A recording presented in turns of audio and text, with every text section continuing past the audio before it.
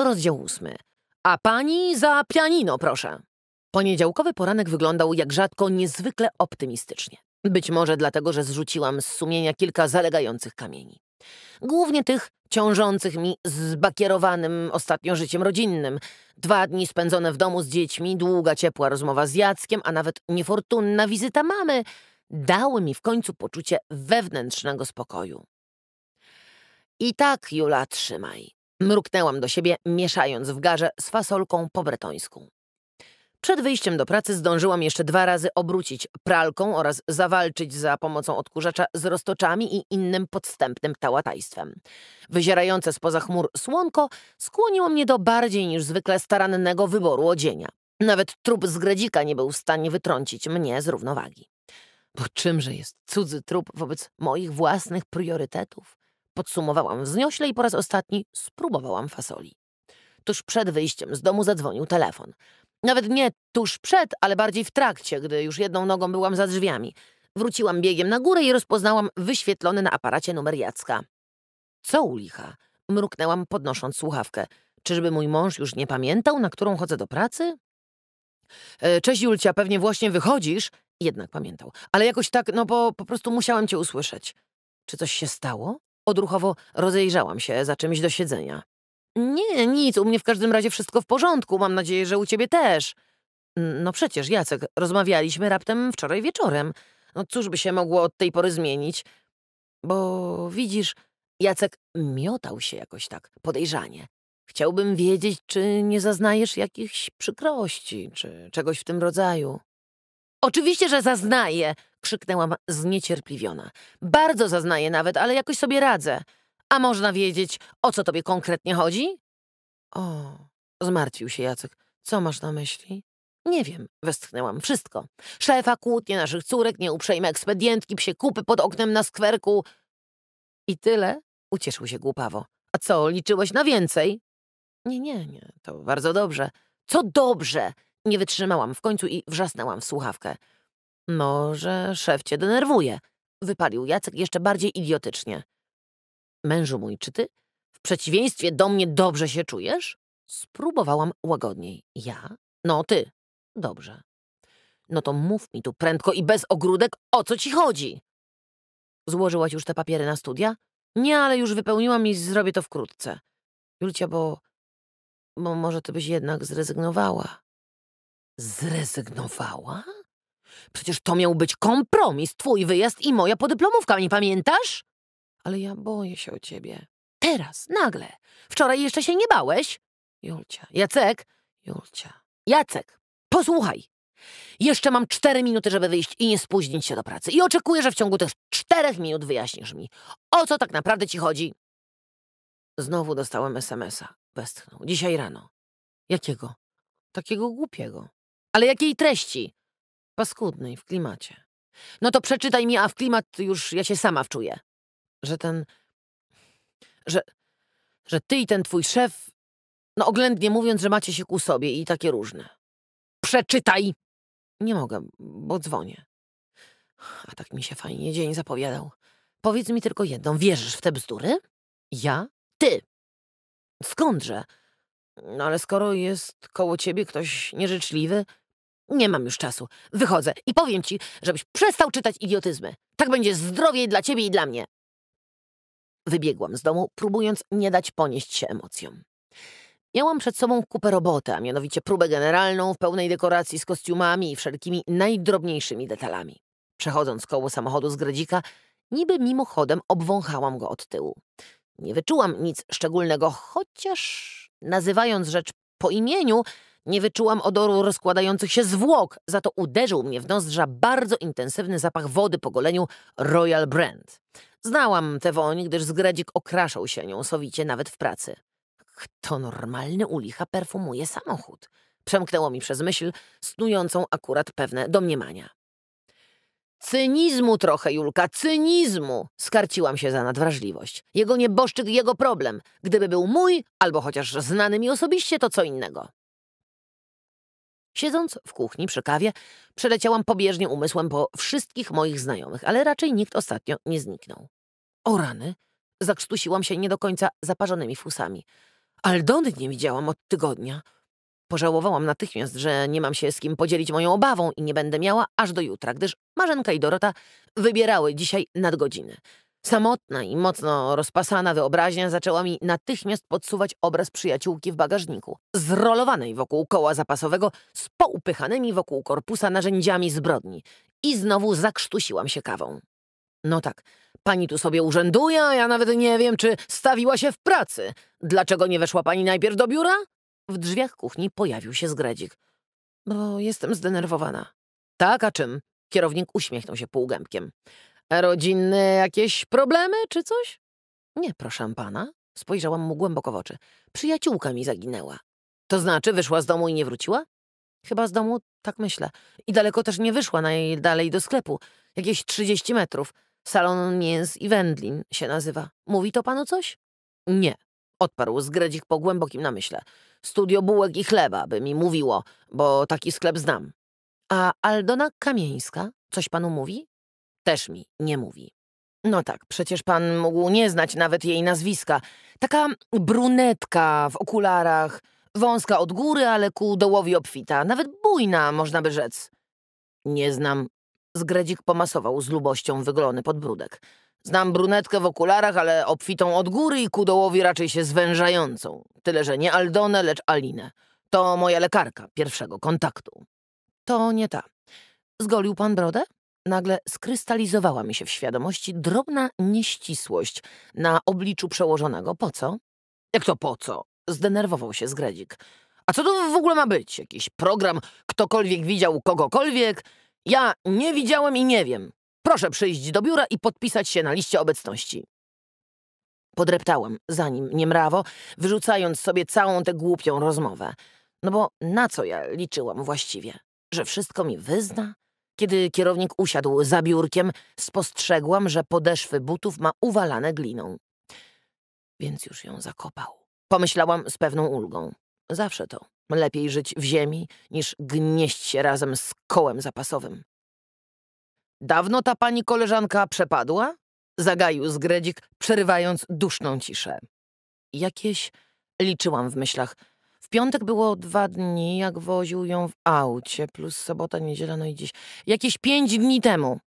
I co, nikt jej nie szuka? Chyba szuka. Mąż, o ile zauważył, że jej nie ma. Na pewno zauważył. Pomyślałam sobie, że musiał zauważyć, a w niedzielę to już na bank. No bo skoro Aldona, kiedy przyniosła mi królika, musiała lecieć uprawiać seks, a oni z Jędrkiem robili te rzeczy co trzy dni, no to według moich obliczeń ostatni raz wypadłby jej w niedzielę właśnie. Myśli pani, że mógłby nie zauważyć? Ożywił się szef. Nie, nie mógłby. Zgasiłam w zarodku jego zbrodnicze nadzieje. Tego by nie przeoczył. Czego? Jej braku w tej sytuacji. W jakiej sytuacji? Zgret uniósł niezwykle wysoko brwi. W sytuacji jej braku. Nie wiem, czy mi się zdaje, ale pan ma dziś chyba dobry humor. Podjęłam z innej beczki.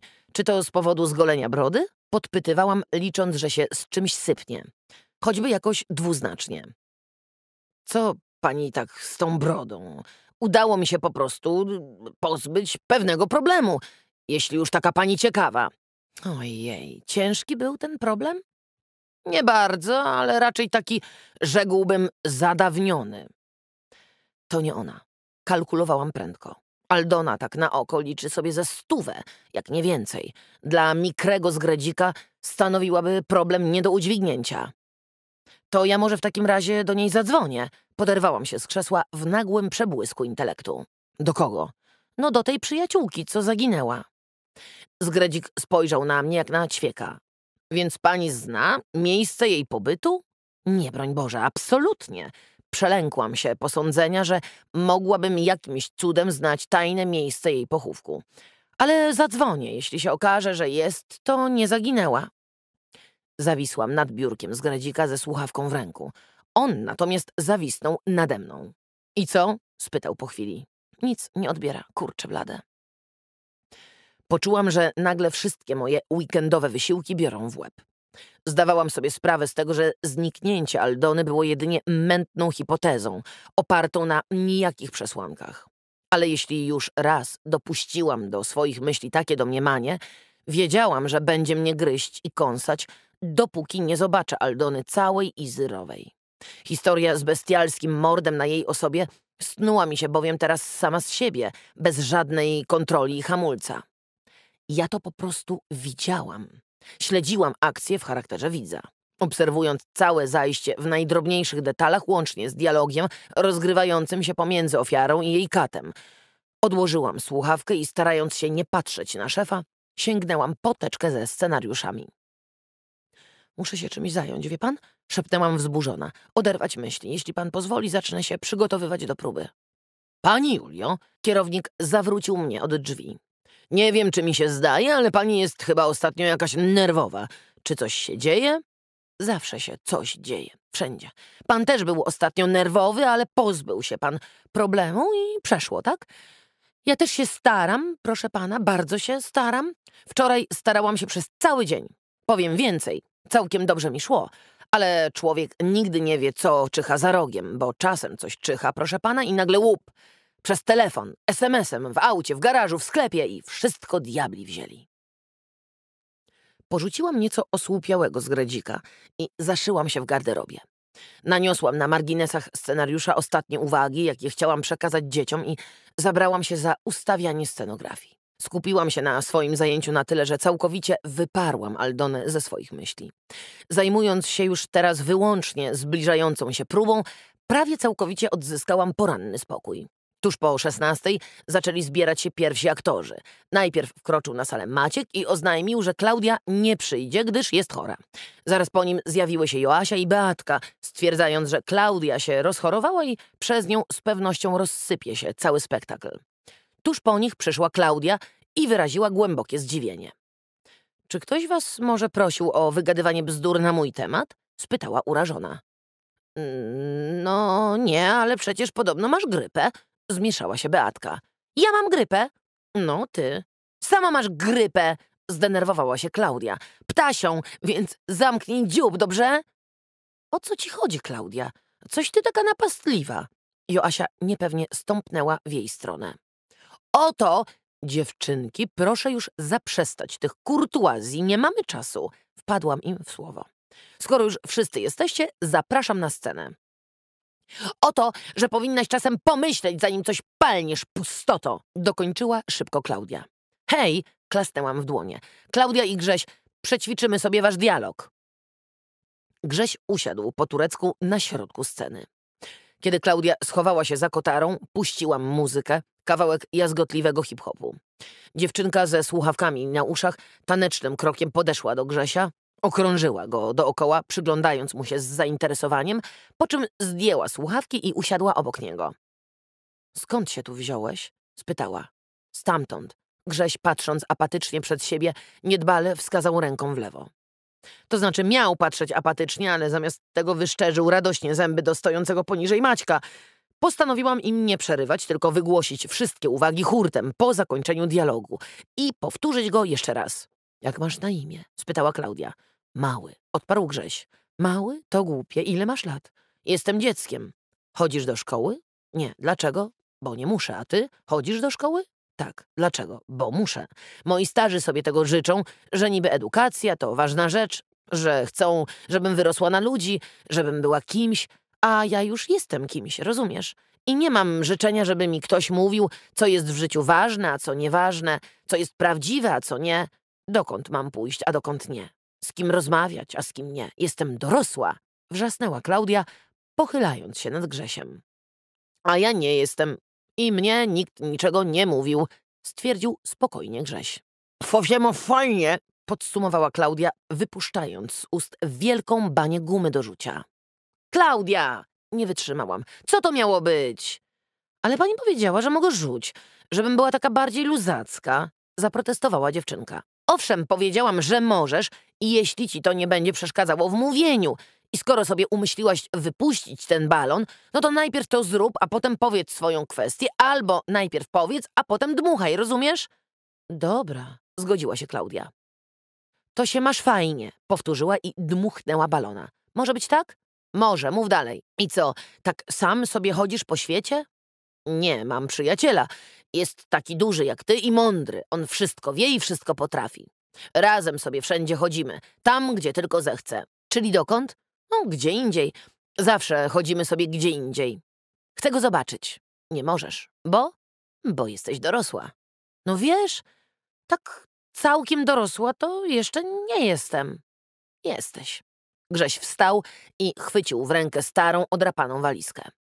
Bo mówisz zbyt głośno i zbyt wyraźnie. Mówisz, życzę sobie i nie życzę sobie. Chcę i nie chcę. Bo twoje chcę jest duże i silne, moje jest małe i słabe. Twoje żądam jest wielkie i ważne, a moje żądam jest niczyje. Chodź, przyjacielu, rzucił Grześ za siebie. Pójdziemy sobie gdzie indziej. Co mówisz? Po prostu gdzie indziej. Mówiąc ostatnie zdanie, Grześ wolno schodził ze sceny. Zaraz potem Klaudia wstała, nałożyła słuchawki i podsumowując spotkanie z chłopcem krótkim świr, zeszła za scenę.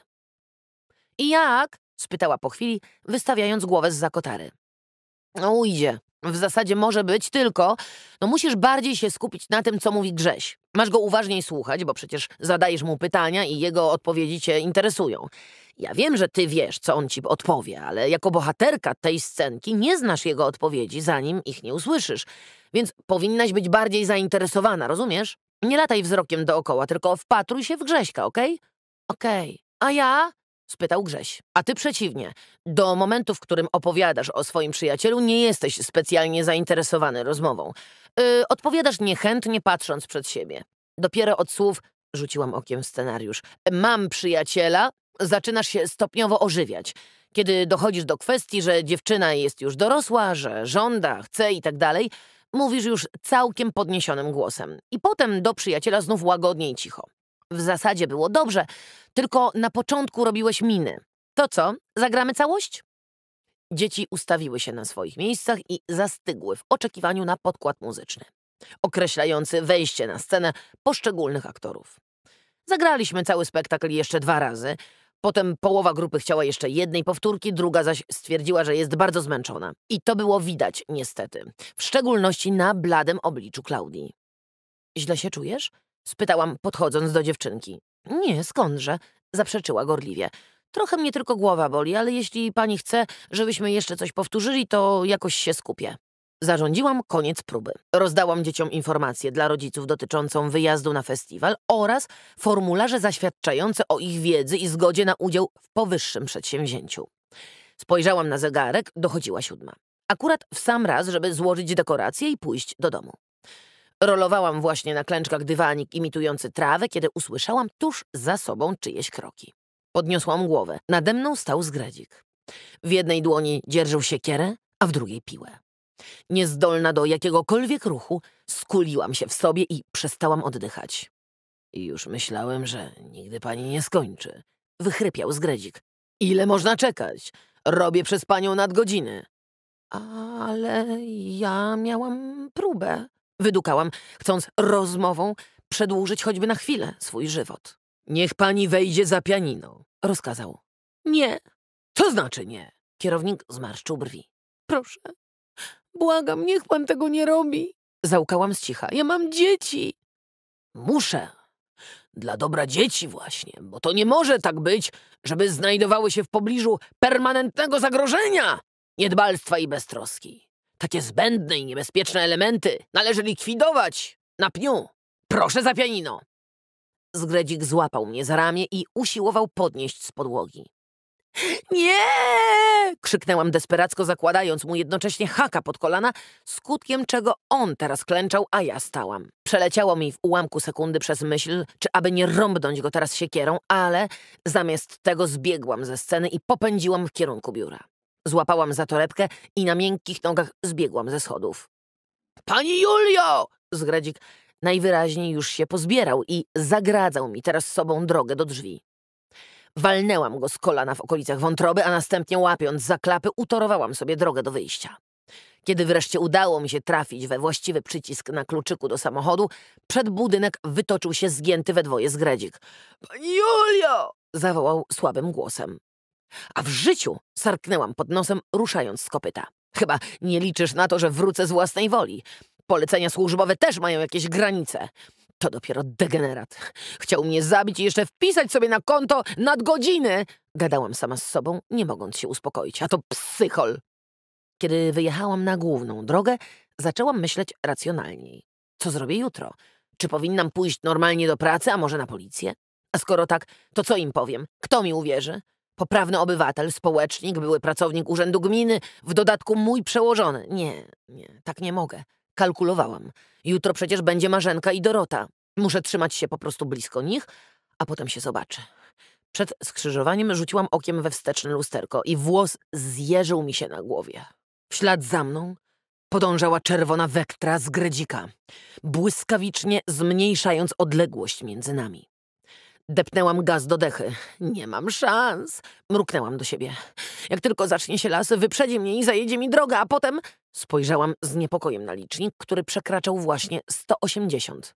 Boże mój, miej mnie w opiece i dzieci moje, a jeśli już nie mnie, to dzieci. Szeptałam w trwodze, ponieważ jeszcze nigdy dotąd nie jechałam z taką prędkością.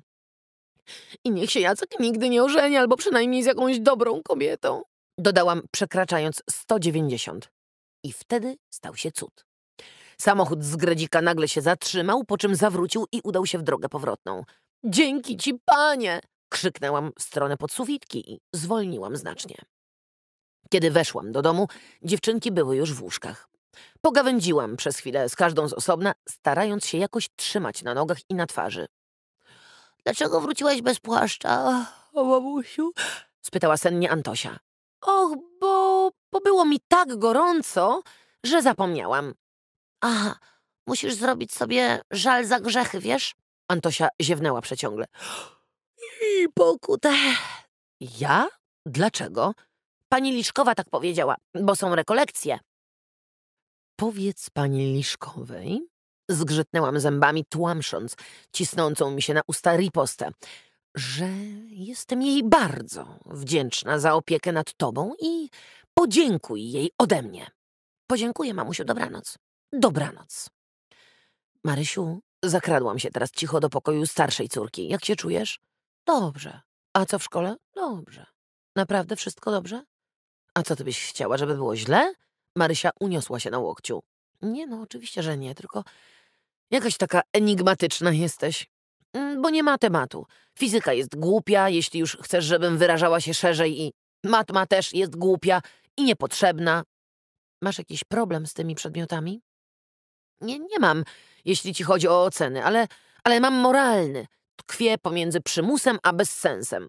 Marysiu, zbierałam się do powiedzenia czegoś mądrego, typu wszystko się może w życiu przydać, albo że przez matmę i fizykę musi przejść każdy, jak przez odrę i świnkę. Ale Marysia mi przerwała, zanim ułożyłam sobie w głowie porządne zdanie. Nie, nie musisz nic mówić. Pewnie wydaje ci się, że powinnaś, ale naprawdę niepotrzebnie. A jak tam relacje z siostrą? Z ulgą zmieniłam temat. W porządku, prawie przez cały dzień jej nie było, bo ona teraz przesiaduje u tej Liszkowej. Potem jej pomogłam w angielskim i poszła do łóżka. W takim razie ty też śpij dobrze, córeczko. Dobranoc. Dobranoc. Weszłam do kuchni, konstatując z westchnieniem, że jest jaki taki porządek. Wyjęłam z szuflady ofiarowany mi przez Antoninę albumik i jeszcze raz zabrałam się do jego przeglądania. Jesteś najlepszą mamą na świecie, kochamy cię. Odczytałam półgłosem ostatnią sentencję. Nie. Nie jestem najlepszą mamą, kochanie. Przemówiłam do pyzatej Antośki z fotografii, ale bardzo, bardzo bym chciała. Zamierzałam przeglądnąć zdjęcia od nowa, kiedy zadzwonił telefon. Odczekałam kilka sygnałów, aż wyświetlił się numer. To był Zgredzik, a w każdym razie ktoś, kto przebywał w jego biurze. Daj mi spokój, psycholu! Warknęłam w stronę aparatu i wyjęłam z gniazdka przewód telefoniczny. Skoro on tam jest, wydedukowałam po chwili. To znaczy, że nie kręci się nigdzie w pobliżu. Narzuciłam na siebie kurtkę Jacka i wyszłam. Rozglądając się bacznie dookoła, udałam się w stronę domu Aldony.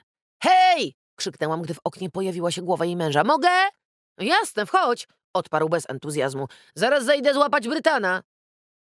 Aldona! Rzuciłam się od tyłu na ślęczącą przy biurku przyjaciółkę. Co? spytała, odwracając się gwałtownie. Co ci się stało? Nic. Uf. Dobrze, że ciebie nie zabił przynajmniej. Ż że jak? Aldona wytrzeszczyła na mnie oczy. Kto mnie nie zabił? Nikt cię nie zabił. No, na to wygląda. Przyjaciółka przyjrzała mi się nieco uważniej. No gadaj, co cię żre? Już nie daję rady. Skowycząc, zawisłam na jej obfitym gorsie. Ja tak nie mogę. Nie umiem bez Jacka.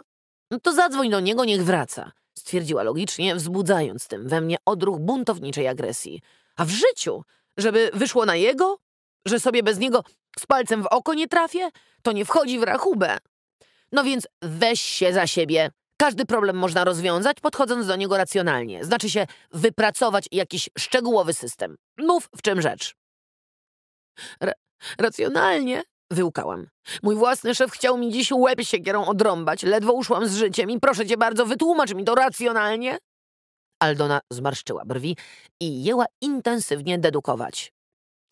Czy byłaś mu może niewierną? Spytała po chwili. Co? Jak to niewierną? Że niby pracowałam dla konkurencji? Jedynie to przyszło mi do głowy. No, no nie, tylko że wiesz, że ty z jakimś innym Teges. Jak to, że ja niby ze zgredzikiem Teges? O co ci chodzi? Poderwałam się na równe nogi. Aldona, on się od miesięcy yy, na mnie zaczaja, robi mi różne rzeczy, świństwa, o jakich ci się nie śniło, że też od razu nie uwierzyłam Dorocie. Więc on ci je robi bez twojej zgody? Zdziwiła się głupio Aldona. Oczywiście, że bez i bez mojej wiedzy. On mi to robi za plecami. Daruj, ale w to już raczej nie uwierzę. Przyjaciółka spojrzała na mnie z podełła. Czegoś takiego to nawet ja bym nie przeoczyła. Na litość boską! Rozdarłam się w końcu jak raniony bawoł. O czym ty do mnie mówisz? Czy ty masz czelność insynuować, że ja się z szefem zadaję cieleśnie? Teraz Aldona ewidentnie się zmieszała. Wiesz, ja tam jestem mól książkowy i, i mnie te rzeczy ogólnie nie rajcują. Ale ty zawsze miałaś spory temperament, więc jak ludzie zaczęli mówić, a zwłaszcza kiedy sama zobaczyłam, jak ktoś wieczorami pomyka przez twój ogródek, to no to tego, no nie myślę, że cię jakoś potępiam, czy coś w tym rodzaju, ale skoro Jacka nie ma, no to sobie pomyślałam, Aldona, jak mogłaś? Temperament to ja miałam, jak byłam młodą mężatką, ale dzięki wieloletniemu uczciwemu pożyciu dawno mi przeszło. A teraz mi mów, jacy ludzie gadali i kto do cholery pomykał przez mój ogródek? Nie wiem, nie przyglądałam się, bo jestem dyskretna z natury. W tym momencie poczułam, że słabnę. Opiczkałaś? A gdyby to był jakiś zabójca? No właśnie, dlaczego nie pomyślałaś sobie, że, że jest to jakiś bandyta, tylko od razu, że amant? No bo, no bo ludzie mówili. Jacy ludzie? Nie wiem, nie pamiętam, zabij mnie, ale sobie nie przypomnę.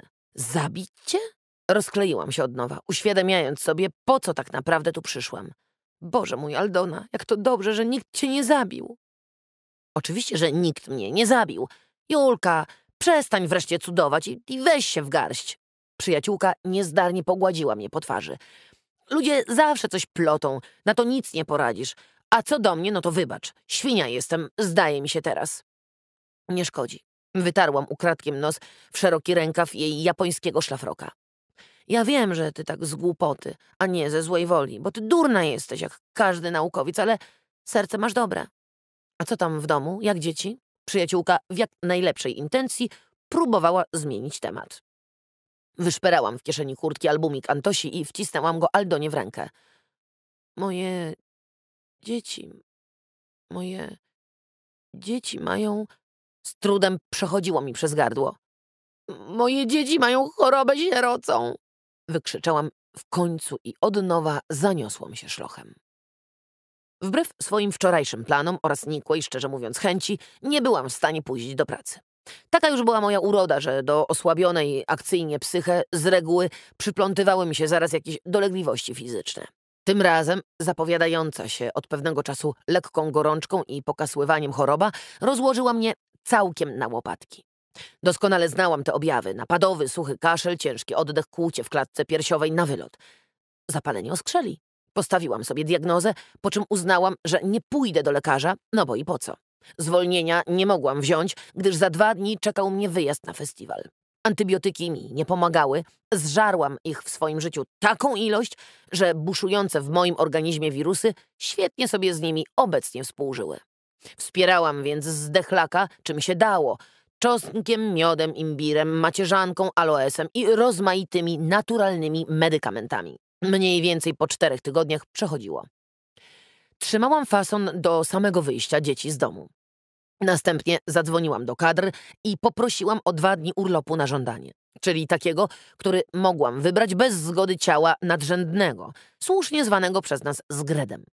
Teraz miałam co najmniej pięć godzin na intensywną kurację. Natarłam się amolem, wypiłam litr herbaty z imbirem, cytryną i miodem, wyszukałam w apteczce jakieś nie do końca zużyte inhalatory i tak opatrzona uwaliłam się do wyra. Dla wszystkiego włożyłam jeszcze skarpety z prawdziwej owczej wełny. Nastawiłam komórkę na dwunastą, żeby w razie, gdyby mi się kimnęło, zapewnić sobie czas na zrobienie dzieciom obiadu. Chwałaż ci, panie, że nie będę musiała oglądać tego zwyrodnialca przez całe cztery dni. Mruknęłam do siebie. Dwa dni przeleżę w domu, potem dwa dni na wyjeździe, a potem się zobaczy. Może w międzyczasie go zamkną? Zamarzyło mi się skrycie, po czym natychmiast objawił mi się szef w więziennej scenerii. Siedział w celi, takiej jak w filmach o dzikim zachodzie i usiłował sięgnąć przez kratę do kluczy, sterczących z kieszeni drzemiącemu szeryfowi. Kiedy już, już był u celu, postanowiłam włączyć się do akcji i odsunąć klucze poza zasięg jego pazernych łap. Skradając się cichutko, żeby nie zbudzić szeryfa, przekładałam je z miejsca na miejsce, coraz dalej i dalej, ale łapy z gradzika wydłużały się w jakiś niepojęty sposób, by wreszcie, w ślad za mną oraz kluczami, wydostać się na ulicę. Biegłam co sił, wzburzając tumany kurzu na wyschniętej piaszczystej drodze, a łapy podążały za mną. Nagle jedna z nich opasała mnie ciasno w talii, druga zaś wpiła mi się w grdykę, dusząc boleśnie. Czując, że tracę resztki tchu, zwaliłam się bezwładnie na ziemię. Kiedy otworzyłam oczy, zobaczyłam przed sobą jedną drewnianą nogę i dwa czerwone kapcie luzem. To pewnie jakaś ofiara lokalnej strzelaniny. Przemknęło mi przez myśl. Ale ja znam tę nogę. Przyjrzałam się wnikliwiej. I te kapcie. Ożesz ty. Zaklełam całkiem już świadomie, gramoląc się z podłóżka. W pół do siódmej. Spojrzałam z niedowierzaniem na zegar. Jakim cudem? Kiedy weszłam na górę, Marysia siedziała samotnie przy stole i zajadała bułkę z salami i majonezem. Moja starsza córka, mimo wybrednego kulinarnego gustu, była w stanie zjeść wszystko, pod warunkiem, że było posmarowane majonezem. Cześć, mamuś, uniosła głowę z nad talerza. Nie chciałam cię budzić. Coś kiepskawo wyglądasz. Zlustrowała wnikliwie moją twarz. A nie mówiłam, gdybyś poleżała uczciwie w sobotę i niedzielę, to by do tego nie doszło. Do czego? Mruknęłam niechętnie. Do takiego stanu. Jest już Antosia? Poszła z Liszkową do kościoła. Powinna lada chwila wrócić. Mamo, ty nie pojedziesz na ten festiwal, prawda? Owszem, pojadę. Do środy mi przejdzie, jeśli o to ci chodzi. Ja nie mogę tego odwołać, Marysiu. Spojrzałam na córkę ciepło. Po prostu nie ma takiej opcji. Ponad pół roku prób, yy, dziewiątka ochoczych dzieciaków, opłacona akredytacja i transport, że już o rodzicach tych dzieci nie wspomnę. Nie, nie mogę. Pojadę z tobą, stwierdziła Marysia hardo. Jasne, że pojedziesz. Obie pojedziecie. Mówiłam wam już o tym, przecież nie zostawię was samych w domu. Wiem, ale ja nie chcę tam być, żeby ci się plątać pod nogami. Będę ci pomagała. Hm, cieszę się, córeczko. Z pewnością bardzo się przydasz. A ja nigdzie nie jadę? Antonina wpadła do kuchni jak wiosenna burza. Zostaję z babcią Liszkową, już mamy to obgadane detalicznie. Jak to z babcią? No z babcią, poprosiła, żebym tak do niej mówiła. No bo co ja się będę wycierała po jakichś obcych, podejrzanych przybytkach? Rzuciła ewidentnie niewłasnym argumentem. Nie wiem, Antosiu, i jeszcze to przemyślę. Zastanowiłam się przez moment, czy aby ta zażyłość nie podąża w niewłaściwym kierunku. Byłam głęboko wdzięczna pani Liszkowej za prowadzanie Antośki do kościoła i ponadprogramową, bezinteresowną opiekę, ale od czasu do czasu z ust mojego dziecka mm, padał jakiś nowy, życiowy pogląd, haczący przykrym zgrzytem o moje własne zasady wychowawcze.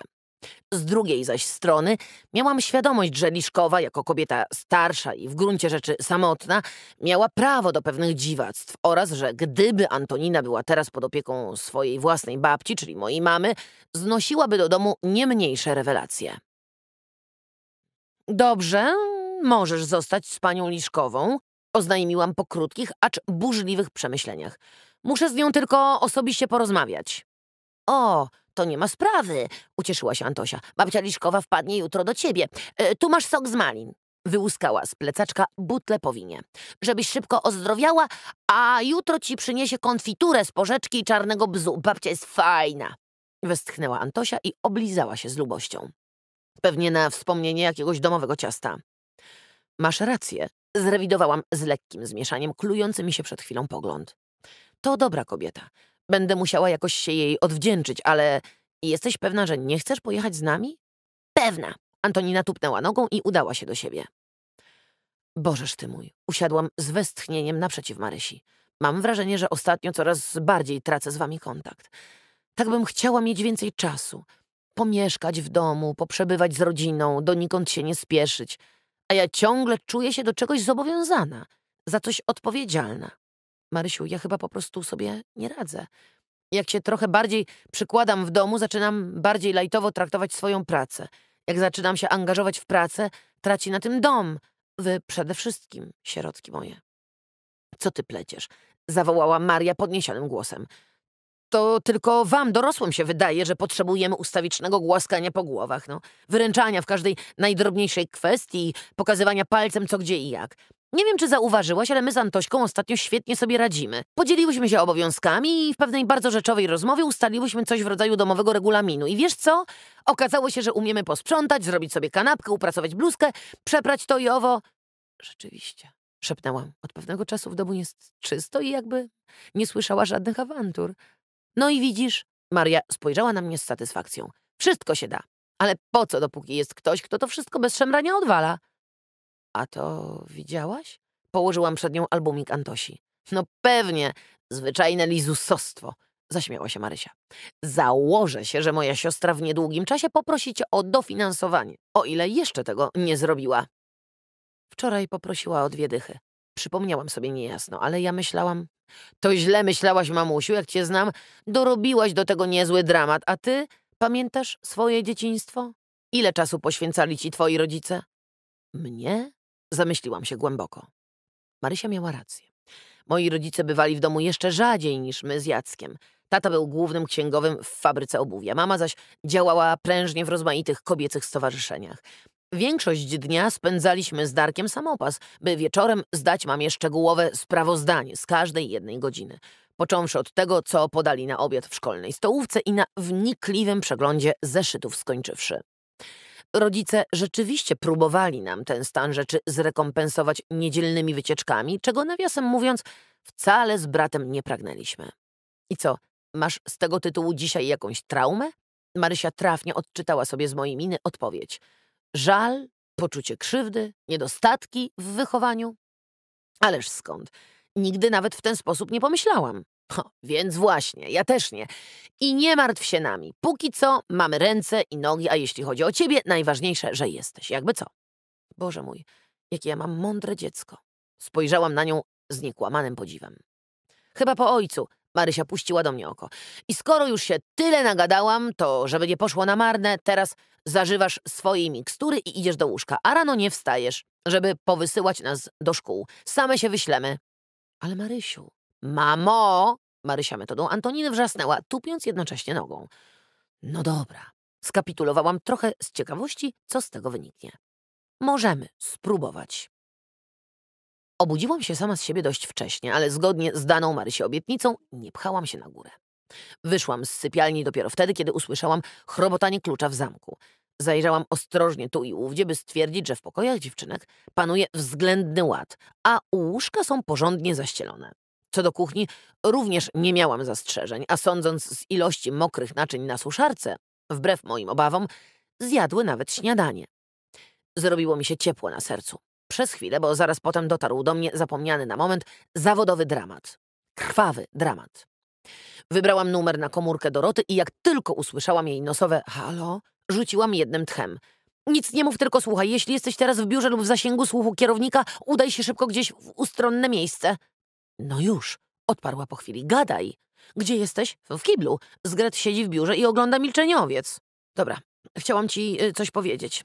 E, że nie będzie mnie przez najbliższe dwa dni w pracy, e, ale gdyby ktoś pytał, wyjazd na festiwal jest jak najbardziej aktualny.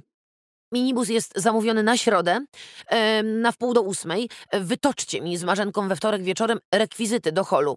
E, wszystko jest w kartonach, w garderobie. Dobra, ale czemu cię nie ma? Jesteś chora? Nie, mam urlop. To znaczy, owszem, jestem chora. Zgredwie? Nie wiem. Nic mu nie mów. Kadry go powiadomią i uważajcie na niego. Najlepiej, gdybyście poruszały się w grupie. Jezus Maria, co się stało? Zakipiała ciekawością Dorota. Stało się, mówię ci, uważajcie. Ale o co chodzi? Dociekała Dorota. Teraz ci nie powiem, dopiero jak wrócę. Bo? Bo to nie pora na takie opowiastki. Muszę kończyć. Dorka, pozdrów Marzenkę, pa. Dorota krzyczała coś jeszcze w słuchawkę, ale się rozłączyłam. Nie mogłam jej przecież relacjonować przez telefon ostatnich zdarzeń, ani też e, siać zbędnej paniki. Zresztą, znając zamiłowanie Doroty do sensacji, pewnie postanowiłaby na własną rękę coś z tym zrobić. Poczuwałam się jednak do ogólnikowego ostrzeżenia swoich koleżanek. Ledwo odłożyłam słuchawkę, telefon rozjazgotał się na całego. Widać Dorota nie wytrzymała, bowiem wyświetlony na aparacie numer wskazywał, że dobija się do mnie ktoś z pracy. Mówiłam ci, że nie będziemy teraz o tym gadać. Warknęłam na dzień dobry w słuchawkę. Mm, przeciwnie, pani Julio. Musimy porozmawiać i to pilnie. Odparł telefon głosem z gredzika. Dosłownie mnie zatchnęło. Pani Julio, jest pani tam? Domagał się odpowiedzi padalec. Jestem. Odezwałam się po chwili wahania. Musimy pilnie porozmawiać. Gdzie pani jest? Jak to gdzie? A gdzie pan do mnie dzwoni? Y, no tak. Czy mogę do pani przyjechać? Na, na taką bezczelność zatchnęło mnie ponownie. O, tym razem na dłużej. Słyszy mnie pani? Owszem, słyszę, ale mam wrażenie, że słuch mnie myli. Wysapałam w najwyższym oburzeniu. Pan chce do mnie przyjechać? Do domu? Mało panu? Wyrzucałam z siebie jednym tchem. No pewnie, że mało, odpowiedziałam natychmiast logicznie. Przecież nic z pańskich morderczych zamiarów nie wyszło. Kupił pan sobie pistolet, a może granat? Nie, no w głowie się nie mieści. Od miesięcy zatruwa mi pan żywot. Kreuje się na mojego kochanka. Psuje opinię, napawa się masakrycznymi filmami i morduje niewinnych ludzi. A teraz od tak umawia się pan do mnie na wizytę w celu jednoznacznie morderczym. Jest pan psychopata i zwyrodnialec i zboczeniec. I proszę mi się tu tylko pokazać, a psem poszczuję. Obiję rozżarzonym pogrzebaczem. A teraz póki co niech pan siada i pisze mi dyscyplinarkę. Bo ja nie widzę swojego powrotu do pracy. Pani Julio, odezwał się kierownik wyjątkowo łagodnie. Tylko proszę, niech się pani nie rozłącza. Nie zamierzam pani zwalniać. Nawet przez myśl mi nie przeszło. Jest pani bardzo dobrym, sumiennym pracownikiem. Aha! Nie ze mną takie numery! Wpadłam mu w słowo.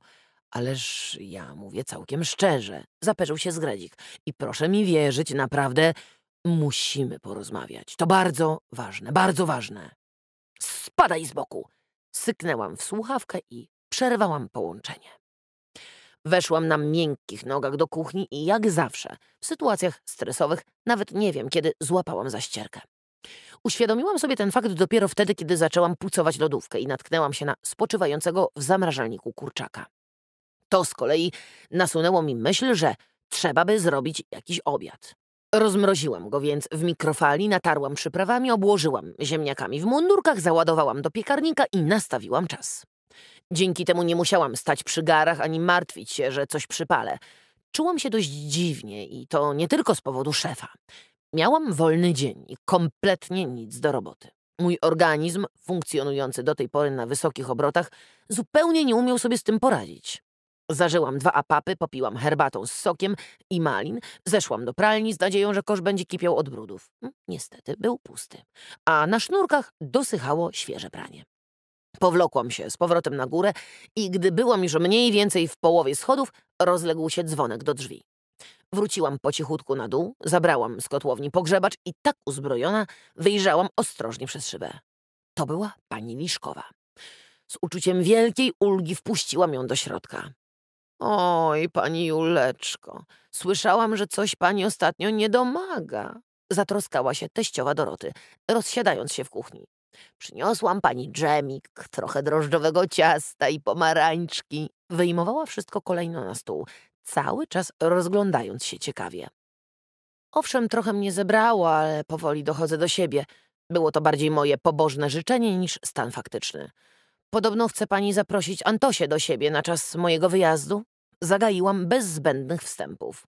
A, tak, ma pani naprawdę kochane dziecko. Z wielką przyjemnością się nią zaopiekuję.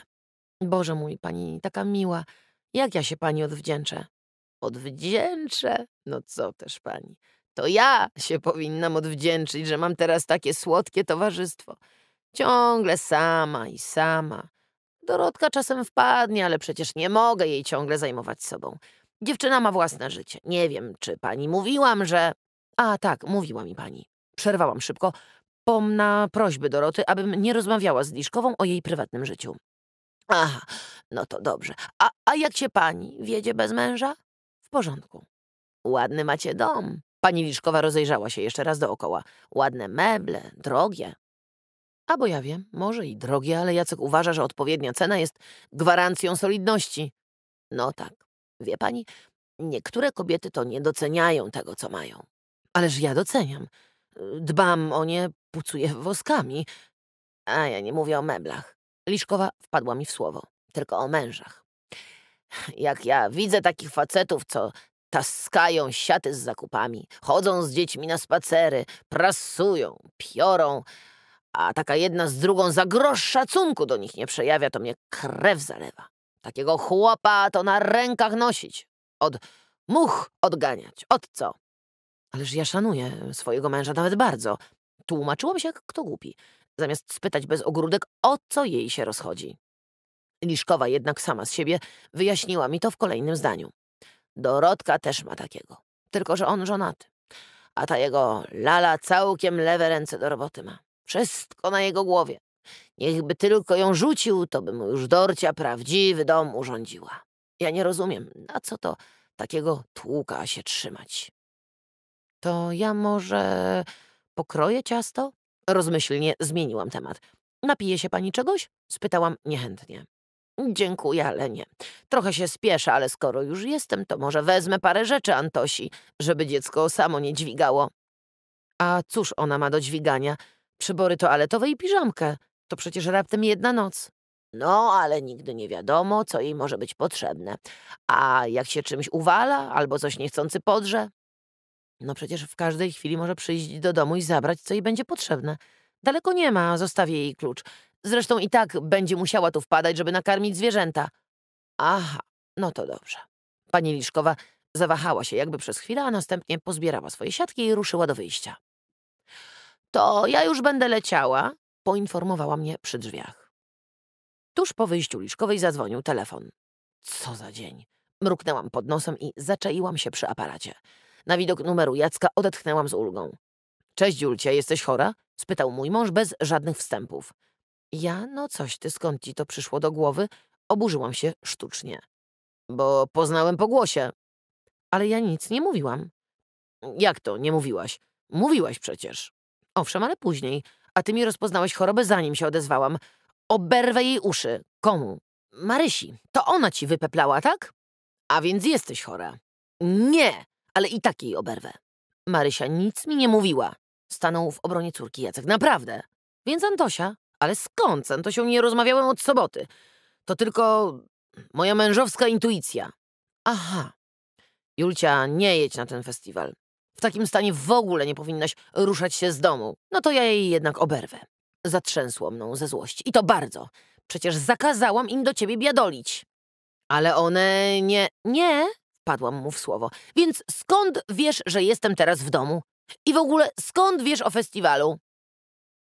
W słuchawce zapanowała przez chwilę martwa cisza. Bo przecież sama mi powiedziałaś. Owszem, powiedziałam, ale Jacek nie miał prawa tej daty spamiętać. To było jeszcze przed jego wyjazdem, w przelocie i w dodatku w jakimś zawiłym kontekście. W zeszłym tygodniu zmieniono termin na wcześniejszy. Podeszłam go z grubej rury. No właśnie, przy tej okazji mi powiedziałaś. Ucieszył się Jacek. I tu cię mam, wysapałam z satysfakcją. Bo wyjazd jest właśnie całkiem planowy, a to paple jedne. Daj spokój, Julcia, skapitulował Jacek. Czy to źle, że się o ciebie martwię? Źle, warknęłam w słuchawkę. No bo jak, jak ty się o mnie martwisz, co? Nie idź na studia, przedrzeźniałam jego wyniosłe tony. Nie jedź na festiwal, tego nie rób, tamtego nie rób, albo informujesz mnie o jakichś durnych SMS-ach na mój temat. I co? Tak się martwisz? Powinieneś mnie wspierać, a nie dobijać. Nie gniewaj się, Julka. Mój mąż wymiękał z sekundy na sekundę. Mnie tu też nie jest różowo samemu. Wy jesteście przynajmniej we trójkę wśród swoich, a ja ciągle tylko o was myślę, boję się, żeby wam się coś złego nie przytrafiło. A co takiego nam się może przytrafić? Masz w tym temacie jakieś koncepcje? Jacek znowu zamilkł przez chwilę. Nie. Jakie koncepcje? O czym ty mówisz? O niczym. A może o tym, że jak się komuś ma coś przydarzyć, to czy jesteś tam, czy tu, nic nie poradzisz i vice versa. Julka, na miłość boską, tylko nie kracz. Nie kraczę. Używam jedynie logicznej argumentacji. Wiesz co? No, nie kłóćmy się, Jacuś. Przecież ja nie chcę się kłócić. Ja też. No to ja może zadzwonię wieczorem. Oboje przygotujmy się na miłą, romantyczną pogawędkę, okej? Okay? Okej, okay, to do wieczorka? Do wieczorka, kochanie, pa. Obiecałam sobie, że zanim zacznę czynić dzieciom wyrzuty, pozwolę zjeść im spokojnie obiad. Ale nie wytrzymałam, bo umawiałyśmy się przecież, że nie będziemy wyżalać Jackowi żadnych swoich problemów, choćby się waliło i paliło. Dziewczynki solennie mi to przyrzekły i jak do tej pory dzielnie dotrzymywały mi słowa. Nie umiałam więc pojąć, co je nagle napadło. Dlatego, jak tylko zmieniły obuwie na domowe, podjęłam śledztwo w tej sprawie. Ym, kiedy ostatnio rozmawiałyście z tatusiem? spytałam niewinnie. Ja? Zawahała się Maria. Przedwczoraj. Ja po wyjeździe babci, oznajmiła Antonina. A czemu to się stało? Zgadnijcie, rzuciłam podstępnie.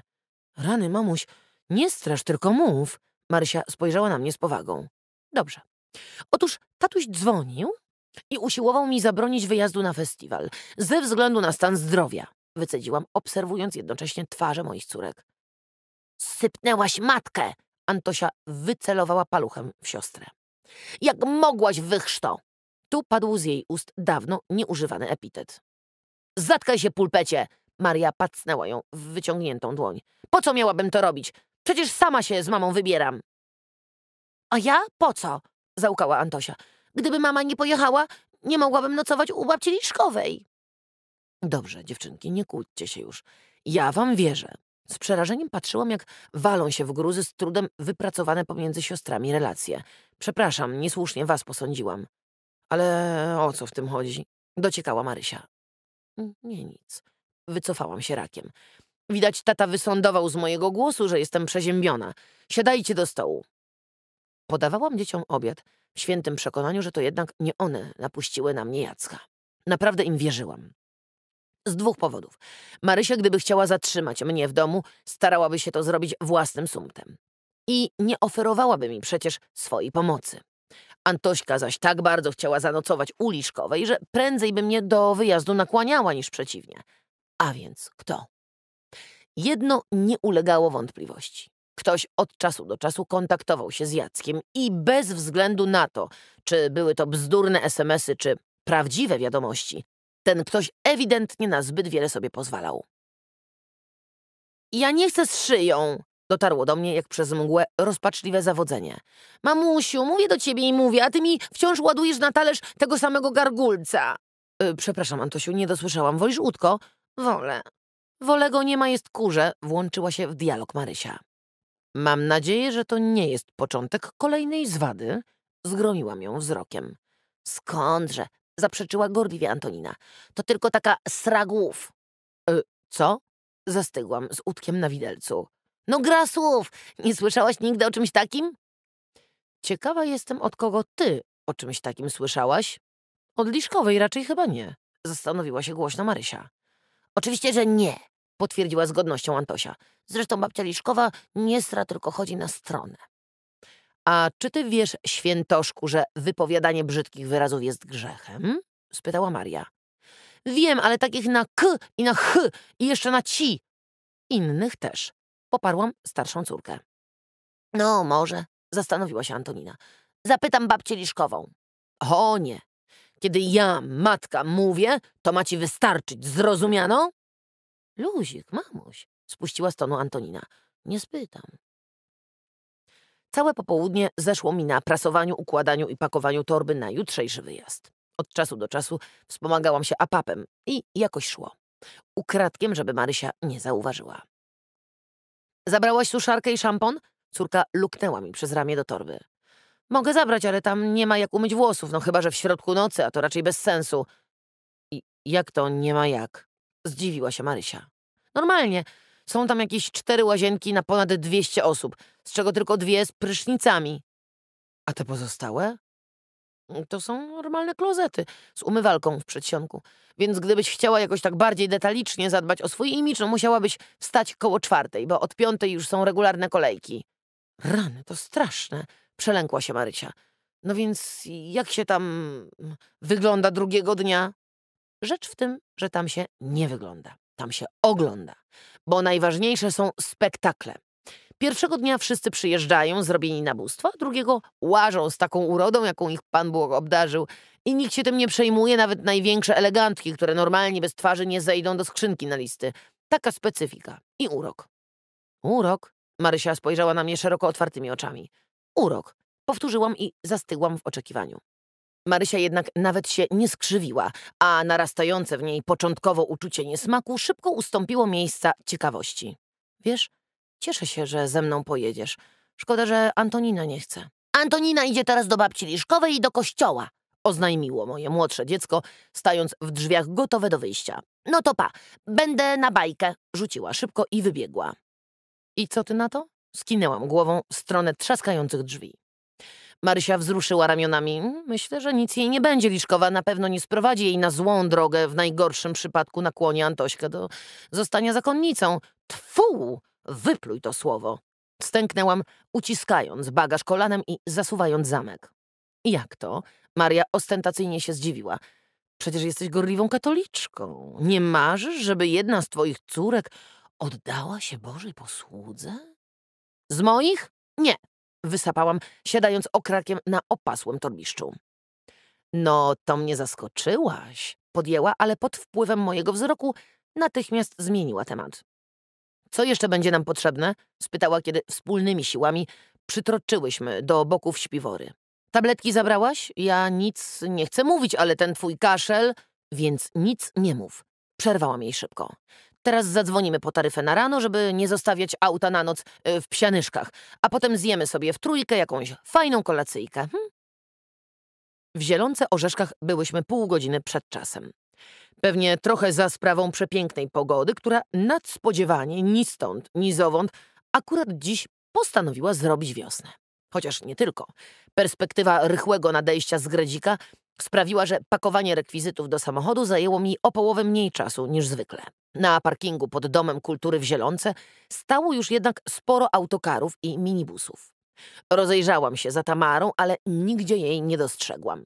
Zresztą nie było teraz czasu na przeszukiwania. Obdarzywszy każde dziecko jakimś elementem dekoracji, udaliśmy się do obszernej szatni, gdzie można było wszystko bezpiecznie ulokować. I co teraz? spytała niepewnie Marysia. Jakoś tu dziwnie. A tam dziwnie. Zobaczymy, o której występuje nasza grupa, a potem pooglądamy cudzą twórczość. Zabierz dzieci i wejdźcie na salę widowiskową, a ja dopełnię formalności. Aha, i przeliczaj ich od czasu do czasu, bo one lubią wymknąć się chyłkiem do sklepu. Ja zaraz wracam. Na schodach prowadzących do biura organizacji festiwalu natknęłam się na Tamarę. Cześć! wykrzyknęła radośnie i rzuciła mi się na szyję. Jak tam twoje libido i królik? Wymijająca nas na trzeciego sekretarka obejrzała się ciekawie. No, królik, dobrze, dziękuję. A z tym libido to jedna wielka ściema. Ja nic do niego nie czuję. E, a już na pewno żadnego erotycznego pociągu. Sekretarka zatrzymała się trzy schody poniżej i zaczęła wnikliwie przeglądać jakieś papiery. Wypierasz, moja droga, po prostu wypierasz. Nieźli mnie, Tamasiu, na wstępie, dobrze? Zaproponowałam łagodnie. Zresztą od pewnego czasu nie jesteś w temacie, wiele się zmieniło. On już na mnie nie nastaje, tylko przejawia agresję. Gryzie? Wypsnęło się niechcący sekretarce. Nie, goni mnie z siekierą. Królik? Kobieta przesunęła się o dwa stopnie wyżej. Nie, szef. Psychopatia, zdiagnozowała krótko Tamara. Z elementami manii prześladowczej, na bazie niedoboru uczuć wyższych we wczesnym dzieciństwie. Najgorszy typ, jaki mógł ci się trafić. Czyli, że co? Upchnęłam się na żywca pomiędzy Tamarę, a stojącą już teraz na równi z nami sekretarkę. No, czyli, że skoro nie odwzajemniła jego chorego uczucia, poczuł się odrzucony ponownie, teraz według wszelkich prawideł psychiatrii, powinien zacząć seryjnie mordować. Kobiety. Wszystkie jak leci. Milczenie owiec. Wyszeptałam, czując mrowienie na plecach. Dokładnie, potwierdziła Tamara z satysfakcją. Ale on do tej pory mordował facetów, zgłosiłam nieśmiałą wątpliwość. A przynajmniej jednego. To było zanim pozbawiłaś go złudzeń? Zanim. Konkurent? Niby nie, ale raz klepnął mnie w zadek. No i wszystko jasne. Ucieszyła się Tamara. Zobaczysz, teraz zmieni płeć. Jak to? Zdziwiła się sekretarka. Płeć ofiar, objaśniłam uprzejmie. Ojej, muszę lecieć. Oprzytomniałam nagle. Pewnie pierwszy spektakl już się skończył, a ja mam dzieci samopas. Pogadamy później. Oki, zgodziła się Tamara i pobiegła w dół. Popędziłam szybko w kierunku przeciwnym. Sekretarka natomiast jakby zastygła na schodach. Przepraszam, krzyknęłam do niej z samej góry. Czy ja mogłabym zgłosić grupę? O, oczywiście. Odparła szeptem i udała się w moją stronę. Wypisując mi rachunek, przez cały czas spoglądała na mnie z podełba. Miałam wrażenie, że chce mnie o coś zapytać, ale nie ma śmiałości. Straszne te y, współczesne spektakle, prawda? Takie krwawe i pełne przemocy. Zagaiłam litościwie. Na szczęście my jesteśmy tylko amatorzy i nie uprawiamy rzezi na scenie. Ojejku, sekretarka wypogodziła się w jednym momencie na obliczu. Spektakle, ależ tak, oczywiście, że krwawe. Ucieszyła się ekspresyjnie. Strasznie krwawe. Kiedy dotarłam w końcu na tę salę widowiskową, trwało już drugie przedstawienie. Odnalazłam w półmroku swoją grupę i wcisnęłam się w fotel. Dobrze, że już jesteś, mamusiu, szepnęła Marysia. Tej dziewczynce w czerwonej bluzce coś się dzieje. Klaudii? Wytężyłam wzrok, rozglądając się na boki. Co jej się dzieje? Nie wiem. Biorąc na dotyk, to ona ma sporą gorączkę i dreszcze. Rany boskie. Przelękłam się nie na żarty. No to tragedia. Nie wystąpicie? spytała szeptem Marysia. No pewnie, że nie. Ale to jest akurat pikuś. Mam chore dziecko i to cudze w dodatku. Wyprowadziłyśmy cichutko Klaudię do szatni, po czym usadziłam ją na zwojach jakiejś draperii. Co ci jest? spytałam z rosnącym przerażeniem. Dziewczynka była kredowo biała i szczękała zębami. Nie, nie, nie, nie wiem, zimno mi. Na miłość boską, Klaudio, jak mogłaś wybrać się na festiwal w takim stanie? Ja rozumiem, że mogłaś omamić mnie, ale jak u licha udało ci się oszukać własną matkę? Przecież ona jest lekarzem. Bo mama rzadko bywa w domu. Ciągle ma jakieś dyżury, a, ja zażywałam leki i jakoś było. A teraz jest ktoś w domu i, i, i jest tatuś. Odparła Klaudia. Podaj mi jego numer albo nie. Mruknęłam, grzebiąc nerwowo w torebce. Wybierz na swoim telefonie, bo jakoś nie mogę znaleźć mojego. Chyba go nie zabrałam. Nie, proszę pani, ja coś zażyję i zaraz mi przejdzie. P -p Przecież muszę wystąpić. Niestety, dziecko w tym stanie nie możesz. Musisz jak najszybciej wrócić do domu i powiedzieć o wszystkim mamie, ale zrozum, kochanie. Przyłożyłam jej rękę do gorącego czoła. Twoje zdrowie jest najważniejsze. A spektaklem się nie martw, zagrasz jeszcze w niejednym. Masz. Marysia rzuciła mi do stóp naszą torbę. Trzeba jej dać coś przeciw gorączce. Mam nadzieję, że zabrałaś swój arsenał. Mm, zabrałam, jest w bocznej kieszeni. Podaj jej proszę apap, a ja zadzwonię po ojca. Tata Klaudii na szczęście był w domu. Przejęty stanem córki miał natychmiast wskoczyć w samochód i przy sprzyjających warunkach na drodze najdalej za dwie godziny powinien być w Zielonce. Marysiu, pójdź na salę do dzieci, a ja tu z Klaudią posiedzę. Poprosiłam córkę. Co teraz będzie? spytała wstając. Nic. Jakoś to przeżyjemy. Pooglądamy, co Bóg da, a jutro wrócimy. Najważniejsze, żeby Klaudia była zdrowa. Ja, ja jestem zdrowa, szepnęła Klaudia i zasnęła z głową na moich kolanach. A pozostałe dzieciaki? spytała Marysia. Nie będą rozgoryczone? Jasne, że będą, westchnęłam, ale nic na to nie poradzimy. Trzeba im to będzie jakoś sensownie wytłumaczyć. Mamuś, szepnęła Marysia z wahaniem w głosie. A może ja bym poprosiła panią Tamarę, żeby rzuciła na nich okiem i poszłabym na chwilę do tego parku za budynkiem? Ty też źle się czujesz? Spojrzałam na córkę z lękiem. Nie, ja tylko tak na chwilę, na powietrze. Dobrze, idź, ale nie bądź długo. Jak wrócisz, posiedzisz przy Klaudii, a ja pójdę zgłosić rezygnację z występu. Albo nie, ty to zrób. Teraz będzie mniejsze zamieszanie. O której miał być ten występ? O 12.30 miał być. Aha, westchnęła smutno Marysia i wyszła. Siedziałam na kłębie cudzego wiśniowego pluszu z wtuloną we mnie śpiącą Klaudią i miałam wrażenie, że czas stanął w miejscu. Niemal nie zdejmowałam dłoni z jej czoła, modląc się w duchu, żeby gorączka wreszcie zaczęła spadać. Kiedy dotarł na miejsce tata dziewczynki, kimałyśmy już regularnie obie. Strasznie panią przepraszam, huknął, budząc mnie gwałtownie. To ja wysłałem rano córkę z domu, ale nie zauważyłem niczego. Klaudia bardzo chciała wystąpić i pewnie dlatego się nie przyznała, że jest chora. Przed wyjazdem wyglądała całkiem normalnie. Tłumaczył się zmieszany. Pewnie zażyła jakiś gripex czy coś podobnego. To na chwilę nieźle stawia na nogi, wiem z doświadczenia, odparłam, zdejmując delikatnie Klaudię z kolan. Tu są jej rzeczy, wskazałam na sporych rozmiarów granatowy plecak. Może pan zabierze córkę, a ja wezmę bagaż. Ułożyliśmy Klaudię pieczołowicie na tylnym siedzeniu, opatuliwszy uprzednio śpiworem. Czułam się głupio i nieodpowiedzialnie, mimo iż przez całą drogę w minibusie dziewczynka była pełna werwy i nie miałam nawet prawa podejrzewać, że coś z nią jest nie tak. Weszłam po omacku na salę. Wytrącona z poczucia rzeczywistości, nie miałam pojęcia, kto teraz gra. Sądząc z aktorów, była to chyba igiełka z Boruty Leśnej, zespół, który miał występować przed nami. Rozejrzałam się uważnie dookoła, ale nie dostrzegłam ani Marysi, ani reszty swoich dzieci. Wreszcie wypatrzyłam daleko przed sobą jasną głowę Tamary i dyskretnie przemknęłam w jej stronę. Hej, nie widziałaś gdzieś moich? spytałam szeptem. Widziałam w parku. W parku? Zdziwiłam się. Wszystkich? No, z twoją Marysią. Siadaj i oglądaj, nic im nie będzie. Tamara wskazała na krzesło obok. Nie wiesz, czy Marysia odwołała spektakl? Spytałam cicho po trzykroć, szarpiąc jednocześnie przyjaciółką na boki. Tamara, kiedy się już na czymś skupiła, bez silnego bodźca fizycznego, nie reagowała na nic poza przedmiotem swojej uwagi. A, odwołała, chyba. Odparła mętnie i na powrót wgapiła się w scenę. Chyba? Szarpnęłam nią znacznie mocniej. Cicho bądź. Widziałam, jak rozmawiała z organizatorem. Siedzi, patrz. Pomyślałam, że widać na wskutek zmiany planów yy, rozległ się ze strony moich dzieci taki lament, że Maria zmuszona była je wyprowadzić z sali. Z jednej strony nieco mnie to uspokoiło, z drugiej zaś wżarło mi się dogłębnie w sumienie. Biedni moi, mali artyści.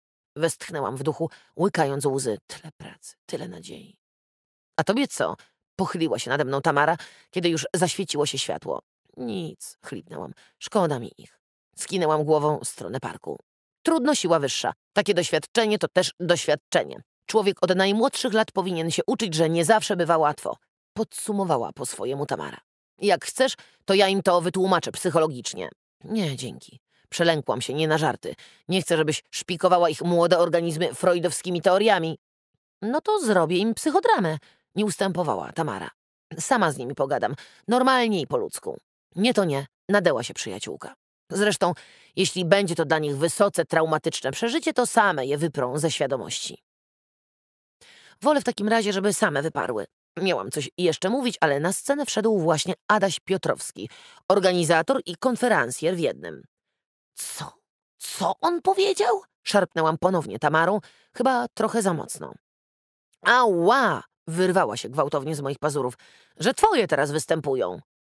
Wbiłam z całych sił wzrok w Adama, chcąc telepatycznie zwrócić na siebie jego uwagę i jakoś mu pomachać, dać znać, że to nie tak.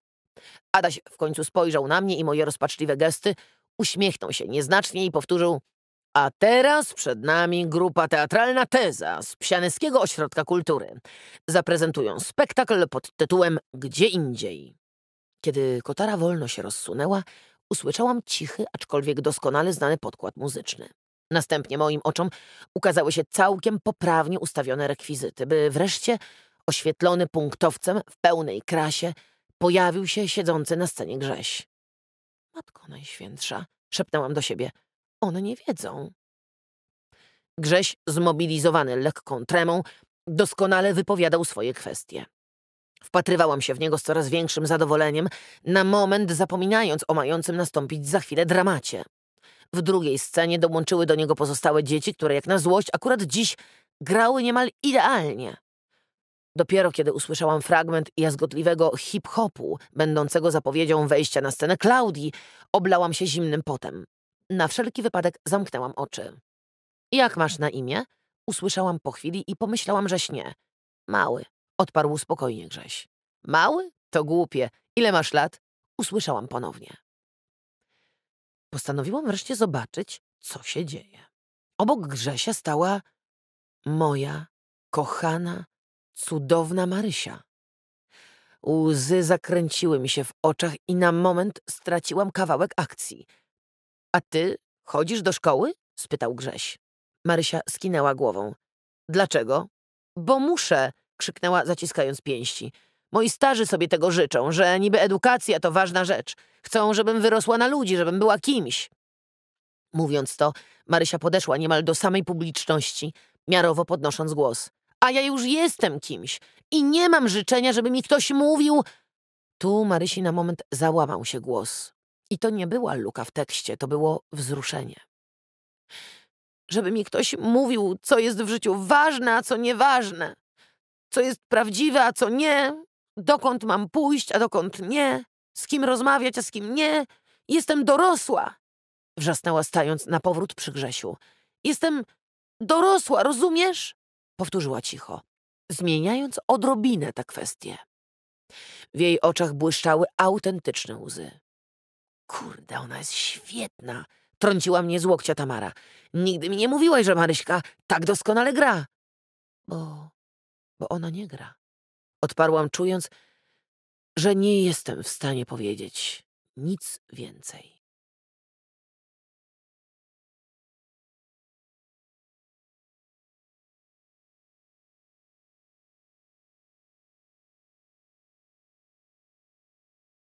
Rozdział dziewiąty. Gdzie jest szuja? Wracaliśmy do domu umordowani do ostatnich granic. Marysia drzemała na moim ramieniu, młodzi aktorzy, rozkrzyczani zazwyczaj i raczej trudni do okiełznania, byli wyjątkowo cisi. Mimo ogromnego zmęczenia, naładowana wrażeniami, nie byłam w stanie zmrużyć oka. Zajęliśmy co prawda tylko któreś tam wyróżnienie, ale za to Maria otrzymała nagrodę dla najlepszej aktorki. Przyjęła ją z wielkimi skrupułami, bo po pierwsze twierdziła, że nie była żadną aktorką, a na scenie wystąpiła przypadkiem, a po drugie to ona wcale nie potrafi grać. Rozkleiła się tylko trochę, również przypadkiem. Mamusiu, czy ty to napisałaś o mnie? Spytała tuż po spektaklu. Nie, córeczko, skądże? No, może jak to mówi Tamara, wygrzebałam tę scenkę gdzieś z głębi podświadomości, ale na pewno nie celowo. Odparłam bo ja się czułam, jakbym. jakbym przeglądała się w lustrze. Wyznała zmieszana. Moje kochane, dobre dziecko. Pogładziłam śpiącą córkę po jasnych włosach, starając się jej nie zbudzić. Ale nie mogłam się oprzeć, bo teraz z kolei miałam przed oczami scenkę, kiedy po powrocie z późno wieczornego omówienia spektakli z jurorami zastałam Marysię smarującą, jak leci wszystkich moich artystów, amolem. Obawiam się, że oni coś od tej Klaudii podłapali, wyjaśniła, napotykając mój zdziwiony wzrok. Cały czas kaszlą i smarkają. Tamtemu wskazała na wystającą ze śpiwora połową czuprynę Maćka. Dałam lek przeciw gorączce. Reszcie zaaplikowałam syrop na kaszel. Od czasu do czasu macam im czoła, czy też nie zaczynają gorączkować. Boże, Marysiu, to ty tak cały czas? W ogóle nie zmrużyłaś oka? Tu się przecież i tak nie da spać. Maria wzruszyła ramionami. Więc co za różnica? Rzeczywiście. Specyfika kilkudniowych festiwali młodzieżowych polegała na tym, że osoby niezaprawione w bojach nie miały prawa zdrzemnąć się nawet na godzinę, a w Zielonce Orzeszkach szczególnie. Nocowało się tu na ogromnej sali gimnastycznej, mając do dyspozycji jedynie cienki materac i przytaskany przez siebie śpiwór. I tak dzieci, które przyjechały z dalsza, zmęczone po długim dniu, zasypiały od razu, pozostałe natomiast wymyślały sobie rozmaite zabawy, od churalnych śpiewów po grę w piłkę nożną. Sala była bowiem wyposażona zarówno w piłki, jak i w bramki. I jeśli ktoś nie był raczej przyzwyczajony do tego, że od czasu do czasu przeleci mu po plecach jakiś zawodnik, o spaniu nie mógł nawet zamarzyć. Mniej więcej o trzeciej nad ranem dzieciaki się męczyły i kładły, ale za to te, które zasnęły wcześniej, budziły się gotowe na każdą akcję. Instruktorzy, którzy odwiedzali Zielonkę od lat, nawet nie próbowali z tym walczyć.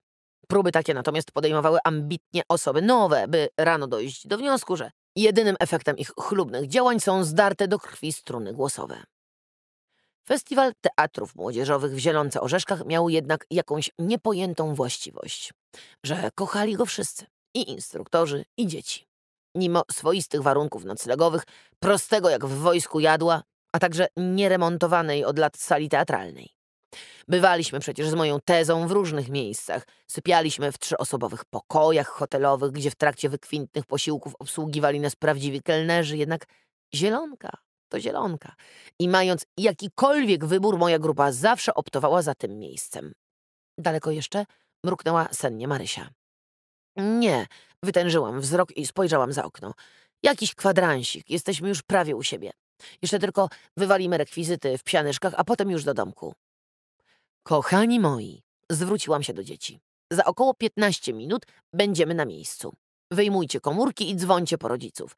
Bez rodzica nikogo nie puszczam do domu.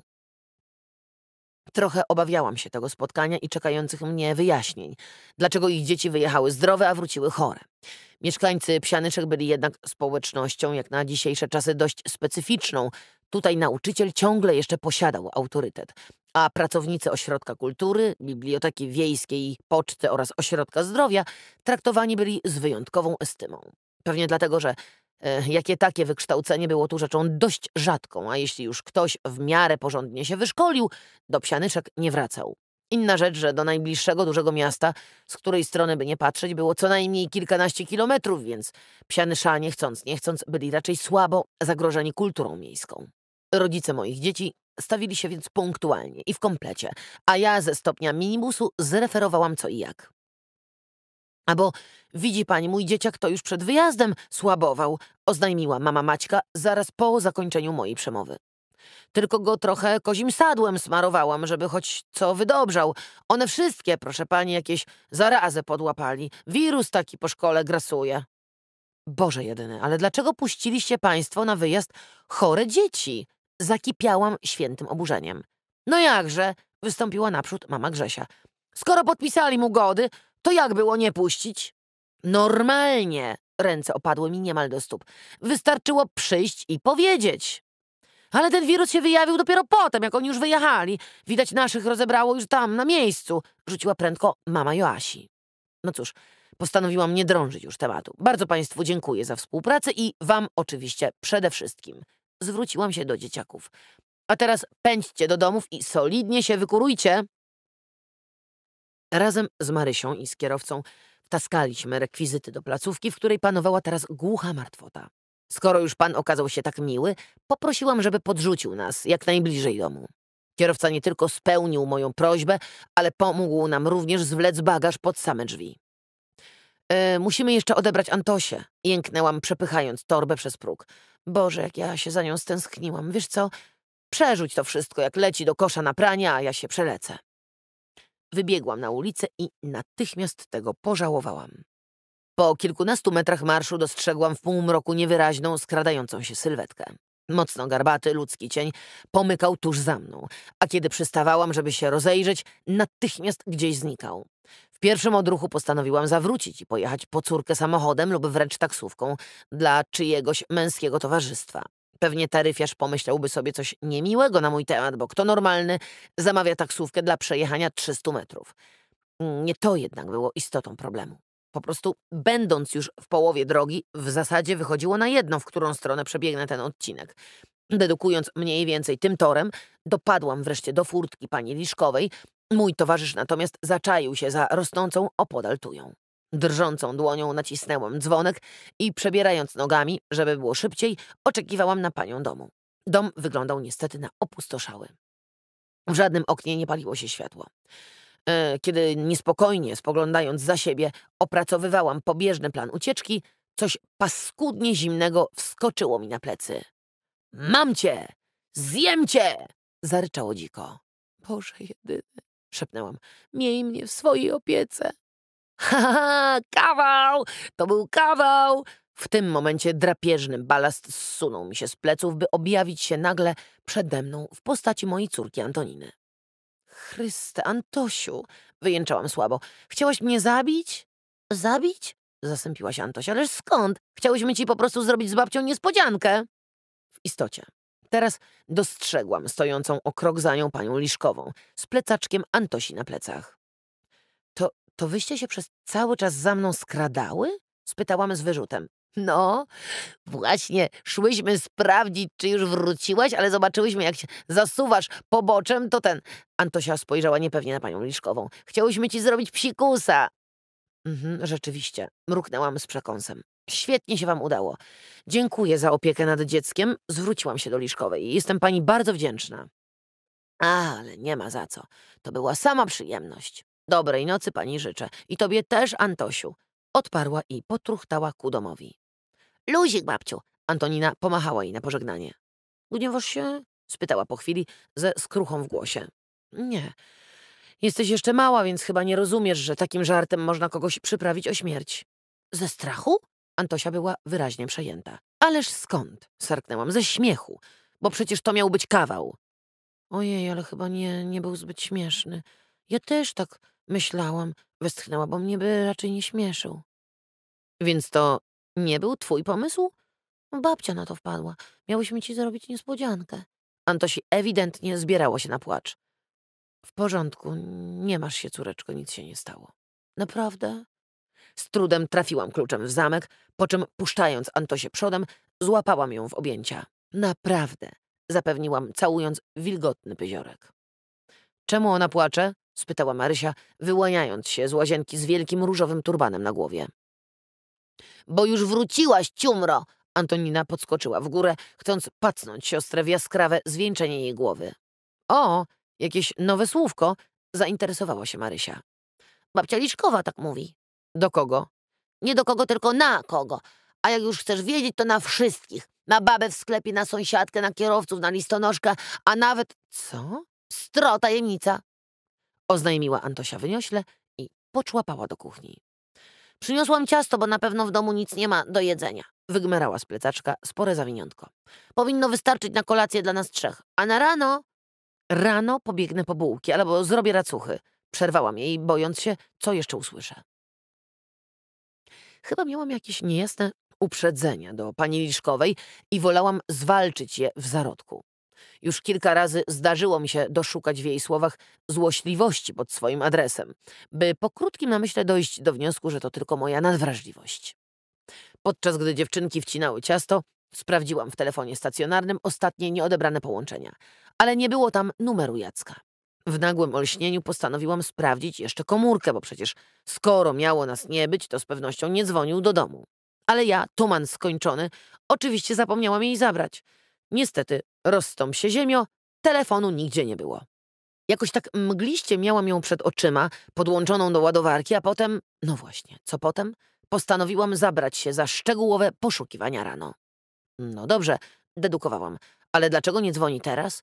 Przecież wie, że już jesteśmy w domu. Na logikę powinien martwić się jak jasna cholera. Co jest? Zastanawiałam się w panice. Obraził się czy co? Tylko o co? A może znowu dostał jakąś durną informację na mój temat i w nią normalnie po świńsku uwierzył? Dobra, dziewczynki, przemówiłam do córek, nie chcąc sobie przed snem łamać na ten temat głowy. A teraz do łóżek, bo jutro trzeba niestety wcześnie wstać. Mogę z tobą? Antośka ułapiła mnie w pasie i wgapiła się we mnie psim wzrokiem. Możesz. Przytuliłam ją mocno. Stęskniłam się za tobą, wiesz? Ja też się stęskniłam. Przez północy wpatrywałam się w rumianą buzię córeczki na mojej poduszce, emanującą takim spokojem, jaki miewa się tylko w dzieciństwie. Antosia zajęła niemal całe łóżko, zwisając więc częściowo nad podłogą, o zaśnięciu nie miałam nawet co marzyć. Mimo to radowałam się w głębi duszy, że mam ją teraz obok siebie. I w ogóle, że mam je obie. Takie śliczne, wrażliwe, dobre dziewczynki, które kochają mnie bezkrytycznie, choćby nie wiem co, tylko za to, że jestem ich mamą. A Jacek? Zgrzytnęło mi nieprzyjemnie w myślach. Czy on kocha mnie bezkrytycznie? Pewnie nie, bo na miłość w parze trzeba nieustannie pracować. A skoro tak, nie powinien kochać mnie wcale. Stwierdziłam odkrywczo. No bo cóż ja mu takiego z siebie daję? Ale przecież nie miałam wątpliwości, że jednak mnie kocha. Tylko za co? Podparłam się ostrożnie na łokciu i postanowiłam wnikliwiej to przeanalizować. Kiedyś gdzieś wyczytałam, chyba u Magdaleny Samozwaniec, że żaden mężczyzna nie popełnił jeszcze samobójstwa z miłości do kury domowej. Faceci bowiem z reguły pałali najgorętszym uczuciem do niewiast, które nie pałały do nich. Nie do tych, które czekały na nich do usrania z ciepłym obiadkiem, kapciuszkami i gazetką. Ja nie czekałam. No, może z tym niepałaniem posunęłam się za daleko, bo przecież darzyłam swojego męża uczuciem autentycznym oraz niepodważalnym, ale kurą domową niewątpliwie nie byłam.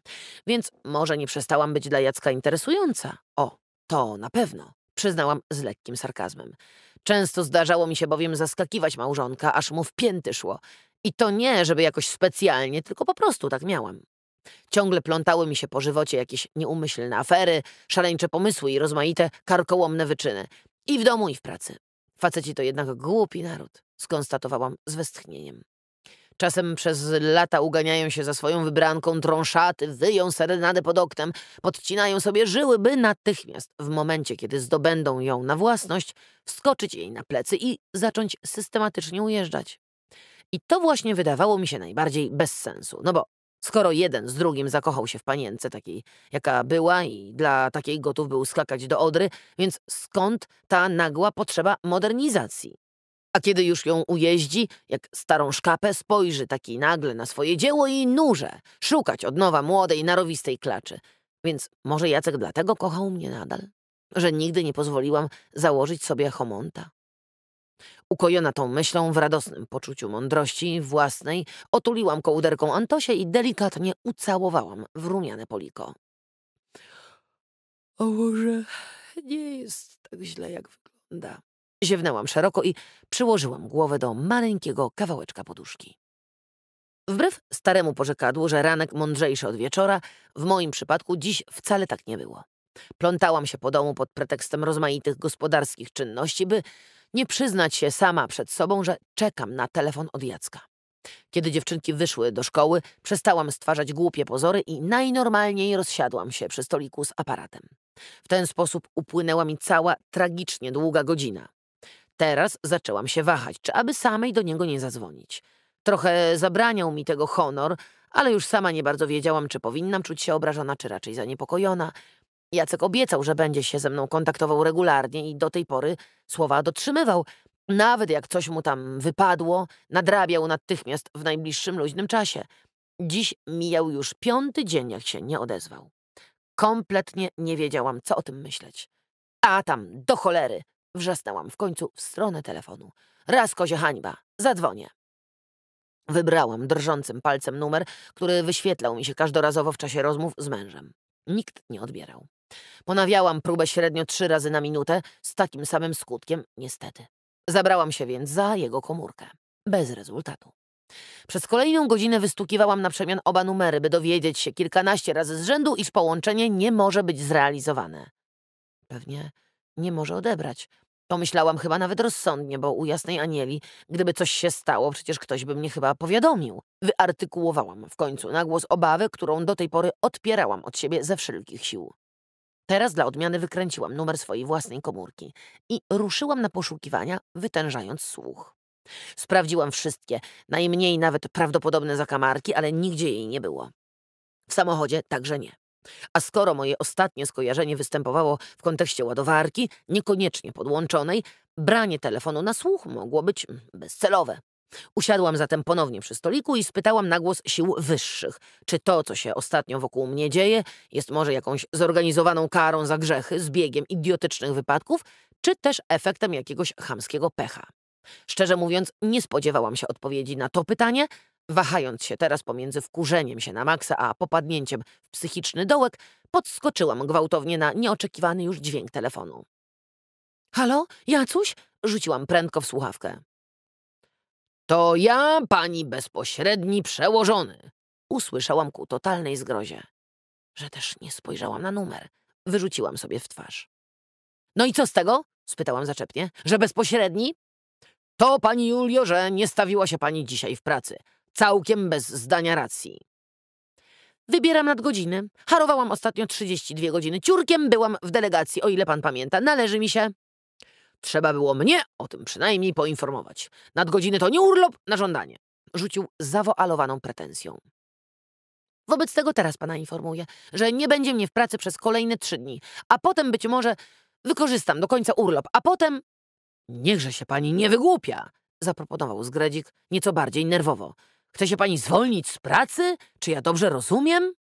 Rozumieć to pan rozumie, ale mnie interesuje raczej, czy pan się temu dziwi. Nie, kierownik sapnął w słuchawkę. Nie dziwię się ani odrobinę. I dlatego właśnie usiłuję się z panią skontaktować. Na miłość boską, pani Julio, niechże pani nie robi bzdur. Czy my nie możemy przez chwilę porozmawiać jak dwoje dorosłych ludzi? Daleko mi do wygłupów, proszę pana. A co do rozmowy, to i owszem, słucham. Ale nie tak, zaperzył się Zgred. Osobiście, nie. Przez chwilę w słuchawce rozlegało się tylko miarowe fuczenie. Jak pani sobie chce, przemówił kierownik po chwili. Ale zapewniam, że to spotkanie leży bardziej w pani niż w moim interesie. O, jacie! krzyknęłam z udawaną fascynacją. Serio? W porządku, warknął, wytrącony w końcu z równowagi. Robię ostatnie podejście. Jest taka mała knajpka, nazywa się Malwa. To chyba gdzieś niedaleko pani domu. A to już pan sam wie równie dobrze jak ja, rzuciłam aluzyjnie. Będę tam czekał od 11 do 13. Zignorował zaczepkę. To moja ostatnia propozycja. Rzucił jednym tchem i się rozłączył. Zamierzałam sobie zrobić kawę i solidnie przemyśleć propozycję z Greda. Zamiast tego poderwałam się z miejsca i w jednej sekundzie postanowiłam, że właśnie pójdę. Bo co mi tam, przy ludziach mnie przecież nie zarzeza, ani nie zgwałci. Z drugiej strony zaś jego tępy upór przy tym spotkaniu wzbudził we mnie niejasną ciekawość. Miałam przed sobą całą godzinę do wyjścia. Zbyt mało, żeby zorganizować jakiś pistolet, gaz łzawiący czy choćby kij do baseballa, ale wystarczająco dużo, by zabezpieczyć się w inny sposób rzucać się w oczy. Wybiegłam szybko na strych i dobrałam się do starej szafy, w której trzymałam wszystko, co mogło mi się przydać do moich spektakli. Wywlokłam z niej ogromny czarny kapelusz, ozdobiony trzema strusimi piórami oraz adekwatne buty, czerwone sięgające do połowy uda, z wielkimi srebrnymi klamrami. Włożyłam do tego króciutką sukienkę z fioletowych cekinów, a po krótkim wahaniu dorzuciłam jeszcze marysiną pelerynkę z pierwszej komunii ze sztucznego futerka. Ciemne okulary dodałam już tylko z powodu skromności własnej. Po chwili wystrojona jak nieboskie stworzenie udałam się do Malwy. Na piechotę oczywiście, żeby spamiętało mnie jak najwięcej ludzi. Mimo, że do jedenastej brakowało jeszcze kwadransa. Zgredzik tkwił już przy stoliku. Przemaszerowałam obok niego ze cztery razy, ale nie zareagował. Mhm, chrząknęłam mu wreszcie nad uchem. A, dziękuję uprzejmie, nie skorzystam. Oznajmił, mierząc mnie z góry na dół. Nie, zdziwiłam się dość mocno, konstatując, iż kierownik kompletnie mnie nie kojarzy, a ściślej z kim mnie kojarzy. To ja! Przedstawiłam się krótko i usiadłam naprzeciw. No, to ja! Uchyliłam na moment okularów, widząc, że nadal nie łapie. A, o, uuu! Wypsnęło mu się tylko i na tym poprzestał. Panie kierowniku, zawrzałam zbulwersowana. Chyba nie po to nalegał pan na spotkanie, żeby popisać się przede mną znajomością alfabetu? Oczywiście, że nie. Zgradzik dochodził powoli do siebie. Kurczę, pani chyba naprawdę musi się bać, skoro uprawia taką maskaradę. Mm, to tak na co dzień?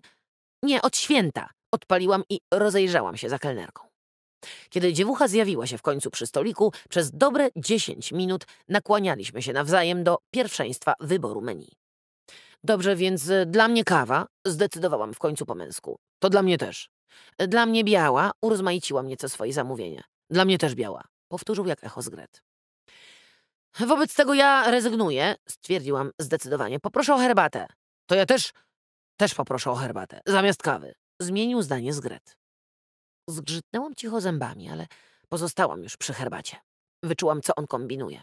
W przypadku, gdyby przyszło nam do głowy nawzajem się potruć, jednakowe napoje łatwiej byłoby podmienić.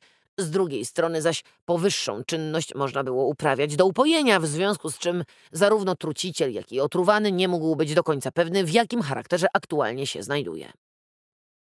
No więc, po co pan mnie tu ściągnął? spytałam, soląc ukradkiem swoją herbatę. Bo kierownik zastygł na chwilę z uniesioną w górę łyżeczką z cukrem. Musimy sobie pewne rzeczy wyjaśnić. Uff, posłodził. Skonstatowałam z ulgą. Jakie rzeczy? Spytałam, przeszywając go wzrokiem z za okularów. Tylko proszę, niech pan nie owija w bawełnę, bo się spieszę. Yy, dobrze, ja yy, dukał nie wiedząc jak zacząć, albo w ogóle o co mu chodzi. Postanowiłam na wstępie sprawdzić jego intencje. Wobec tego proszę to sobie jakoś poukładać, a ja tymczasem skorzystam z toalety. Rzuciłam szybko i wyszłam. Odczekałam w kibelku trzy minuty z zegarkiem w ręku, po czym wróciłam do stolika. Moja herbata nadal była słona. No więc? spytałam odrobinę łagodniej. Bo widzi pani, ja się domyślam, co pani o mnie sądzi. Zaczął niepewnie i to niestety nie jest całkiem bezpodstawne. Wiem. Nie, nie, nie, nie wie pani. Ja to sobie wszystko szczegółowo przeanalizowałem i, i chciałbym, żebyśmy sobie tutaj parę spraw wyjaśnili. Zacznijmy od tych zachęcających SMS-ów. Zachęcających? Ale ja bardzo proszę. No dobra, Postanowiłam pozwolić mu mówić. W końcu po to tu przyszłam. Czy pamięta pani tę naszą wymianę zdań na scenie? Tę o dźwigu rampy? Nie. Zgret lekko się zarumienił. Tę, kiedy nalegałem na intymne spotkanie. No, owszem, trudno, żeby nie. No właśnie. Doszedłem do wniosku, że to nie pani wysłała do mnie te propozycje. Doprawdy. Proszę spojrzeć. Zgret ze stoickim spokojem ignorował moje cyniczne przerywniki. Pierwszy SMS przyszedł około trzy miesiące temu. We wtorek o 22.02. Wtedy była u nas ta zabawa dla dzieci, pamięta pani? Podstawił mi pod nos swoją komórkę. No i co z tego? Zabawa skończyła się przecież o ósmej. A, nie! Zgret zamachał triumfalnie telefonem. Ja go o dziesiątej otrzymałem, a wysłany został o siódmej szesnaście. Przecież u nas w placówce nie ma zasięgu, więc żeby skorzystać z telefonu, trzeba lecieć na drugą stronę ulicy i vice versa, żeby odebrać wiadomość. Trzeba się znaleźć w strefie zasięgu. Ja najczęściej otrzymuję je wszystkie hurtem, kiedy dojeżdżam do Jankowa, albo kiedy jestem już w domu. Potem przyszedł drugi, którego teoretycznie mogłaby pani wysłać. Trzeci został wysłany dokładnie w chwili, kiedy oboje byliśmy na sali widowiskowej. Wie pani, kontynuował, kiedy popsułem te dekoracje. Tę wiadomość również odczytałem dopiero w domu. I teraz pan doszedł do wniosku, że to nie ja. Wyraziłam ostentacyjne zdziwienie. No, jakieś kilka dni temu. Jak pani tak panicznie uciekła z pracy, coś mnie tknęło i zacząłem się zastanawiać nad pani niezrozumiałym stosunkiem do mojej osoby. Aha, i co panu wyszło? No cóż, miałem do wyboru dwie opcje. Albo, że jest z panią coś nie tego, albo, że ze mną. Ale kiedy przeanalizowałem te SMS-y, pojawiła się trzecia opcja. Jaka? Nie wiem, ale mam nadzieję, że razem do tego dojdziemy. Ostatni, czwarty SMS nadszedł o dość dziwnej porze. To było w zeszłym miesiącu, 26 z soboty na niedzielę, o czwartej nad ranem. Pamiętam, krzyknęłam z entuzjazmem. To ja wtedy grałam w tele coś tam przez całą noc. No tak, zgasiłam prędko swój zapał. Więc tym bardziej mogłam teoretycznie wysłać. Jacek akurat wyjechał, przypiliło mnie, nie potrafiłam zasnąć. Snułam uderzające w samą siebie domniemania. A nie, ucieszył się Zgret, bo ta jedna, jedyna wiadomość nie miała ukrytego numeru. I to nie był pani numer. Sprawdziłem. Widać, świnie nocą gorzej kombinują. Mruknęłam pod nosem. Ale skąd pan w takim razie wiedział, że poprzednie są ode mnie, skoro numer był zastrzeżony? No, mruknął zmieszany Zgret, bo były podpisane pani imieniem i nazwiskiem. Podpisane? A po co w takim razie miałabym ukrywać swój numer? To bez sensu. No więc mówię, że i ja do tego doszedłem, tylko że trochę za późno. Pozostaje mi więc jedynie przeprosić panią za to. Spojrzałam na Zgreda trochę nieufnie.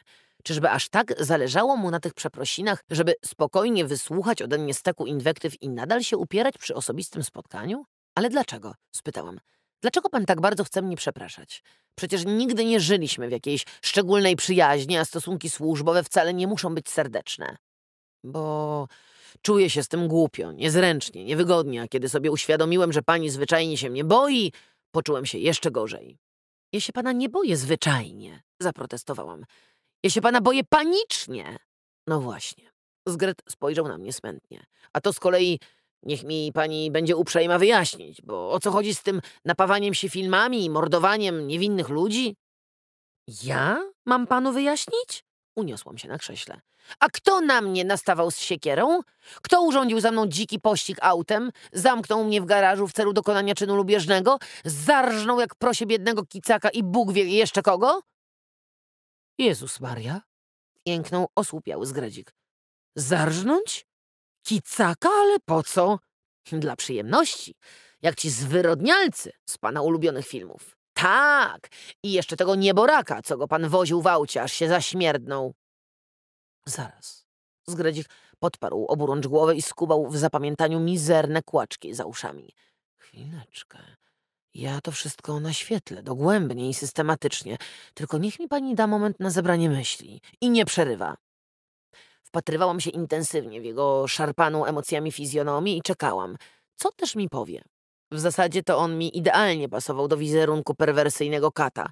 Dlatego właśnie, że w ogóle do niego nie pasował. Podobno, jak twierdzi Tamara, największe kanalie wszechczasów charakteryzowały się niewinną posturą oraz nadzwyczaj sympatycznym wyrazem twarzy. To może po kolei, zaczął cicho Zgredzik. Nie wiem, skąd pani przyszło do głowy, że ja z tą siekierą, na panią właśnie.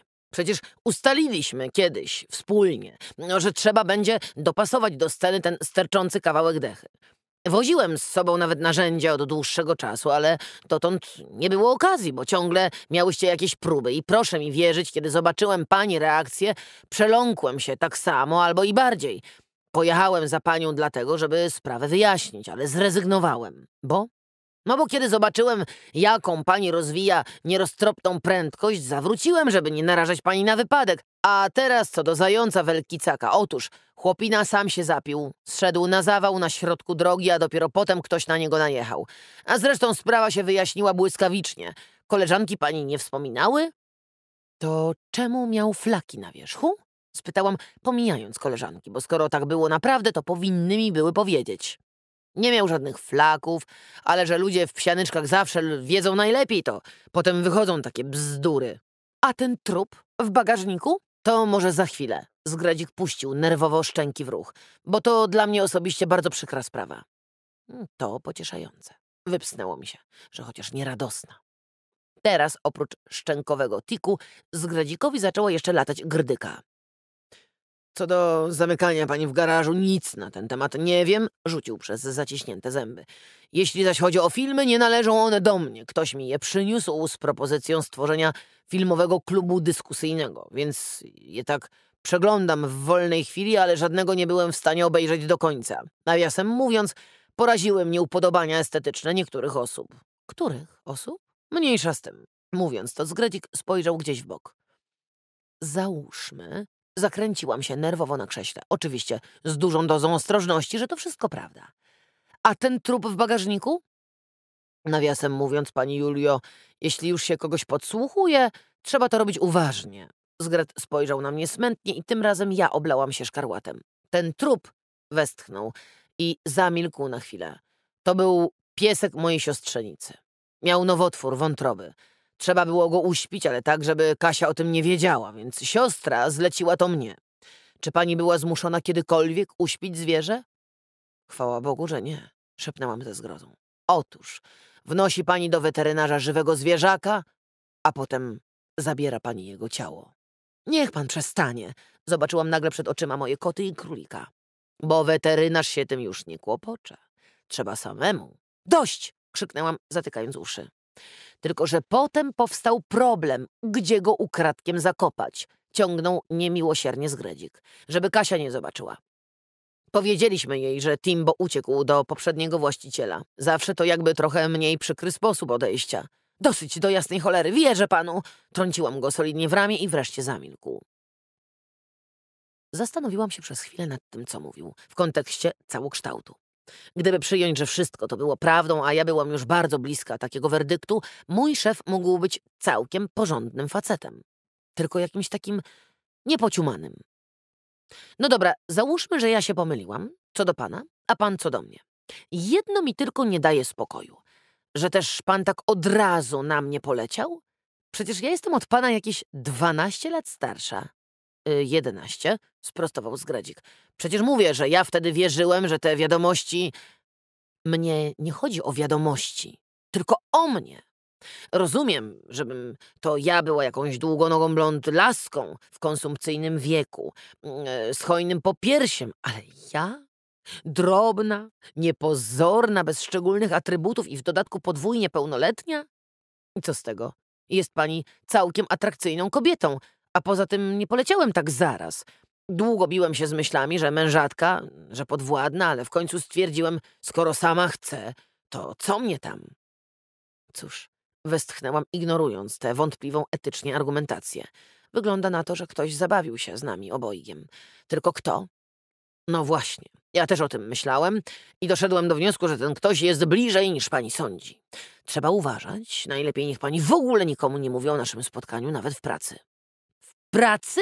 Krzyknęłam, aż siedząca przy stoliku obok para obejrzała się ciekawie. Ciii, uspokoił mnie zgredzik. Ale co pan ma na myśli? Kogo? Mam no, pewien pogląd, ale póki co nie chciałbym rzucać bezpodstawnych podejrzeń, bo na razie to są tylko domysły. Nie no, teraz to już pan przesadził. Przecież do diaska pracujemy tylko we trójkę, w przeciwieństwie do pana pozostałe osoby znam od lat. Dlaczego więc miałabym w to wierzyć? To już zostawiam pani ocenie. Pamięta pani szuflarską? Szuflę? No jasne, była naszym szefem kadencji przed panem i napsuła mi tyle krwi jak mało kto. Deptała mi po piętach, posądzała o defraudację, potrafiła wpaść do pracy po skończonej dniówce i zrobić remanent w garderobie. Proszę sobie wyobrazić, że spotkałem ją kiedyś. Aha, już sobie wyobrażam, jaką zyskałam renomę. A nie, właśnie, że szuflarska ma o pani bardzo dobre zdanie.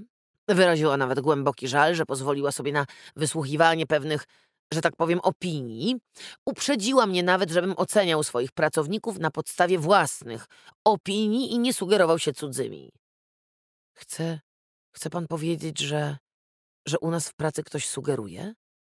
Ja nie chcę nic powiedzieć, tylko chcę panią uczulić. To niemożliwe. Szepnęłam bardziej do siebie niż do niego. Rany boskie, która godzina? Poderwałam się jednocześnie od stolika, czując przez skórę, że siedzę tu zdecydowanie zbyt długo. W pół do trzeciej kierownik spojrzał na swoją komórkę.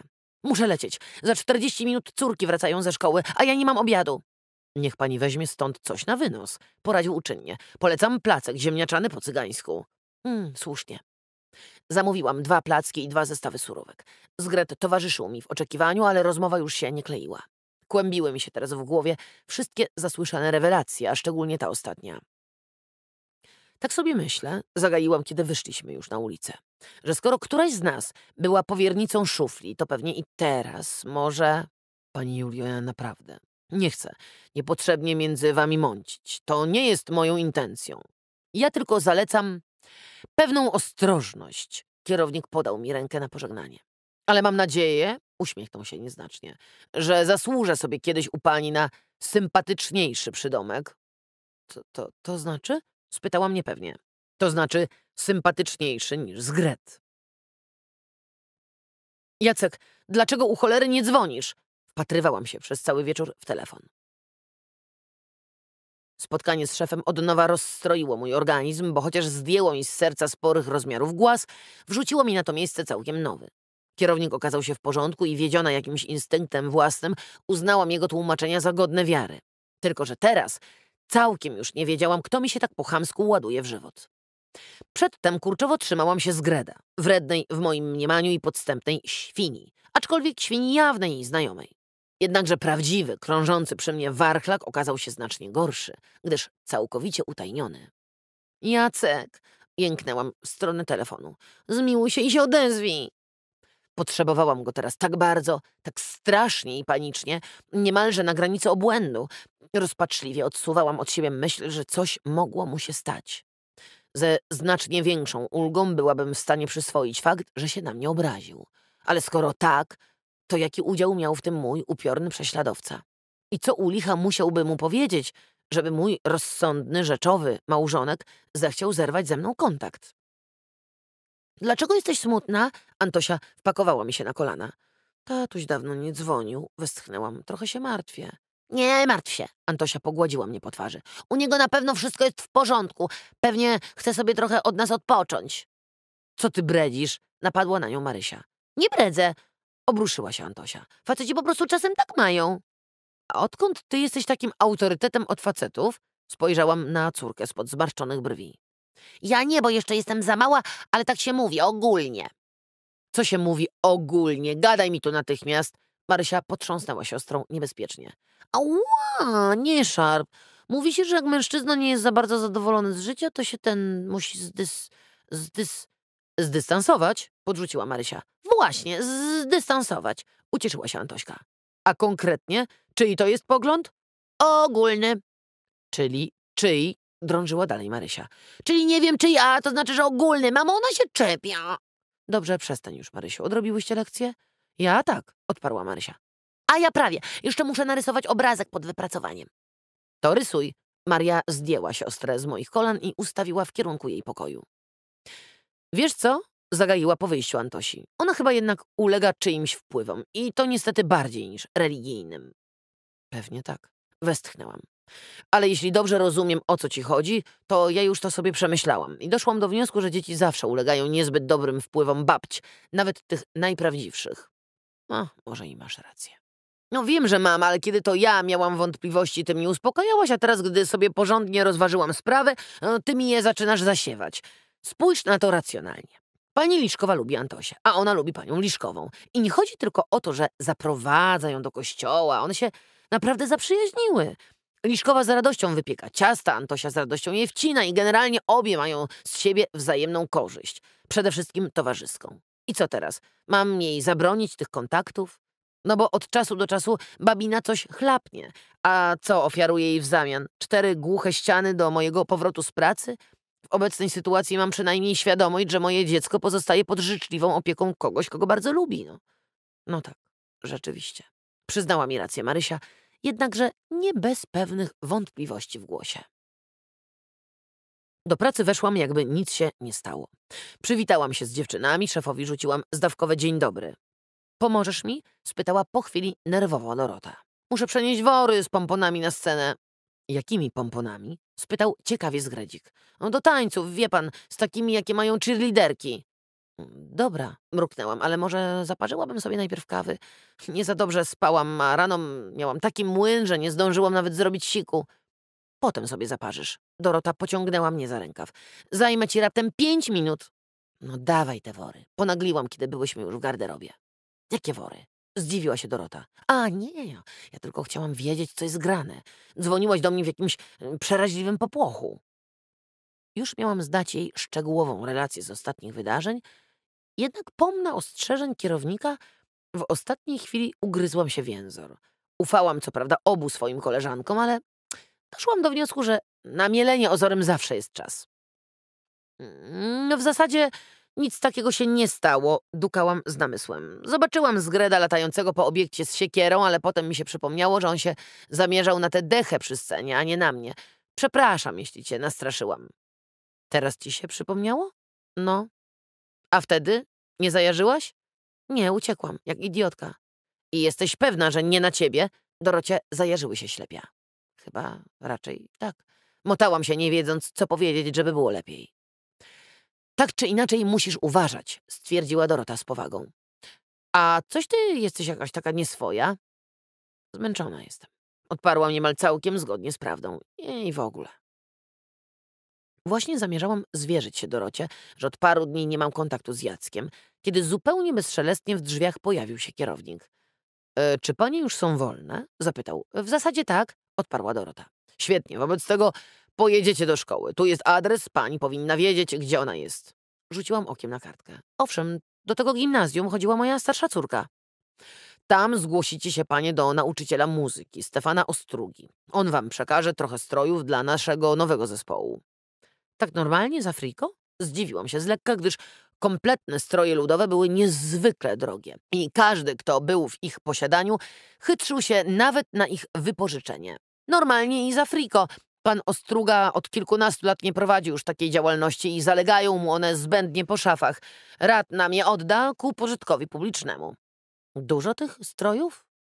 Do pani auta się zmieszczą, odparł Zgredzik, jakby odgadując moją wątpliwość. Nawet jeśli pojedziecie we trzy. Po co we trzy? Zdziwiła się Dorota. We dwie damy radę. Na to pytanie kierownik nie udzielił już odpowiedzi, zamiast tego udał się na poszukiwanie marzenki. Proszę, tu jest upoważnienie odbioru. Wręczył nam przed wyjściem szarą papierową teczkę. On chyba już całkiem opypciał, sarkała Dorota, wsiadając do mojego samochodu. A już miałam nadzieję, że mu ten zespół wywietrzał ze łba. Źle ci? Odburknęła ją natychmiast Marzenka. Zamiast się wysilać i udawać, że coś robisz, masz przynajmniej ciekawą, krajoznawczą wycieczkę. Cicho bądźcie, zwróciłam się do koleżanek, bo muszę patrzeć, dokąd jadę. A co, jak mówimy, to nie widzisz? Odparowała Marzenka. Widzę, ale nie mogę się skupić. Wiesz przecież, jedna z drugą, że mam problemy z orientacją. Nie mów, zarechotała Dorota. Teraz to odkryłaś? Przestrzenną, ryknęłam, tracąc powoli cierpliwość. Jak wjedziemy do miasta, to na trzecich światłach za Oszonem będzie stacja benzynowa i tam mamy skręcić w prawo. Potem do ronda i aż do wiaduktu, prosto za wiaduktem znowu w prawo i jak będzie rosło takie wielkie, grube drzewo, to znowu w prawo i jesteśmy na miejscu. Więc siądźcie cicho i patrzcie razem za mną, ok? Bo jak się pomylimy, to przecież na dwupasmówce nie zawrócę, zrozumiano? Ryknęłam na wszelki wypadek i jeszcze raz. Koleżanki posłusznie umilkły i zajęły się obserwacją terenu. O, jest oszą! wykrzyknęła po pewnym czasie Dorota. I stacja! No to teraz liczymy światła, rozkazałam. Trzecie, oznajmiła po chwili Marzena. Zaraz wobec tego będzie rondo i wiadukt, wymamrotałam, wgapiając się z uwagą przed siebie. Ej, to nie jest czasem ta szkoła? Siedząca za mną Dorota znienacka ułapiła mnie za ramię.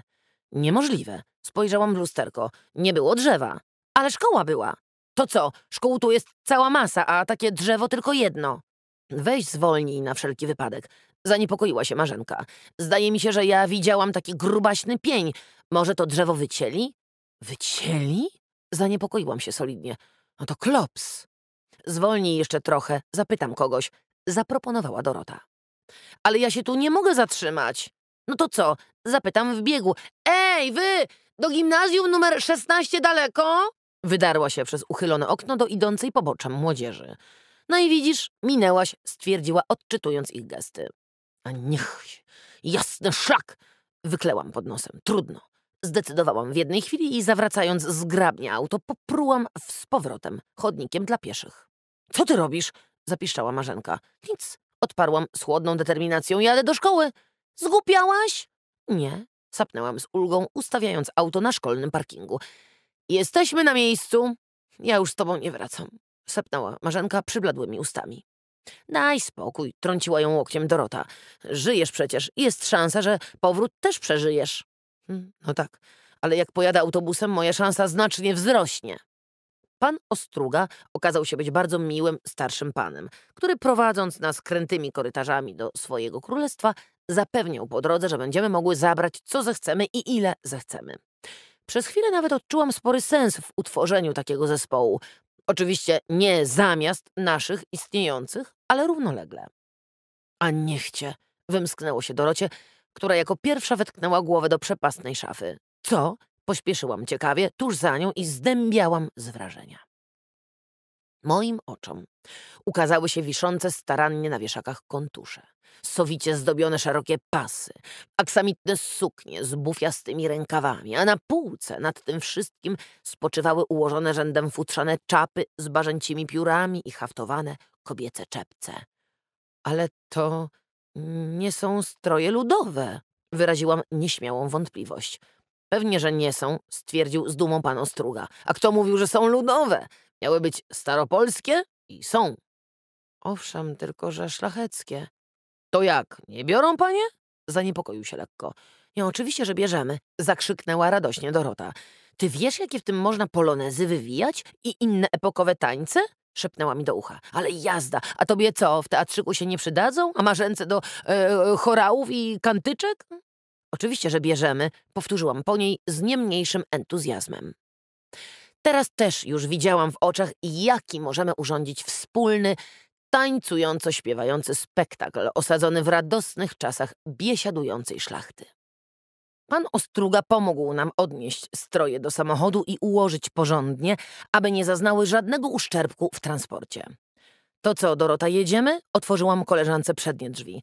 A ona, wskazałam palcem na Marzenkę, dyma autobusem.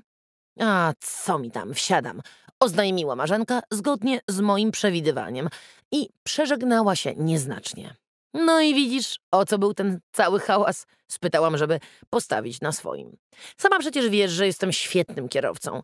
Na drogach, które znam na pamięć, dodałam za karę. Nie bój nic, dołączyła do mnie Dorota. Przedtem Julka nie bardzo wiedziała, dokąd jedzie, ale teraz już przecież z grubsza wie. Marzenka skuliła się między kontuszami i zmilczała. La la la la la, zanuciła Dorota jakiegoś zmiksowanego poloneza. Super, już to widzę. A ty? Odwróciła się w stronę Marzenki. Ja nic nie widzę, jęknęła żałośnie Marzenka, wbita z własnej woli pomiędzy obszerne sukmany i futrzane czapy. Stój! wrzasnęła znienacka. Czerwone! Nie drżyj się, bo spowodujesz wypadek, sarknęłam. Ja akurat widzę wszystko dobrze. He, he, zarechotała Dorota. Weź ty lepiej załóż którąś baranicę, poczujesz się bezpieczniej. A temu co? Spojrzała złowrogo w stronę czerwonego sportowego kabrioleta, który zaczął właśnie trąbić jak wściekły. O co mu chodzi? Spytałam, nieco wytrącona z rzeczywistości. Że miałaś szybciej ruszyć? Ale przecież ruszyłam, jak tylko zmieniło się światło. No tak, Dorota uśmiechnęła się ze znastwem. Ale on pewnie właśnie zajarzył, że ma babę przed sobą i uznał, że taki macho w takim wozie z pewnością ruszyłby o całe ćwierć sekundy szybciej. Ożeż ty kurduplu, jeden bez cycka chowany! Zakrzyknęła nagle wojowniczo Marzenka i wetknęła pomiędzy nas zwieńczony wielką futrzaną czapą łeb. Dawaj mnie! ryknęła Dorota. Co? Taki hełm! A ty zjedź na prawy pas i do boju! Rzuciła komendą, którą wykonałam natychmiast, bez zbędnych ceregieli.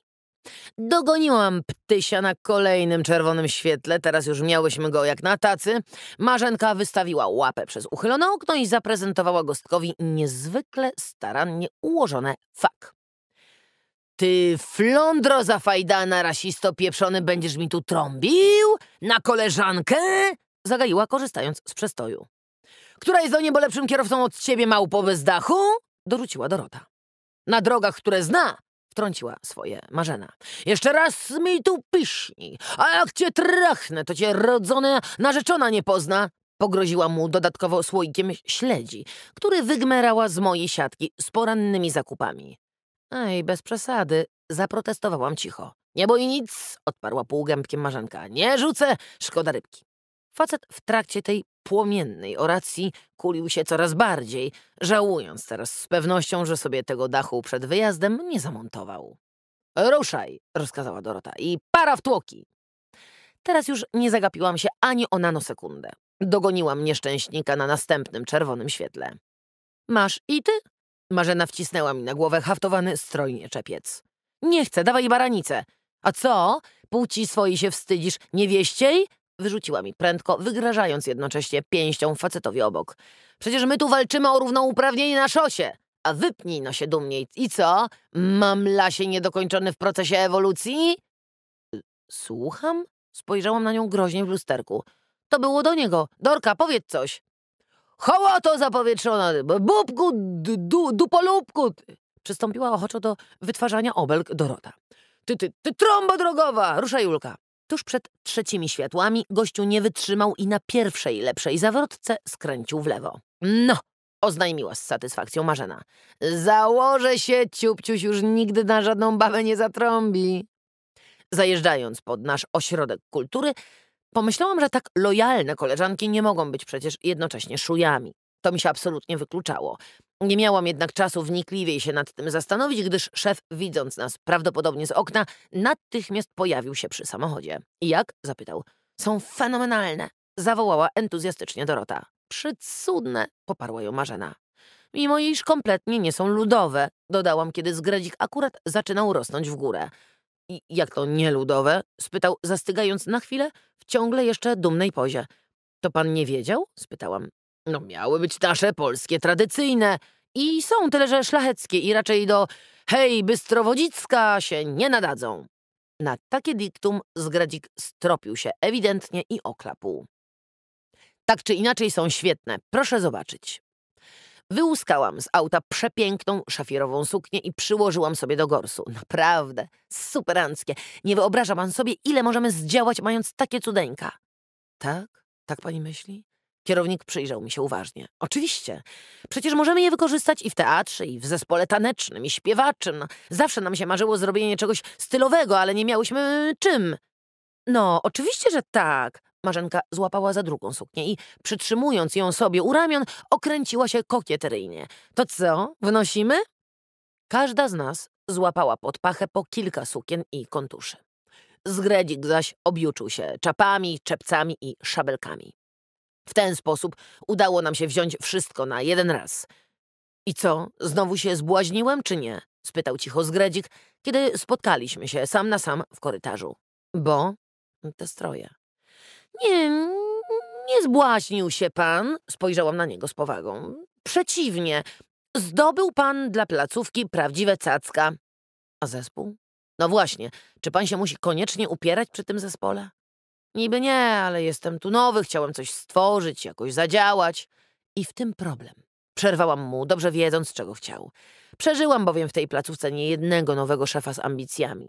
Uważa pan, że objęcie stanowiska trzeba koniecznie zaczynać od rewolucji, a może warto się najpierw przyjrzeć temu, co jest? Dobrze się przyjrzeć, a to wymaga czasu. Dopiero potem wdrażać, wywracać do góry nogami, stosować ulepszenia. Oczywiście tylko wtedy, jeśli okażą się konieczne, a tymczasem proszę zaufać nam, starym pracownikom, jeśli kultura naprawdę leży panu na sercu. Zgredzik słuchał mojego wywodu w milczeniu. Nie odezwał się ani słowem, nawet kiedy skończyłam. Po prostu odwrócił się nagle i odszedł, zostawiając mnie w poczuciu niepewności i niesmaku.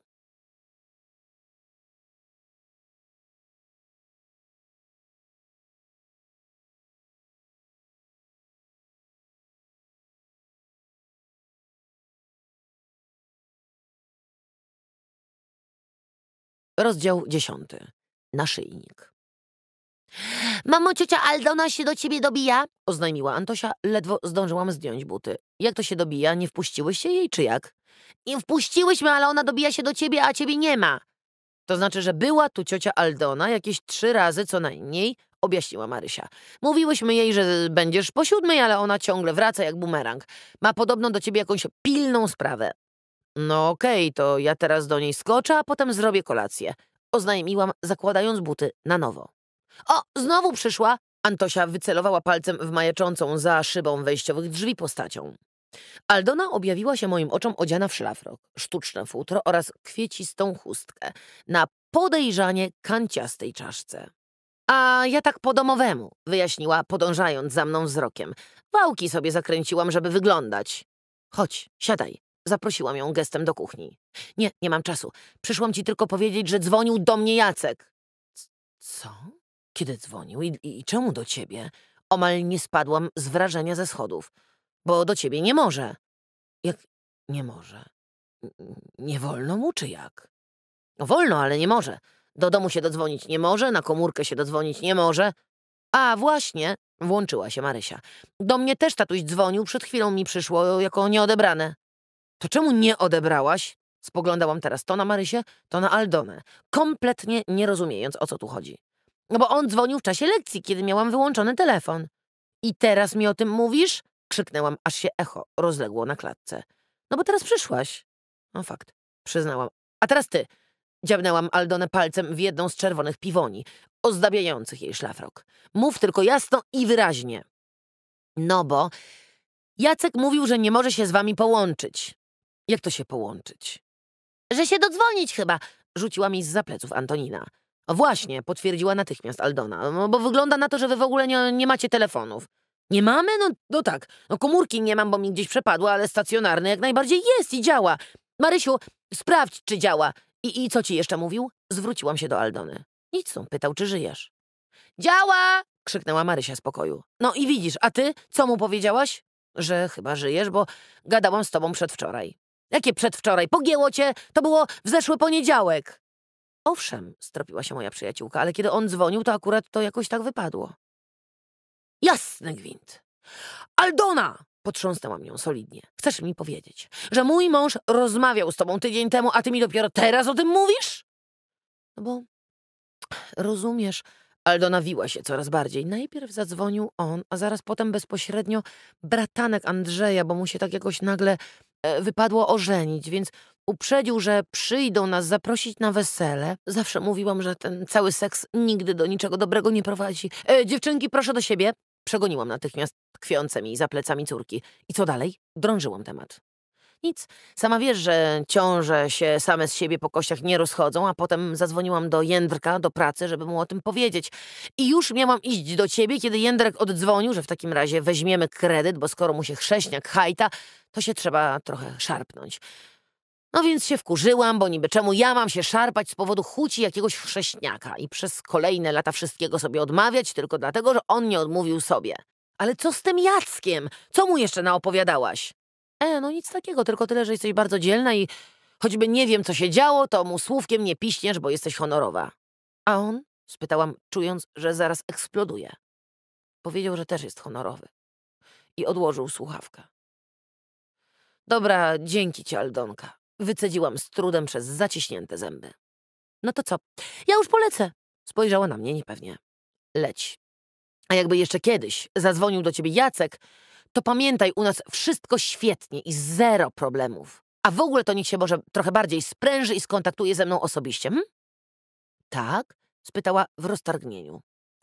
Właściwie miałam ochotę schrzanić ją na funty, ale się opanowałam. Aldona od czasu, kiedy zaczęła robić karierę naukową, całkowicie straciła kontakt z podłożem. No. Odwalała codziennie przed południem wszelkie czynności gospodarskie, e, prąd przed siebie jak ruski czołg na wojnie.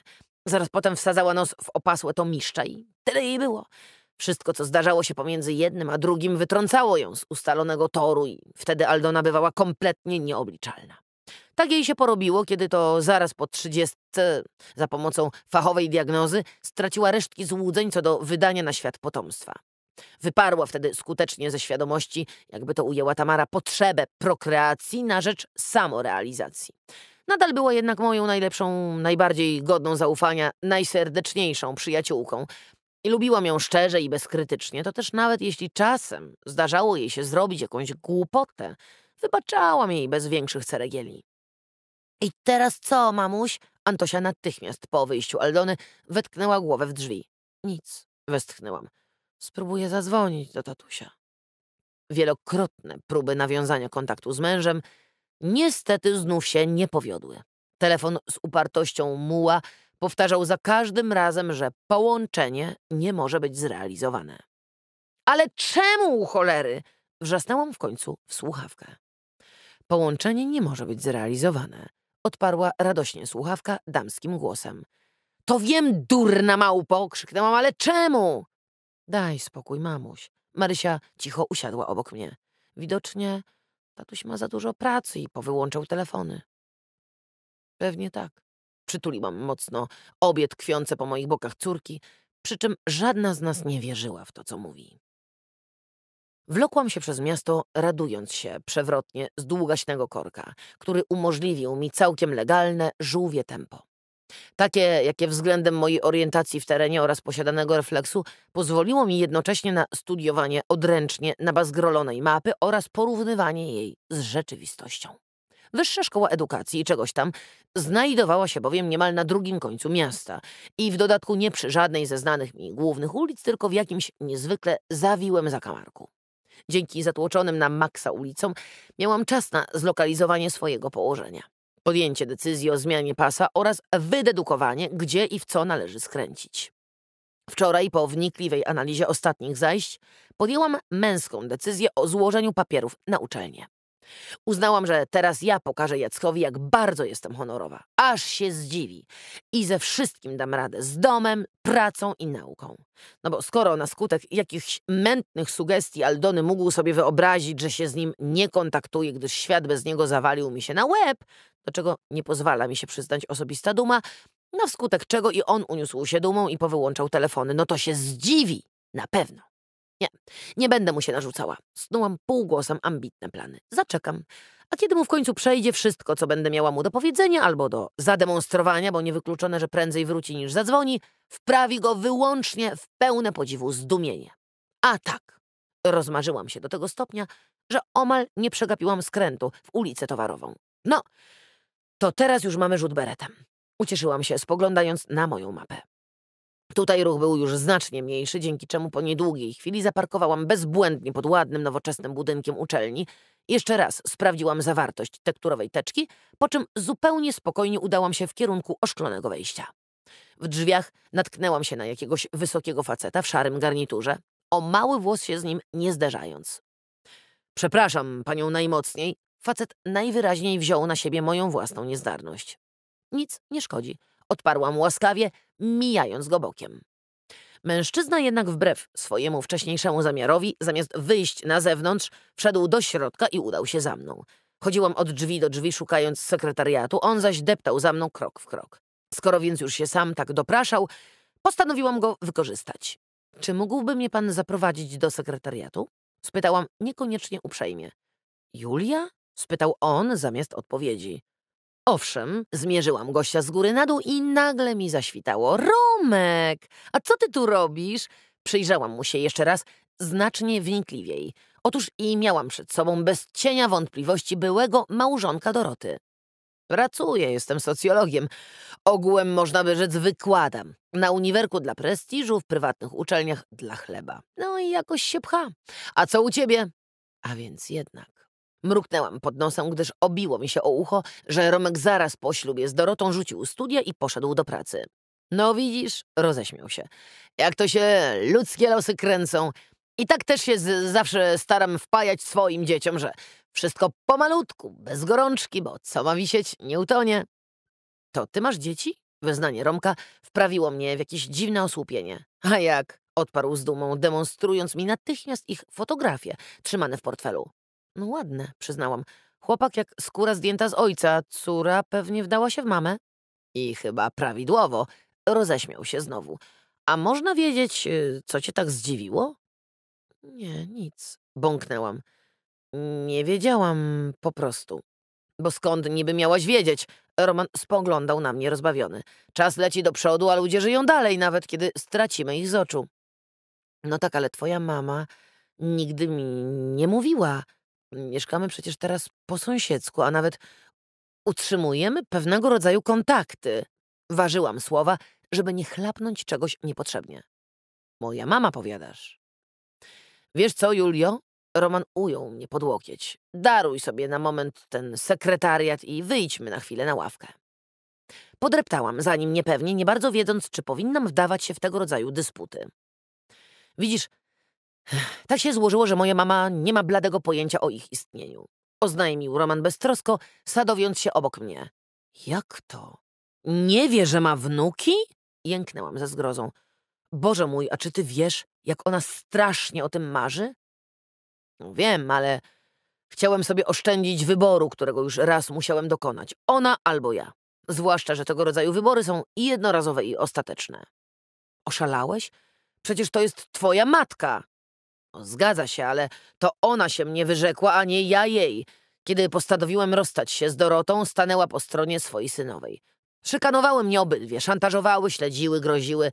Mama ma ogólny żal do mężczyzn, wszystkich hurtem. W jej pojęciu faceci to gadziny, którzy tylko szukają okazji, by kobietę wykorzystać, a potem porzucić. Ta niechęć do męskiego rodu jest tak dalece posunięta, że nie oszczędziła nawet mnie. A przecież kiedy się okazało, że Dorota jest w ciąży, rzuciłem wszystko. Studia, plany, marzenia i ożeniłem się, żeby nie zgotować własnemu dziecku takiego losu, jakiego sam musiałem doświadczyć. Co ty? Dorota była w ciąży? I, I co się stało? Poroniła? Wypytywałam zszokowana tą informacją. Nie, westchnął Roman. Rzecz w tym, że ani nie poroniła, ani też niczego nie urodziła. Po prostu po jakimś pół roku jej przeszło. Ciąża jej przeszła? Na to wygląda. Był płacz, lament, darcie szat, że się pomyliła, potem, że lekarz się pomylił, a to znów, że test był przeterminowany. I dlatego rzuciłeś Dorotę, że się pomyliła? Spojrzałam na niego z niesmakiem. Takie rzeczy naprawdę się zdarzają. Nie dalej jak trzy miesiące temu sama bym sobie dała łeb urżnąć, że jestem w ciąży. Nie. Dlatego, że to ja się pomyliłem i postanowiłem błąd naprawić. Pewnie bym tego nie zrobił do dziś i tkwił nadal w tym chorym związku bez perspektyw, gdyby nie jedna głupia skarpetka. Jak to skarpetka? Spojrzałam na Romka, sądząc, że się przejęzyczył. Normalna, szara, e, z granatowym paskiem. Uśmiechnął się półgębkiem. Kiedyś mi takiej zabrakło do pary. Pomyślałam, że Dorota, zbierając pranie, musiała wrzucić ją omyłkowo do swojej szuflady z bielizną i przetrząsnąłem ją dokładnie. Na samym dnie znalazłem ledwie zaczęte opakowanie tabletek antykoncepcyjnych i jeszcze ze trzy puste. Więc, jak widzisz, moja żona nigdy nie była w ciąży. Mało tego, bardzo skrupulatnie dbała, by w nią nie zajść. Niemożliwe, szepnęłam z przejęciem. A co na to twoja matka? Mm, Już ci mówiłem, Roman wzruszył ramionami. Wzięła jej stronę. Dorota się jakoś wyłgała, w zamian za to wciskając matce kit, że oto znalazłem sobie inną. No i się zaczęło. Że nie pada daleko jabłko od jabłoni, że tatuś babiarz, a syn dziwkarz, że na nic jej wieloletni trud i znój, bo tu się okazuje, że co dziedziczne, to dziedziczne. Matka wylała wtedy na mnie całą swoją gorycz i lepiej lub gorzej maskowany do tej pory żal za swoje samotne macierzyństwo. Potem wyniosłem się z domu i wynająłem kawalerkę. Mieszkałem w niej, dopóki mnie nie odnalazły i nie zaczęły deptać po piętach. Wyprowadziłem się więc do Łodzi. Tam skończyłem studia, założyłem rodzinę, a teraz, jakieś trzy lata temu, wróciłem na stare śmieci. Kupiliśmy dom za miastem i póki co żyjemy sobie w sielskiej szczęśliwości. Hej, Julka, Roman przeląkł się nagle. Tylko błagam cię, zachowaj to nasze spotkanie w sekrecie. Spokojnie, nie pisnę słówkiem ani twojej matce, ani Dorocie. Dorocie? Romek poderwał się z ławki. To ty masz z nią jakiś kontakt? No pewnie, pracujemy razem, ale naprawdę się nie obawiaj, zmilczę jak grób. Dorzuciłam, widząc, że zaczyna żółknąć na twarzy. No, możesz mi wierzyć. Cieszę się. Odparł ciągle jeszcze niepewnie. I jak wam się razem pracuje? Dobrze, bezkonfliktowo. Dorota jest miła, uczynna i życzliwa. Nawet bardzo mnie wspiera w decyzji o tej podyplomówce. Aha, bo ja tu w tej sprawie zamierzam się dokształcać. I Dorota cię w tym wspierała? Zdziwił się Romek. Owszem, nawet bardzo. No, to ja bym uważał. Spojrzał na mnie z powagą. Moja była żona to bardzo zazdrosny i zawistny egzemplarz i niemożliwe, żeby całkiem bezinteresownie nakłaniała cię do zdobycia kwalifikacji wyższych niż jej własne. A w szczególności ciebie. To znaczy? To znaczy... A, mniejsza z tym. Zresztą minęło tyle lat, może jej już przeszło. No, leć już do tego swojego sekretariatu, a i na mnie już też czas. Pewnie teraz i tak od czasu do czasu będziemy się spotykać, to jeszcze sobie pogadamy. Roman wstał, kurtuazyjnie cmoknął mnie w rękę i oddalił się raźnym krokiem. Załatwiłam zaplanowane formalności szybko i sprawnie, opłaciłam wpisowe i teraz pozostało mi już tylko czekać na zawiadomienie o terminie rozmowy kwalifikacyjnej. W drodze powrotnej usiłowałam zweryfikować z grubsza zasłyszane od byłego męża Doroty rewelacje, by dojść w końcu do wniosku, że to jak wybieranie maku z popiołu. Bo jak sprawdzić prawdomówność obu stron? I po co? Uznałam zatem, że jedyną rzeczą, którą mogę i powinnam zrobić, jest nie wsadzanie nosa w cudze sprawy. Do pracy spóźniłam się około pół godziny, ale ponieważ uprzedziłam telefonicznie szefa o takiej możliwości, nie spotkał mnie z jego strony cień wyrzutu. Coś pani marnie wygląda, stwierdził zamiast tego tuż po moim wejściu. Pan też by na moim miejscu tak wyglądał, sarknęłam. Od tygodnia nie mam kontaktu z mężem, nie wiem, co się dzieje. Nie ma pani kontaktu? To znaczy, że co, że nie dzwoni? Nie dzwoni, nie odbiera. Westchnęłam. I? Ma pani na ten temat jakąś hipotezę? Wyjrzałam szybko za drzwi, żeby sprawdzić, czy nikt nie nadchodzi. Nie wiem, szepnęłam. Albo uniósł się honorem, bo wcześniej ja byłam jakby trochę nieuchwytna, albo... Albo... Albo ta szuja, wie pan, ta od SMS-ów coś namieszała. Jakoś go na mnie poszczuła. I pani mąż by jej uwierzył? Powątpiewał szef. No, wie pan, normalnie by nie uwierzył. Ale jeśli się przebywa od kilku miesięcy z dala od rodziny, wtedy pewne sprawy zaczynają wyglądać inaczej. Pewnie tak, przyznał Zgredzik. Dlaczego więc pani nie próbuje wyjaśnić sytuacji? Ja nie próbuję? Wrzasnęłam i natychmiast ściszyłam głos. Codziennie usiłuję się do niego dodzwonić. Bez skutku. A próbowała pani przez firmę? Znaczy co? Przez zakład pracy, który go tam wysłał. Nie, o tym nie pomyślałam. Ale dzięki za radę. Rzuciłam szybko, słysząc zbliżające się kroki. Hejka! Dorota wpadła do biura jak wiosenna burza. Boże, co za korki na drodze, normalnie nie można dojechać do pracy. Krzyknęła na dzień dobry. I znowu się spóźniłam. Mówię panu, szlak człowieka trafia, a w szczególności jeśli jest z natury punktualny i obowiązkowy. Czy pan wie, jak ja się czuję, kiedy wiem, że już od godziny powinnam być w placówce, a tymczasem tkwie gdzieś uziemiona na trasie? Pląsała wokół kierownika, machając wściekle rękami. Nie, nie wiem, odparł kierownik, unikając jednocześnie latających pazurów Doroty. Bo na drodze z Jankowa do Psianyszek nigdy nie ma korków, ale może pani Julia wie. Mieszkacie przecież w tym samym mieście. Spojrzał na Dorotę wymownie. A ja zarumieniłam się pogrzywkę. Ja pewnie jeżdżę inną trasą. Łgałam głupio, nie chcąc pogrążać koleżanki. Też tak sądzę, stwierdził Zgredzik z przekąsem. Co mu jest? spytała Dorota szeptem, jak tylko wyszedł z biura. Nic chyba, Wzruszyłam ramionami. Bo co ma być? Wyraźnie się mnie czepiał, nie widziałaś? Nie, przyznałam niemal zgodnie z prawdą. Czepiał to on się mnie, jak kiedyś wcześniej wyszłam. Naganę mi chciał wrzepić. Prawda, odetchnęła Dorota. Rzeczywiście chciał ci wrzepić. A gdzie Marzenka? Pewnie u siebie. Miała robić jakieś czapki z bibuły. Ojejku, miałam jej pomóc. Jęknęła. Mogłabyś? Co? No pójść razem ze mną. Będzie szybciej w końcu. Co trzy ręce, to nie jedna. No dobra, ale właściwie po co te czapki i czemu się tak pali? Bo jak gdyby nie jestem w temacie. Dla przedszkolaków. po niedzieli mamy e, poprowadzić jakiś e, korowód wiosenny przez wieś ze śpiewem i tańcem na ustach.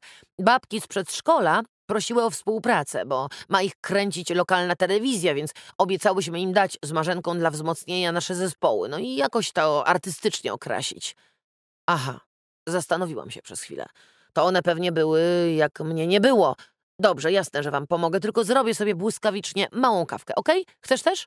Pewnie, że chcę i Marzence też zrób od wypadku. Odparła i wybiegła. W kuchni natknęłam się na kierownika, wciągającego samotnie wielką bułę z czymś zwisającym po bokach. Hamburgerek? Zagaiłam przyjaźnie. Niezwykła kanapka, tylko że mi jakaś taka niedomknięta wyszła. Pełno teraz tych nowalijek. No, trochę chciałem witamin przyswoić, no i napakowałem tego tyle, że ciężko ugryźć. No to niech pan rozłoży na dwie połowy albo jakoś ją spłaszczy. Pieczywo plastyczne jest, powinno się udać. Już próbowałem. Szef spojrzał z troską na swoją bułkę. No ale jak ją tylko mocniej nacisnąć, strzyka majonezem na boki. No to nie ma rady. Nie ma? spytał zawiedziony. A szkoda, bo w smaku bardzo smaczna. Wobec tego proszę. Podsunęłam mu pod nos talerzyk i widelec. Niech pan wywali wszystko ze środka i spożyje w charakterze sałatki, a pieczywem zakąsi. Złapałam tacę z trzema kawami i zostawiając szefa z jego kulinarnym dylematem, udałam się do kanciapy marzenki. Jestem do dyspozycji, oznajmiłam. W takim razie rysuj na kartonie ronda i wycinaj. Ja je będę owijała bibułą, a Dorota niech dorabia czubki. O, o takie jak te, co ci leżą koło nogi. Wskazała na gotowe kapelusze. Okej, okay. Wszystkie takie same będą? Nie, zrobimy po dziesięć różnych. Kapelusze, stożki, kolorowe opaski, czapki z pomponami, każdą inną. I nie będziemy się bawić w żadne klejenie, tylko rachciach. Potraktujemy je strzywaczem. A ty opowiadaj, jak było na festiwalu. Podobno twoja córka rzuciła całą zielonkę na kolana. E, tam rzuciła. Krygowałam się nie bez satysfakcji, spozierając ukradkiem na naszyjnik Doroty, który jakoś dziwnie przyciągał mój wzrok. No to mów, ponagliła Dorota. Chcąc, nie chcąc, zaczęłam zdawać relacje ze swoich teatralnych perypetii, systematycznie rozpraszana przez połyskujące mi przed oczyma cacko. Podoba ci się?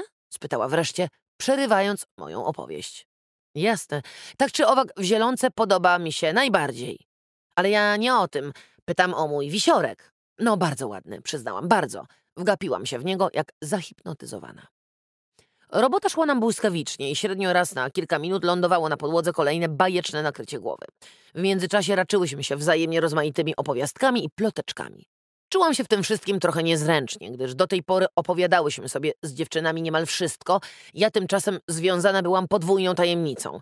Obiecałam bowiem Zgradzikowi, że nie wspomnę im o naszym spotkaniu, Romkowi zaś obiecałam, że pary z gęby nie puszczę na temat jego aktualnego pobytu. W związku z tym, aby nie kusić licha, nie mogłam się nawet pochwalić, że złożyłam w końcu dokumenty na uczelni. Trzymałam się jednakże dzielnie, ograniczając się bardziej do słuchania niż mówienia. Dużo jeszcze? spytałam w końcu, czując przykre łupanie w kręgach szyjnych. A bo ja wiem, zastanowiła się Marzenka, trzeba by to policzyć. No to liczmy, będziemy odkładały kubkami po dziesięć? Okay?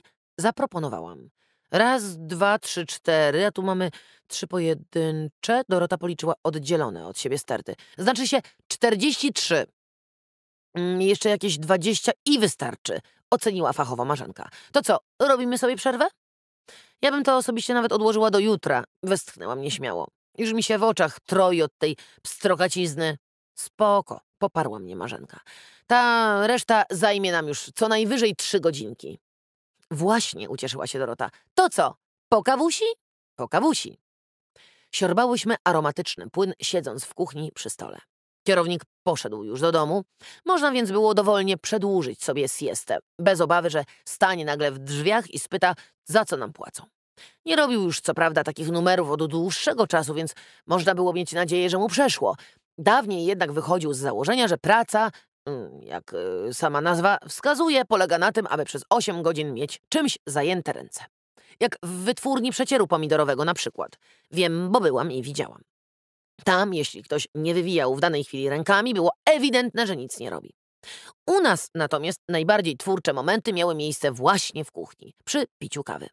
Któraś z nas rzuciła jakąś myślą, inna wzbogaciła ją o swoją i tak od słowa do słowa powstawały najfajniejsze kulturalne imprezki. Co zaś się tyczy zgredzika, Powinnam w tym miejscu przyznać sama przed sobą, że od czasu naszej konferencji w knajpie nabrałam zupełnie innego spojrzenia na jego osobę. Nie podskakiwałam już na baczność, gdy wchodził, przestałam się również jąkać, kiedy przyszło mi pobyć z nim w biurze sam na sam. Słuchajcie, Dorota jako pierwsza przerwała tę natchnioną ciszę. A gdybym ja nie przyszła jutro do pracy, dacie radę we dwie? No pewnie, odparła bez namysłu Marzena. Z palcem wokół. Jasne, potwierdziłam. A co, nie będziecie? Jeszcze nie wiem, to zależy od pogody. Jak będzie lało, to przyjdę. Aha, działeczka, stwierdziła domyślnie Marzena. No właśnie. Wszyscy ryją jak wściekli, a moja tymczasem leży i kwiczy. No to ryj sobie na zdrówko, a o nas się nie martw. Stwierdziłam wielkodusznie. Jak najbardziej ryj sobie ryj, spokojnie. Poparła mnie Marzenka, z palcem wokół. Naszyjnik Doroty stanął mi ponownie przed oczami jak żywy, kiedy wjechałam do garażu. Kolczyk! krzyknęłam w olśnieniu. No jasne, to ten kolczyk, który znalazłam onegdaj pod samochodem. Nie wysiadając z auta, zaczęłam gmerać nerwowo w kosmetyczce, gdyż o ile pamiętałam, tam właśnie go wrzuciłam i powinien tam był być do dziś. I był. Mało tego, wyglądał identycznie jak wisiorek Doroty. Postanowiłam wyjaśnić rzecz na pniu. Wpadłam do domu i nie zdejmując z siebie niczego, złapałam za telefon. Połączenie niestety nie mogło być zrealizowane. Nie, to jest jakieś chore. Warknęłam wściekle. Co jest chore, mamusiu? spytała Antosia i władowała mi się na kolana. Ten zasmarkany aparat, albo sama już nie wiem co. E, tam, gdyby był chory, to by kaszlał, spuentowała po swojemu Antosia. Przepraszam cię, córeczko. Ucałowałam jej cieplutki pyszczek, ale nie mam nastroju do żartów. Bo jesteś nerwowa? Tak, jestem dzisiaj trochę nerwowa, przyznałam. Stało się coś? Marysia weszła do salonu. Nie, odparłam bez przekonania. Maria spojrzała na mnie wzrokiem typu okej, okay, okej, okay, o nic nie pytam. Usiadła i włączyła telewizor. A co tam u was, jak w szkole? Spytałam ogólnikowo. W porządku, odparła Marysia. Antosia natomiast zaczęła zdawać mi szczegółową relację z całego dnia. Słuchałam jej z roztargnieniem, potakując od czasu do czasu lub rzucając zdawkowe ojej, naprawdę. Mamuś, szepnęła Marysia, kiedy Antonina zrobiła sobie chwilę przerwy na siku. Powiedz mi tylko, czy z tatą wszystko dobrze i w ogóle z wami? No oczywiście, że tak, stwierdziłam z przesadną pewnością w głosie. Cieszę się. Westchnęła Marysia z ulgą, bo dziś ma być dobry film na jedynce. Obejrzysz z nami? Chętnie. Uśmiechnęłam się mimo woli. Kiedyś na moją propozycję wspólnego oglądania telewizji Maria reagowała w sposób jednoznacznie pogardliwy. Uważała bowiem, że dobre filmy powinno się oglądać albo w kinie, albo w samotności. Dzisiaj akurat taka forma spędzenia wieczoru z dziećmi bardzo mi odpowiadała, bo jednocześnie mogłam z nimi być i nie być. Wgapiona bezmyślnie w ekran, mogłam oddawać się do woli swoim rozważaniom, nie musząc nic mówić, ani na niczym się skupiać. Obejrzałam zatem tylko początkowe napisy, żeby przynajmniej wiedzieć, co oglądam, i zaraz potem moje myśli odpłynęły w siną dal. Mamusiu, usłyszałam po pewnym czasie, to jak będzie, dobrze? Zdaje się, że Antosia od dłuższej chwili coś do mnie mówiła. Y, y, słucham? Odwróciłam się wolno w jej stronę. Przepraszam, ale nie, nie, nie dosłyszałam. Mogłabyś powtórzyć? Antosia zaczęła swoją paplaninę na nowo, ale ja, mimo najszczerszych chęci, znowu niechcący się wyłączyłam. Ocknęłam się dopiero na dźwięk słowa kolczyk. Co, co ty mówisz? Przelękłam się, sądząc, że pewnie zaczęłam w końcu wywnętrzać się na głos. Ty mnie w ogóle nie słuchasz! Obraziła się Antosia. Możecie być trochę ciszej? Zbeształa nas Marysia. Filmu nie można z wami oglądać. powiedz mi jeszcze raz, szepnęłam Antosi do ucha. Pytałam, czy już wiesz, do kogo należy ten kolczyk, który kiedyś znalazłaś? Odszepnęła. Bo ja wiem. Tak? Wydukałam z wysiłkiem. Ja też wiem. Od kiedy? Od dzisiaj. A ja od wczoraj. Wypięła się dumnie. Nic dziwnego, pomyślałam. Pewnie musiały się jakoś zgadać z Liszkową. W końcu, jakby nie było, zguba należała do jej synowej. Masz go jeszcze? spytała Antosia. Owszem. To ja go e, mogę zwrócić. Nie, dziękuję, sama to jutro zrobię. Co za zbieg okoliczności, westchnęłam gorzko. Tyle czasu sobie błyskotka przeleżała w mojej torebce, a tu masz. Nagle znalazła się właścicielka i to z dwóch stron. W zasadzie już nie musiałam się upewniać, do kogo należy. Teraz było najważniejsze, jak się tam znalazł. Miałam nadzieję, że Dorota mi to jakoś racjonalnie wytłumaczy. Sprawa jednak pokomplikowała się o tyle, że mimo wymodlonego przeze mnie deszczu Dorota pojechała jednak na działkę. Od samego świtu próbowałam się do niej dodzwonić, ale ponieważ moje prośby nie odnosiły żadnego skutku, zadzwoniłam w końcu do Liczkowej i od niej uzyskałam powyższą informację. Jak to? Zdenerwowałam się na Bogu ducha winną kobietę. Przecież miała nie jechać, jak będzie lało, ale je, jak z cebra. No tak, tłumaczyła Liszkowa. Ale pod folią przecież można co nieco zrobić. Dorotka pomidory ma do przeflancowania. Już na nie najwyższa pora. Jeśli ma pani coś pilnego, to ja zachęcam, żeby do niej pojechać. To całkiem niedaleko. Przed pracą zdąży pani obskoczyć. Liszkowa podała mi adres daczy swojej synowej i jeszcze raz zapewniła, że to zupełnie niedaleko. Nigdy dotąd nie byłam u Doroty na działce, nie wnikałam też specjalnie, gdzie ona się znajduje. To też zaskoczyło mnie trochę, że będę musiała udać się jakieś 30 kilometrów za miasto. Ale nic to. Zdecydowałam się w mgnieniu oka, wiedząc, że nie wytrzymam do następnego dnia. Wycieraczki machały jak szalone, a ja pędziłam przed siebie nie mniej wariacko. Na szczęście trasa nie wymagała ode mnie szczególnych umiejętności. Prowadziła bowiem na jakieś totalne zadupie jedną prostą drogą. Dorota posuwała się widać swoim maluchem znacznie wolniej, bo kiedy dojechałam pod wskazany adres, właśnie otwierała furtkę. Hejka! roześmiała się na mój widok. Co ty tu robisz? Tak czy inaczej zapraszam w moje skromne progi. Progi. Doroty jednakże wcale nie były skromne, przeciwnie. Domek, który do tej pory jawił mi się w wyobraźni jako coś w rodzaju altany, był całkiem spory, śmiało nadający się do normalnego zamieszkania. No, mów, co się stało? Nie możecie beze mnie wyrobić z tymi czapkami? Uśmiechnęła się szeroko, puszczając mnie przodem. Nie, chciałam tylko tak sobie pogadać. Plotłam coś, rozglądając się ciekawie po gustownym, urządzonym w ciemnym drewnie holu. No to właśnie, Dorota pchnęła nogą pierwsze drzwi z prawej, odkładając jednocześnie na stojącą obok półkę taskany za sobą karton. Jak szybko otworzyła, tak szybko zatrzasnęła mi je przed samym nosem. Zaczekaj tu chwilę, krzyknęła, albo nie, pójdziemy gdzie indziej. Teraz ostrożnie otworzyła kolejne drzwi, zaglądając uprzednio do wewnątrz przez wąską szparę. Chodź, zaprosiła mnie po chwili szerokim gestem kawki. Nie, dzięki, mam niewiele czasu. Muszę przecież zdążyć do pracy. Usiadłam skromnie na drewnianym zydelku i teraz już kompletnie nie wiedziałam, od czego zacząć. No, gadaj wreszcie, zachęciła. Masz, wyłuskałam zamiast tego z torebki błękitny kolczyk i rzuciłam go na stół. Dorota spojrzała na niego w osłupieniu. Że co? To chyba twoje. Od kompletu, czyż nie? Skąd masz ten kolczyk? Wydukała po chwili. No, powinnaś przecież wiedzieć, gdzie mógł ci wypaść. Sarknęłam. Znalazłam go u siebie. W garażu. Wtedy, kiedy ktoś mnie zamknął. Jezus Maria, jesteś pewna? Dorota ewidentnie wycinała głupa. W garażu? Właśnie wtedy?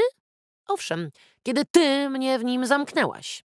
Kilka dni po tym, kiedy podrzuciłaś mi do samochodu zakupy. I po tym, jak poprzestawiałaś mi w pracy zegary. Tylko po co do cholery? Nie wytrzymałam. Możesz mi powiedzieć, dlaczego podkładałaś mi te wszystkie świnie? No co ty, Julka? Po co ja bym...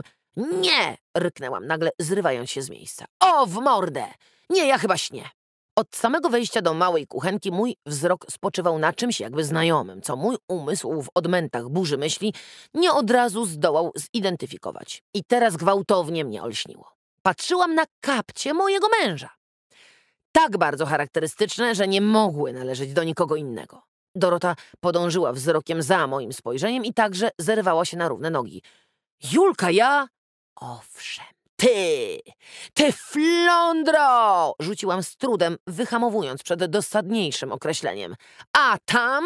Skoczyłam ku zamykanym przed nią w popłochu drzwiom. Co tam trzymasz? Mój gwałtowny rozpęd wyhamował w progu jeszcze gwałtowniejszy szok. Otóż na jednym z krzeseł wisiał sobie zwyczajnie sweter mojego męża. Na drugim zaś niedbale rzucona leżała jego kurtka. Pociemniało mi w oczach ze zgrozy. No to już wszystko jasne, wysapałam, odwracając się wolno w stronę białej jak kreda Doroty. Chciałaś zrobić ze mnie psychiczną, tak? Że niby sama nie wiem, co robię. W koło powtarzałaś, jaka to ja jestem ostatnio nerwowa, rozkojarzona. Nie, oboje chcieliście mnie wpędzić w obłęd. Wysyłałaś do zgreda lubieżne smsy w moim imieniu i oszczerstwa do Jacka na mój temat, żeby utwierdzić swojego kochasia z trudem przeszło mi przez usta takie określenie w stosunku do własnego męża. W słuszności waszego romansu. Ile to trwa? No? Rok, dwa, trzy? Dorota milczała. Nakłaniałaś mnie do pójścia na studia, żebyście mieli więcej czasu dla siebie. Kojarzyłam coraz jaśniej pewne fakty. Byłaś przerażona, kiedy zaszło podejrzenie, że mogę być w ciąży, a kiedy na koniec wysłałaś go za granicę, żeby, żeby, że... Tu zabrakło mi na moment konceptu, że, żeby zarobił więcej kasy na waszą wspólną drogę życiową, a może on w ogóle nie wyjechał? Olśniło mnie nagle. Tylko siedzicie sobie tutaj oboje, jak świerszcze za piecem? Bzdura, wyszeptała cicho Dorota. Bzdura? A ja ci powiem, że to jest całkiem prawdopodobne. Julka, to nie tak. Nie tak! A jak? Darłam się coraz bardziej ochrypłym głosem. Czemu więc się nie odzywa do mnie? Bo co, bo mnie już porzucił dla ciebie? Na miłość boską! Dorota jakby odzyskała głos. Przecież jestem twoją przyjaciółką! Moją? Zawyłam dziko. Mojego męża, a to jest niestety pewna różnica, a zresztą cholera cię wie, co tobą kierowało. Podobno już w szkole średniej wszystkiego mi zawieściłaś. Owszem, tym razem to ona się wydarła. Bo ty zawsze we wszystkim musiałaś być najlepsza. Musiałaś mieć najlepsze oceny, naj, najładniejsze ciuchy. Zarywałaś najfajniejszych chłopaków i zadzierałaś nohala. Na wszystkich patrzyłaś z góry. Ja? Zadzierałam? Zdziwiłam się dla odmiany. Zadzierałaś. No cóż, skoro tak sądzisz, to tym bardziej wszystko jasne. Miałaś powód, żeby zabrać mi faceta i zrujnować życie, tylko jestem ciekawa, w jakich proporcjach mają się do siebie te dwie motywacje. Julka, Dorota nagle spuściła z. To było dawno temu.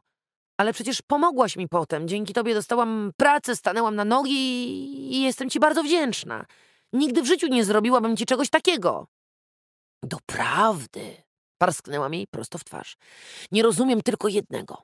Po co ty się w ogóle wypierasz, skoro wszystko się rypnęło? Lada chwila Jacek sam mnie o tym poinformuje i najprawdopodobniej poprosi o rozwód. Chodź, Dorota pociągnęła mnie za rękę. Usiądźmy, pogadajmy. O nie!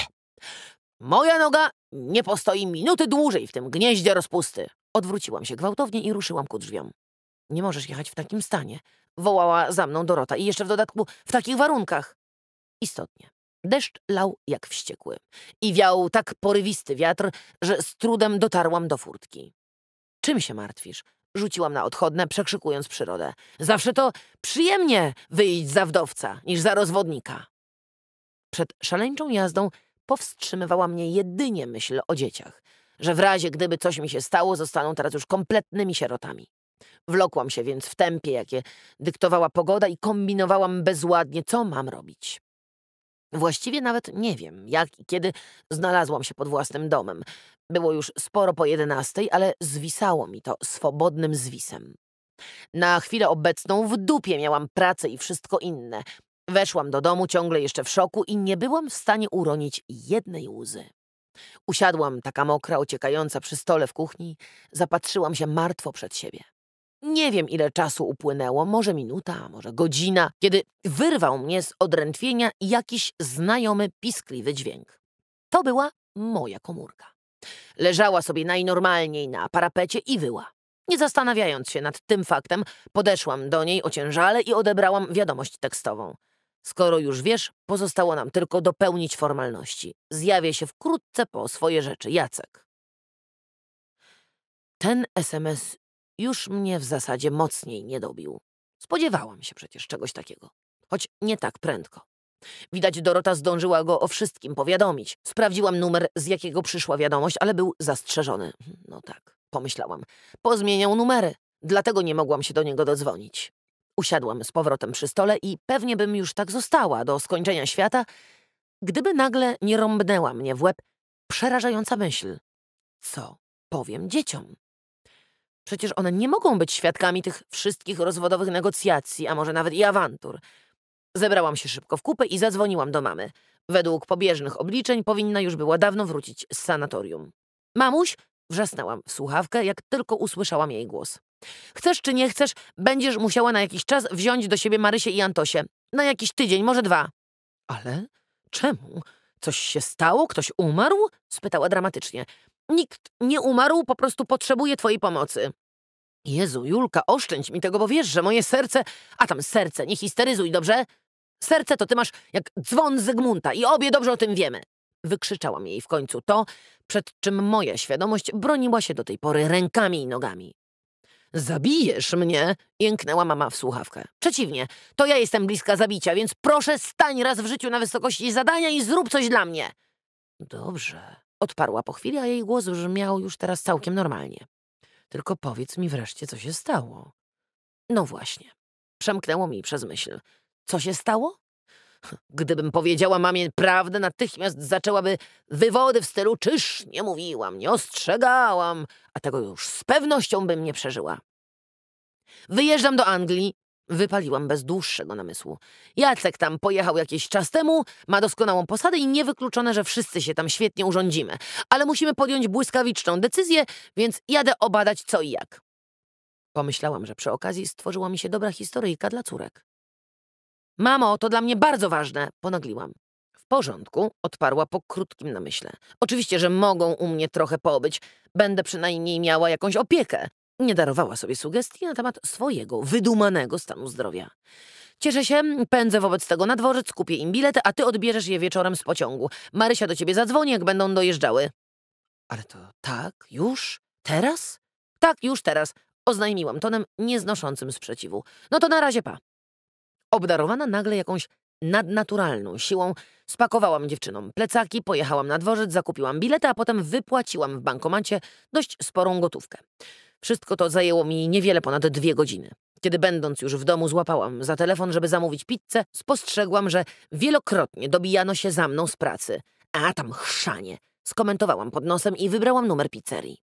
Zamówienie przywieziono niemal równocześnie z powrotem dziewczynek ze szkoły.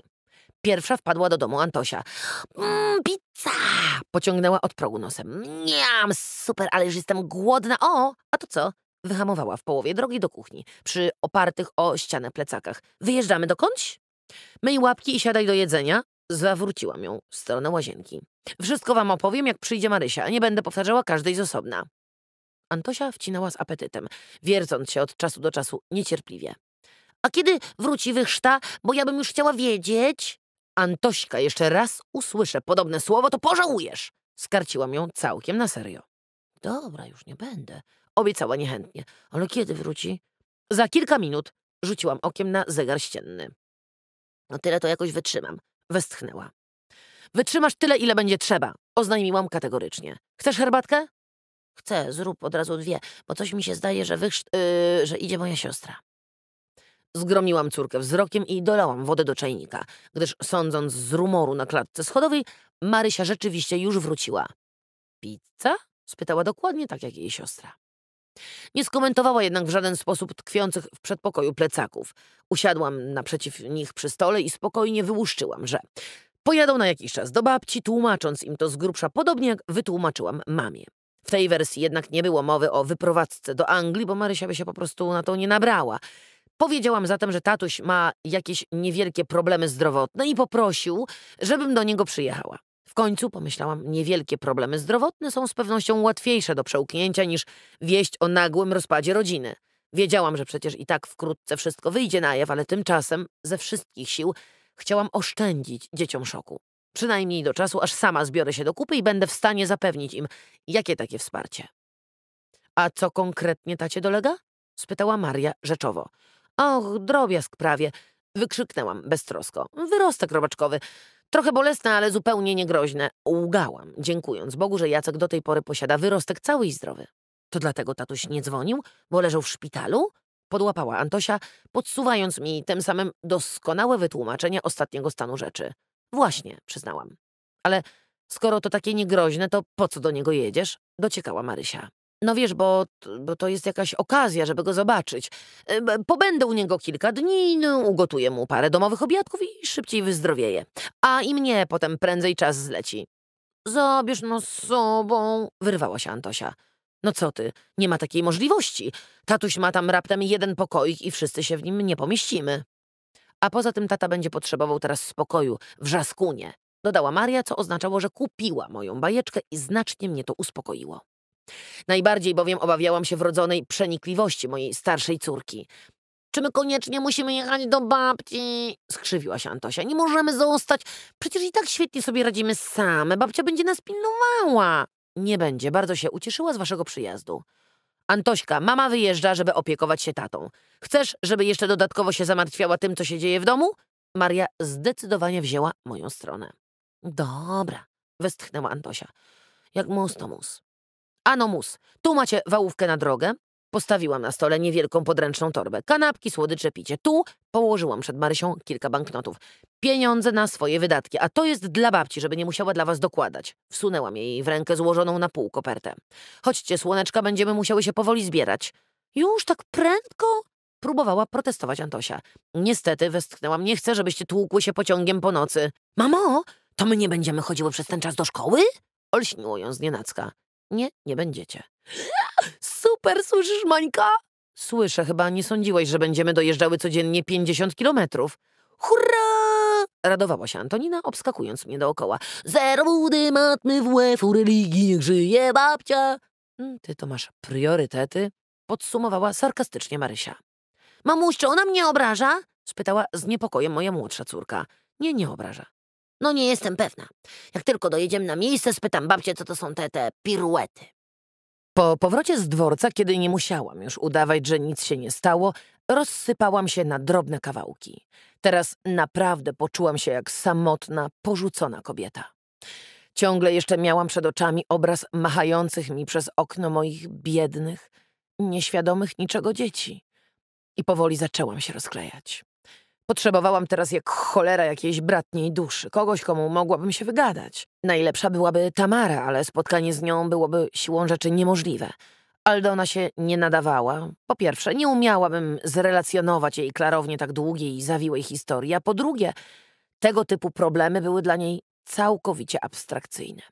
Zresztą, gdybym miała bez przerwy odpowiadać na pytania dlaczego, skąd wiesz, jesteś pewna, prędzej opadłabym z sił niż zdołała skończyć. Łaziłam zatem z kąta w kąt, rozważając co jakiś czas, czy aby nie zalać się w trupa. Kiedy już sięgałam ręką w stronę barku, natchnęła mnie myśl, z jednej strony całkiem absurdalna, z drugiej zaś dość logiczna. Zgredzik, szepnęłam i rzuciłam okiem na zegar. Jeszcze powinien być w pracy. Pomysł o wyżaleniu się Zgredzikowi był o tyle sensowny, że no on poniekąd siedział w temacie i za wiele nie musiałam mu tłumaczyć. Zresztą było mi wszystko jedno, komu zwalę na bary swój problem, aby tylko wysłuchał i nie zadawał głupich pytań. Tak, Zgredzik by nie zadawał. Poparłam gorliwie swój plan. Wsiadłam czym prędzej w samochód i ruszyłam do psianyszek. Patrzyłam przed siebie, byle jak, jednocześnie kontrolując czas. Siedemnasta zbliżała się nieubłaganie i szef mógł mi zwiać sprzed nosa. W takim przypadku byłam gotowa nawet najść go w domu, choć raczej wolałabym nie. Boże, jest! Westchnęłam, jak tylko w zasięgu mojego wzroku znalazł się żółty budynek naszego ośrodka z zaparkowanym opodal autem szefa. Już mi nie ucieknie, choćbym miała stanąć w poprzek drogi, skonstatowałam z ulgą. Wbiegłam do biura, ale niestety tam go nie zastałam. Ani w sali lustrzanej, ani w garderobach, ani na scenie. Wszystkie pomieszczenia były dokładnie pootwierane i każdy mógłby wynieść, co chciał, gdyby chciał. Portier przysięgał, co prawda, że kierownik jest w obiekcie na 100%, tyle że nie wiadomo gdzie. Hej, jest tu kto? Wrzasnęłam w końcu, aż echo poniosło. Jest, usłyszałam cichy głos Marzenki. Pobiegłam zatem do jej pakamery i tam właśnie zastałam ich oboje. Marzenkę i kierownika, wijących z zacięciem bibułowe czapeczki. Hmm, miałaś mi pomóc, rzuciła pretensją Marzenka. Nie mówiłaś, że cię dzisiaj nie będzie.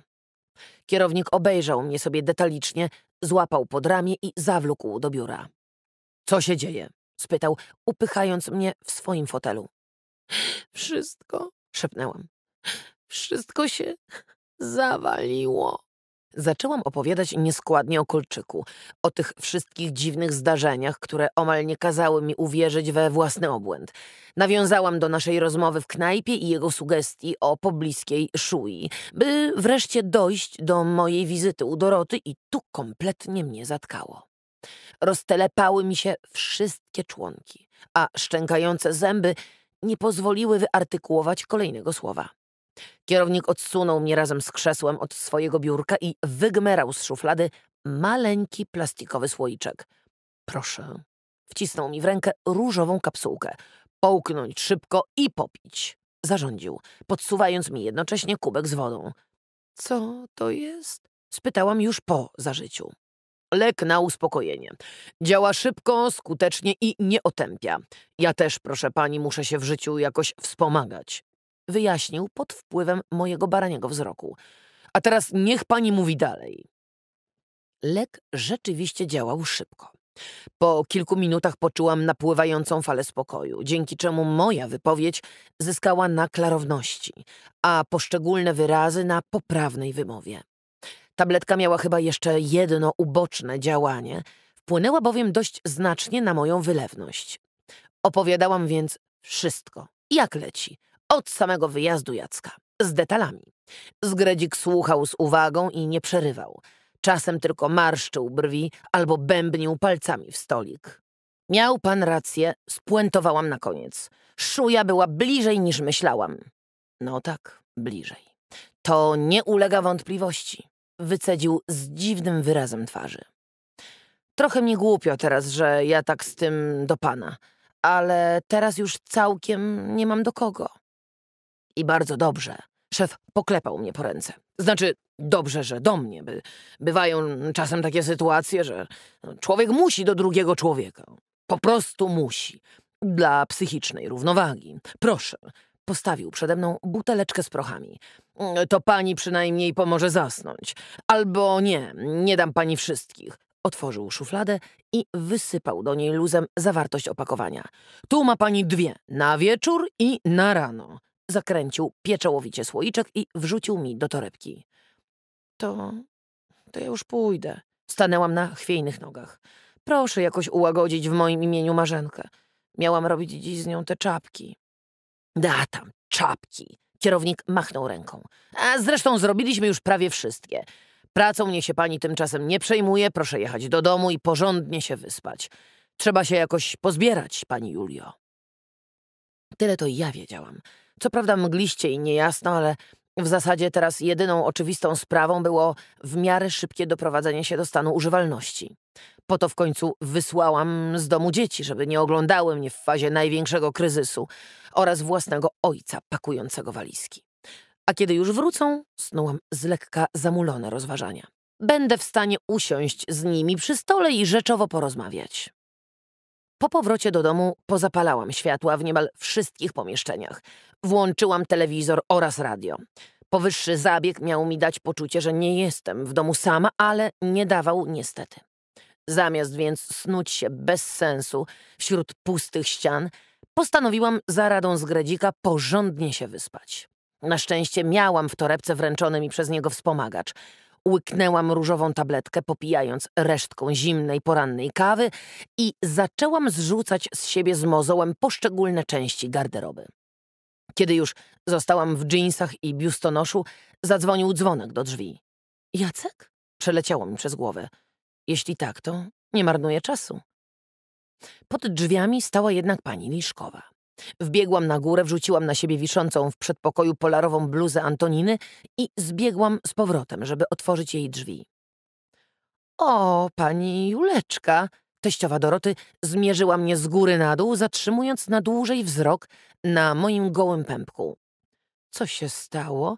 Czekałam dziś na Antoninkę, ale nie przyszła. Dzwonię do pani i dzwonię i nikt nie odbiera. No wreszcie się zebrałam i przyszłam.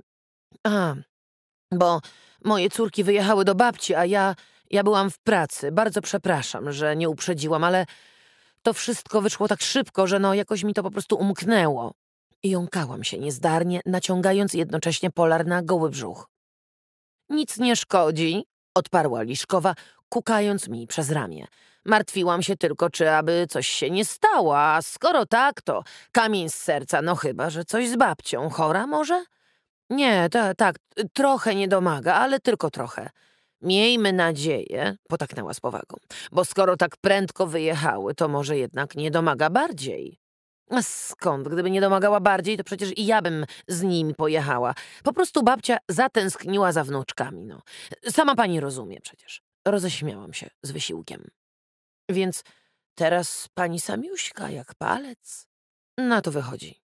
Ej, a mnie się zdaje, że pani ma jednak jakiś kłopot. Liszkowa wpatrzyła się intensywnie w moje sfatygowane oblicze. Taka pani bledziuteńka, mizerna. Może ja zajdę na chwilę, to pogadamy. Ulży pani. Dziękuję serdecznie za troskę, ale mam pilne zajęcie. Robię właśnie mm, przepierkę. E, a tak w ogóle to u mnie naprawdę wszystko w najlepszym porządku. Tak? spytała niezdecydowanie. W zasadzie miałam wielką ochotę powiedzieć nieszczęsnej kobiecinie, jaką żmiję hołubiła przez lata na swym łonie i kim jest ten jej cudowny, potrafiący prać, gotować i robić zakupy wybranek. Tak, odparłam zamiast tego po chwili. W jak najlepszym. Jeszcze raz dziękuję za troskę i życzę dobrej nocy. Pani Liczkowa mniej lub bardziej przekonana do moich pokrętnych wyjaśnień wycofała się niechętnie za drzwi. W samą porę, bo jeszcze moment, a chyba musiałabym usiąść na schodach. Moje ciało w jednej chwili zrobiło się ciężkie i bezwładne. Najwyraźniej tabletka z gredzika zaczęła działać. A miała być słaba i nieotępiająca. Ziewnęłam szeroko. No tak, ale to już moja druga. Ja chyba, chyba dziś nic nie jadłam. Uświadomiłam sobie mętnie.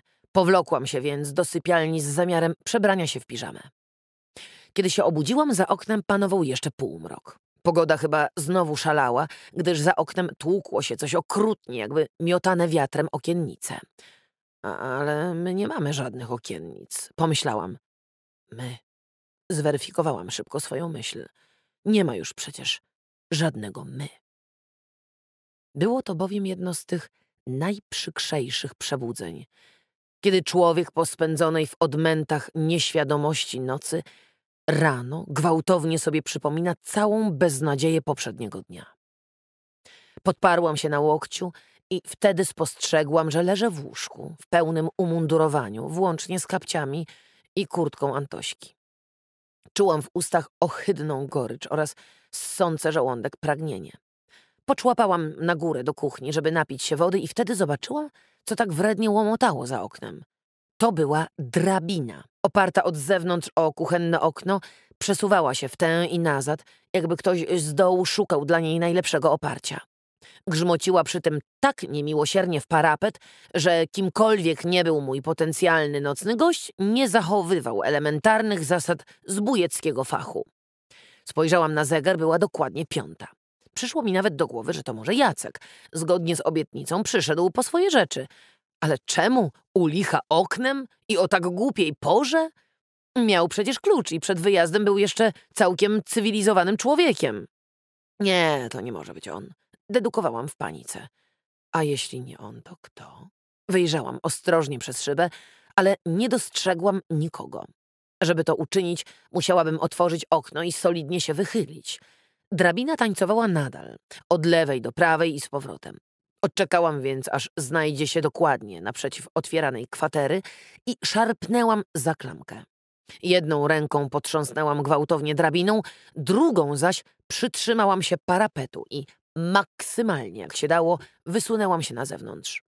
Na skutek tego zabiegu e, coś, co przypominało sporych rozmiarów tobu, rymnęło na glebę, a po chwili, kicając niezdarnie, umknęło mi z pola widzenia. Zostawiło jednak dyndającą dwa szczeble poniżej czerwoną szmatę. Zbiegłam prędko do kotłowni, złapałam za pogrzebacz i tym sposobem wciągnęłam ją do środka. Jeden rzut oka wystarczył, żeby zidentyfikować moje trofeum jako czerwono-pomarańczowy szalik z gredzika. I to nie ulegało żadnej wątpliwości, gdyż walił na odległość jego ukochaną perfumą Royal Brand. Ty chamie! Ryknęłam, odzyskując poniekąd swój dawny wigor. Ty Judaszu, ty podstępna gadzino, ty! Przemawiałam do szalika. A ja, jak idiotka, pozwoliłam ci się omamić, wcisnąć sobie te wszystkie brednie i w nie uwierzyć. Jeszcze wczoraj stanęłam do bydlęcia otworem i wywnętrzyłam się do cna jak ostatnia naiwna.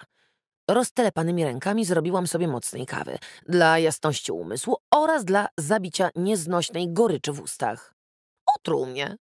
I jeszcze mnie w dodatku zboczeniec otruł. Wrzeszczałam tym razem do kubka z kawą. Żeby się do mnie władować w środku nocy i na nieprzytomnej uprawiać rozmaite lubieżne praktyki.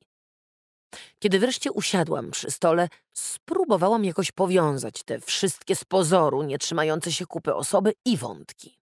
Doszłam do wniosku, że jedynym wspólnym dla nich motywem mogła być ukartowana pomiędzy Dorotą i kierownikiem gra, mająca na celu rozwalenie mojego małżeństwa z Jackiem oraz podzielenie się współmałżonkami. Przy czym ona dostałaby oczywiście Jacka, a Zgret mnie. Tylko czy ja byłam aż tak atrakcyjna, żeby popadać dla mnie w kryminał? Powątpiewałam. Owszem, dla niego mogłabym być, przyznałam po chwili. No w końcu Zgret, jak każdy zboczeniec, posiadał zapewne zboczony pociąg.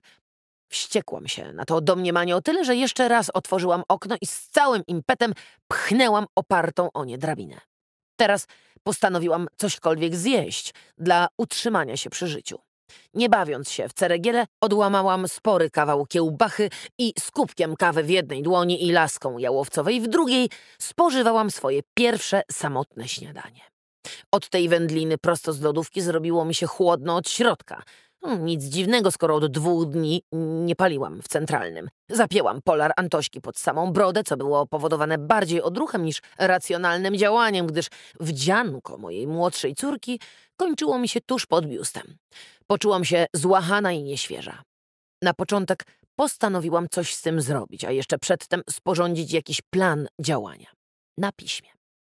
Złapałam więc za kartkę i długopis, wynotowując, co następuje. Po pierwsze, nie odbierać telefonu stacjonarnego od mamy i dzieci, bo jestem przecież w Anglii. Napisałam to wolimi literami, podkreślając dla pewności grubą krechą. Po drugie, umyć się, ubrać i wyglądać jak człowiek. Po trzecie, wysłać SMS-a do Marysi z zapytaniem, jak minęła im podróż oraz obietnicą, że wkrótce zadzwonię. Po czwarte, zadzwonić do zakładu pracy Jacka i wydębić od nich jakiś kontakt do niego. Ten punkt e, po namyśle częściowo skreśliłam i zamiast zadzwonić, napisałam udać się. Po piąte, udać się do dyrekcji własnej i wyżebrać przeniesienie na inną placówkę. Po szóste, posprzątać dom. Po siódme, przy okazji ułatwić Jackowi zadanie i wywalić wszystkie jego rzeczy na zbity pysk. Właśnie zastanawiałam się nad punktem ósmym, by nie pozostać przy pechowej siódemce, kiedy znowu usłyszałam na zewnątrz jakiś podejrzany łomot. Wyjrzałam przez okno, ale poza spoczywającą w bukszpanach drabiną nie dostrzegłam niczego ani nikogo. Łomot powtórzył się jeszcze dwukrotnie i był jakby znajomy. Nie, to nie był łomot, tylko raczej głośne skrzypienie. Zastygłam w oczekiwaniu, kiedy odgłos powtórzył się jeszcze raz. Już wiedziałam. To był dźwięk otwierania uchylnej bramy jackowego garażu. A, więc przyjechał. Pomyślałam z sercem w gardle. Pobiegłam prędko do salonu, skąd miałam fragmentaryczny ogląd na przylegający do bocznej ściany domu garaż. Brama rzeczywiście była uniesiona do góry. Z zapartym tchem, ukryta za firanką, spoglądałam w dół. Jednak zamiast spodziewanej sylwetki męża, po chwili wyłonił się z garażu jego samochód i ruszył wolno naprzód. Jak to? Uciekasz? Tak bez słowa? Wrzasnęłam przez otwarte okno. Jacek jednak jakby nigdy nic zmierzał ewidentnie ku wyjazdowi z posesji. O nie! Tak się nie robi! Złapałam za kluczyki od swojego auta i żeby było szybciej, wybiegłam z domu przez kotłownię. Kątem oka przyfilowałam, w którą stronę udał się mój małżonek i pojechałam za nim. Poruszał się wolno, więc dogoniłam go bez problemu. Widziałam teraz przed sobą jego granatową czapkę z daszkiem i chyba tę samą kurtkę, którą namierzyłam na działce Doroty. Jacek zauważył mnie chyba dopiero wtedy, kiedy zamierzałam zmienić pas, żeby się z nim zrównać. W jednej chwili depnął na gaz i ruszył przed siebie z kopyta. Po pewnym czasie zorientowałam się, że chce mnie najprawdopodobniej zgubić, gdyż zaczął kluczyć bez sensu po najciaśniejszych uliczkach i dziwnych zakamarkach. Nie byłam doskonałym kierowcą i on o tym świetnie wiedział, ale wiedział także, że mój upór i siła determinacji mogła mi w tej chwili zrekompensować wszelkie niedostatki w tej dziedzinie. Chociaż w zasadzie mógł jeszcze liczyć na to, że zapomniałam zatankować, ale nie zapomniałam. Krzyknęłam w stronę umykającego auta. Mam w baku full benzyny, prosiaku! Prosiak zaczął chyba popadać w coraz większy popłoch, bo wyjechał znów na główną i postanowił zmóc mnie prędkością. Pędził jak wariat, manewrując pomiędzy dwoma pasami ruchu, a ja wciąż byłam tuż za nim. Kiedy złapały nas pierwsze światła, ustawił się tak, żeby nie mieć mnie za tyłkiem. Potem znacznie zwolnił, wyczyniając niezrozumiałe dla mnie manewry. To wlókł się niemiłosiernie, to zaś przyspieszał. Wkrótce pojęłam jego taktykę. On po prostu czekał na odpowiednie światło. Tuż przed najbliższym skrzyżowaniem wcisnął gaz do dechy i przejechał na żółtym. Święty Judo Tateuszu! Wrzasnęłam dziko i zrobiłam to samo. Dzięki ci, szepnęłam z wdzięcznością i postanowiłam od teraz siedzieć Jackowi na ogonie. Hm. Pędziliśmy tak za sobą zderzak w zderzak i wkrótce wyjechaliśmy z miasta. Droga stawała się coraz gorsza, by przerodzić się w końcu w jakiś marny, dziurawy trakt. Ruch był tu prawie żaden, więc uznałam, że choćby nie wiem co, muszę go wyprzedzić. On jednak, kiedy tylko zorientował się w moim zamiarze, zaczął zajeżdżać mi drogę. W pewnym momencie, tuż przed zakrętem, kiedy akurat znajdował się na lewym pasie, z przerażeniem dostrzegłam wyłaniający się sprzeciwka traktor. Jacek, Jacuś, Boże, nie! Szepnęłam, a potem wszystko potoczyło się błyskawicznie. Jacek zjechał na prawy pas tak gwałtownie, że nie wyrobił na zakręcie i z całym impetem rąbnął w drzewo. Natychmiast depnęłam po hamulcach, ale moje auto zamiast się zatrzymać, zaczęło się w szaleńczym tempie obracać. Nagle zobaczyłam nad sobą własne kolana, a potem znowu podłogę i znowu kolana. Zdawało mi się, że trwa to wszystko całe wieki i nigdy się nie skończy. Mój samochód wywijał młynki, tocząc się ku bezkresnej czerni świeżo zaoranych pól. Byłam jakoś dziwnie spokojna. Miałam nawet czas, żeby wszystko po kolei sobie przemyśleć. Od czasu naszego ślubu, poprzez urodzenie Marysi, potem Antosi i inne mniej lub bardziej wesołe momenty, aż do teraz, gdy turlając się z dość stromej górki, modliłam się jednocześnie, żeby mojemu mężowi nic się nie stało. Kiedy w końcu przestałam wirować, skonstatowałam, że leżę w aucie, przytroczona pasami do fotela, który był teraz całkiem płaski. Nie mogłam zrobić najmniejszego ruchu. Z ogromnym wysiłkiem, przytrzymując się z całych sił kierownicy, udało mi się odrobinę podciągnąć do pionu. Na znajdującym się znacznie wyżej niż ja sama poboczu spostrzegłam wiśniowe palio Jacka, a właściwie tylko jego tylnią połowę. W tym momencie poczułam paskudny swąd i oczy zaczęły mi łzawić, utrudniając widoczność. Zdążyłam jeszcze zobaczyć gramolącą się z wiśniowego wraku sylwetkę męża, a potem jeszcze jakieś inne, czerwone auto, z którego ktoś wyskoczył niemalże w biegu i pędził jak szalony w moim kierunku. Tam, wyszeptałam na resztkach oddechu. Tam, mój Jacek, ty świnio, ty, wredna szujo! Dorzuciłam z nieludzkim wysiłkiem, rozpoznając nagle zaglądającą do wewnątrz facjatę. I wtedy stała się ciemność.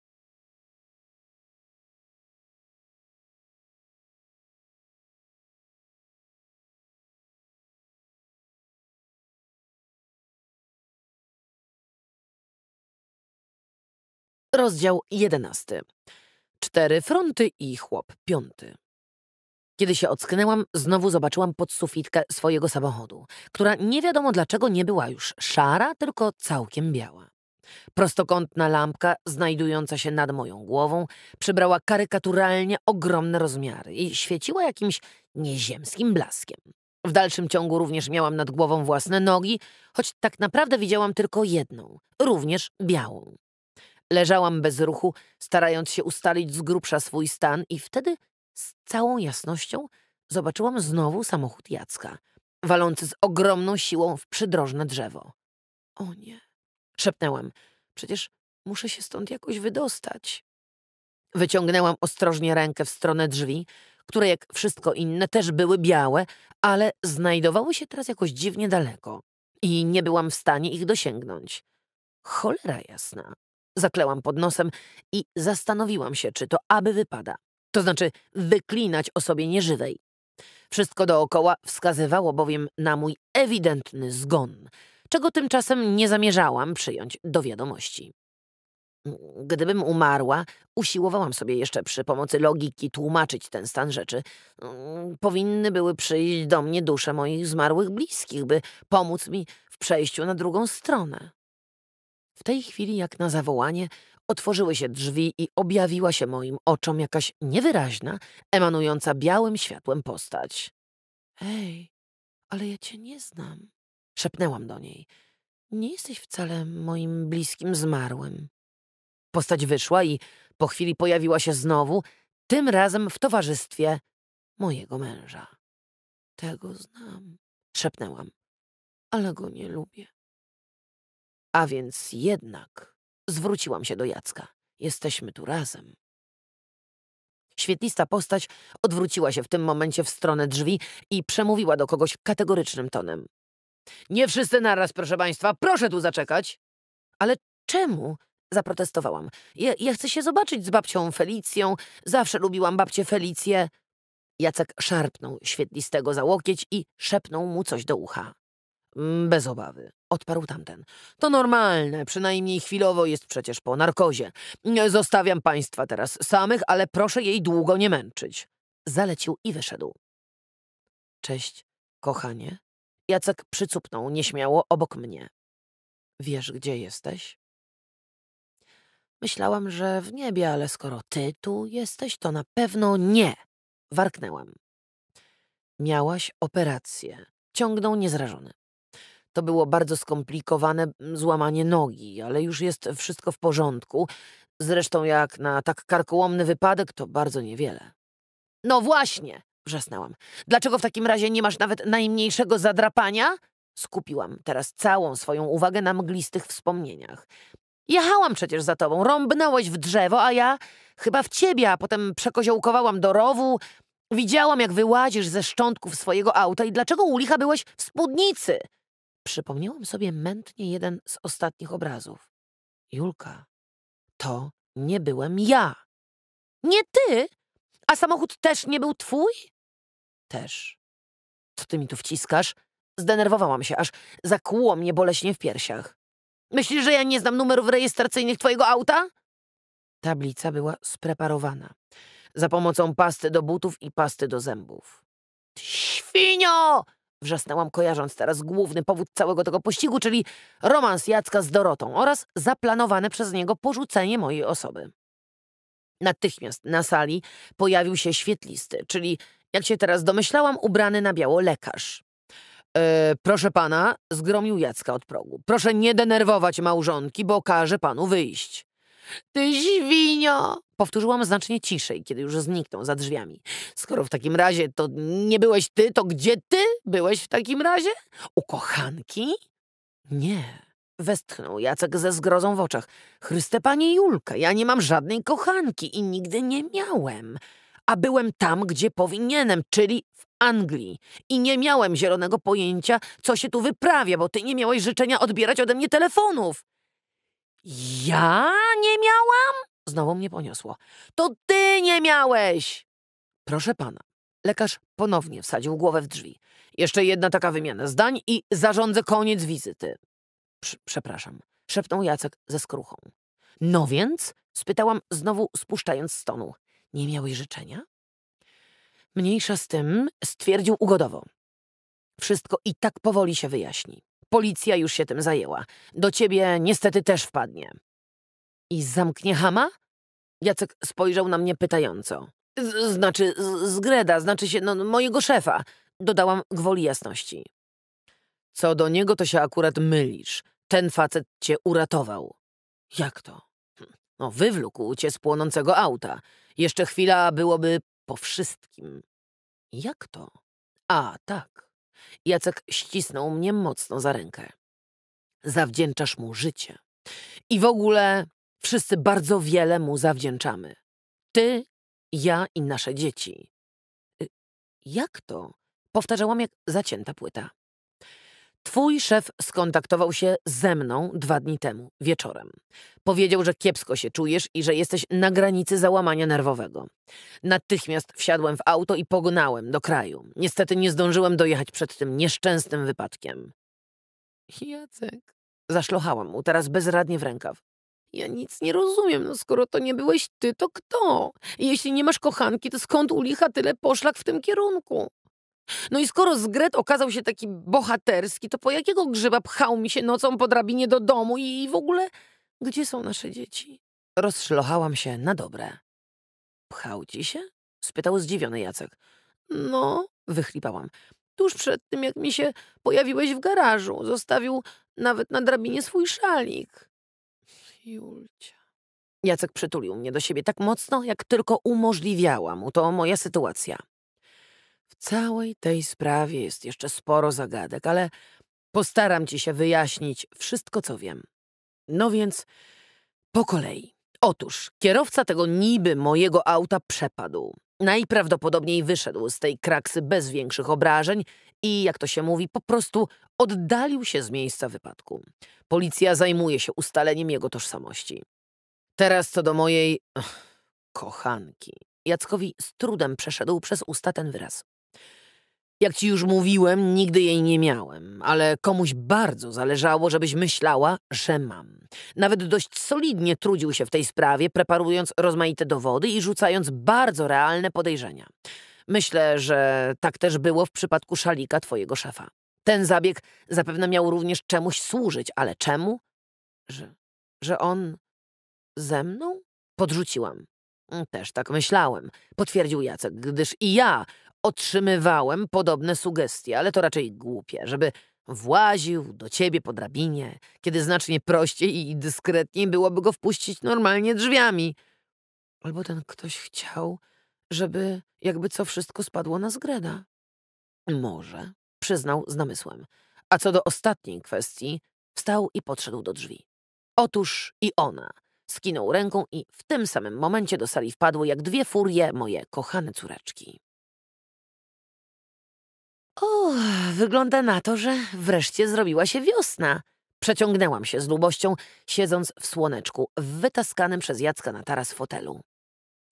Teraz musiała się zrobić. Mąż musnął mnie ustami w szyję. Wygodnie? spytał, poprawiając mi ostrożnie taboret pod zagipsowaną nogą. Wygodnie. Uśmiechnęłam się do niego z wdzięcznością. Jeszcze jakieś życzenia? Rzucił okiem na stolik, na którym ustawił wcześniej dzbanek z kawą, dwie filiżanki i talerzyk z ciastem. Nie, dzięki. Chyba, że trochę soku. Już się robi. Jacek skłonił się dwornie i pobiegł do kuchni. A w ogóle, gdybyście jeszcze czegoś potrzebowały, to krzycz. Poradził, kładąc na stoliku karton z sokiem i dwie szklaneczki. Okej, okay, zgodziłam się łaskawie. A tymczasem panu już dziękujemy. Mamuś, mamuś, słyszałaś? Antosia wpadła na taras jak tajfun, omal nie zderzając się z wychodzącym akurat Jackiem. Babcia Liszkowa wyjechała do sanatorium, oznajmiła, szczerze zmartwiona. I podobno prędko nie wróci. Skąd wiesz? spytałam. Ode mnie, odparła Dorota, która niemal równocześnie z moją córką zjawiła się w drzwiach. Właś, uśmiechnęłam się do niej, widząc, jak niepewnie przebiera w miejscu giczołami. Kawy? Chętnie. Zgodziła się cicho, wyjmując z zapleców wiechać czerwonych tulipanów i ogromną bombonierę. Ale to naprawdę niepotrzebne. Bąkałam nie mniej zmieszana od niej. Siadaj wreszcie. Antosiu, proszę idź na razie do siebie, dobrze? Czekoladki, nie zając. Podążyłam wzrokiem za jej łakomym spojrzeniem. Najpierw musimy sobie z panią Dorotą pogadać. Same. Antosia strzeliła focha, ale wyszła. Jak się czujesz? spytała Dorota. Fizycznie dobrze, przyznałam, ale ogólnie trochę dziwnie. No cóż, to chyba oczywiste. Westchnęła. Ja też się czuję dziwnie. Wiem i przepraszam. Westchnęłam na wspomnienie urządzonej jej przeze mnie awantury oraz wszystkich flonder i wywłok, jakimi ją wtedy uraczyłam. Coś ty, obruszyła się Dorota. To ja powinnam cię przeprosić, że cię nie ostrzegłam.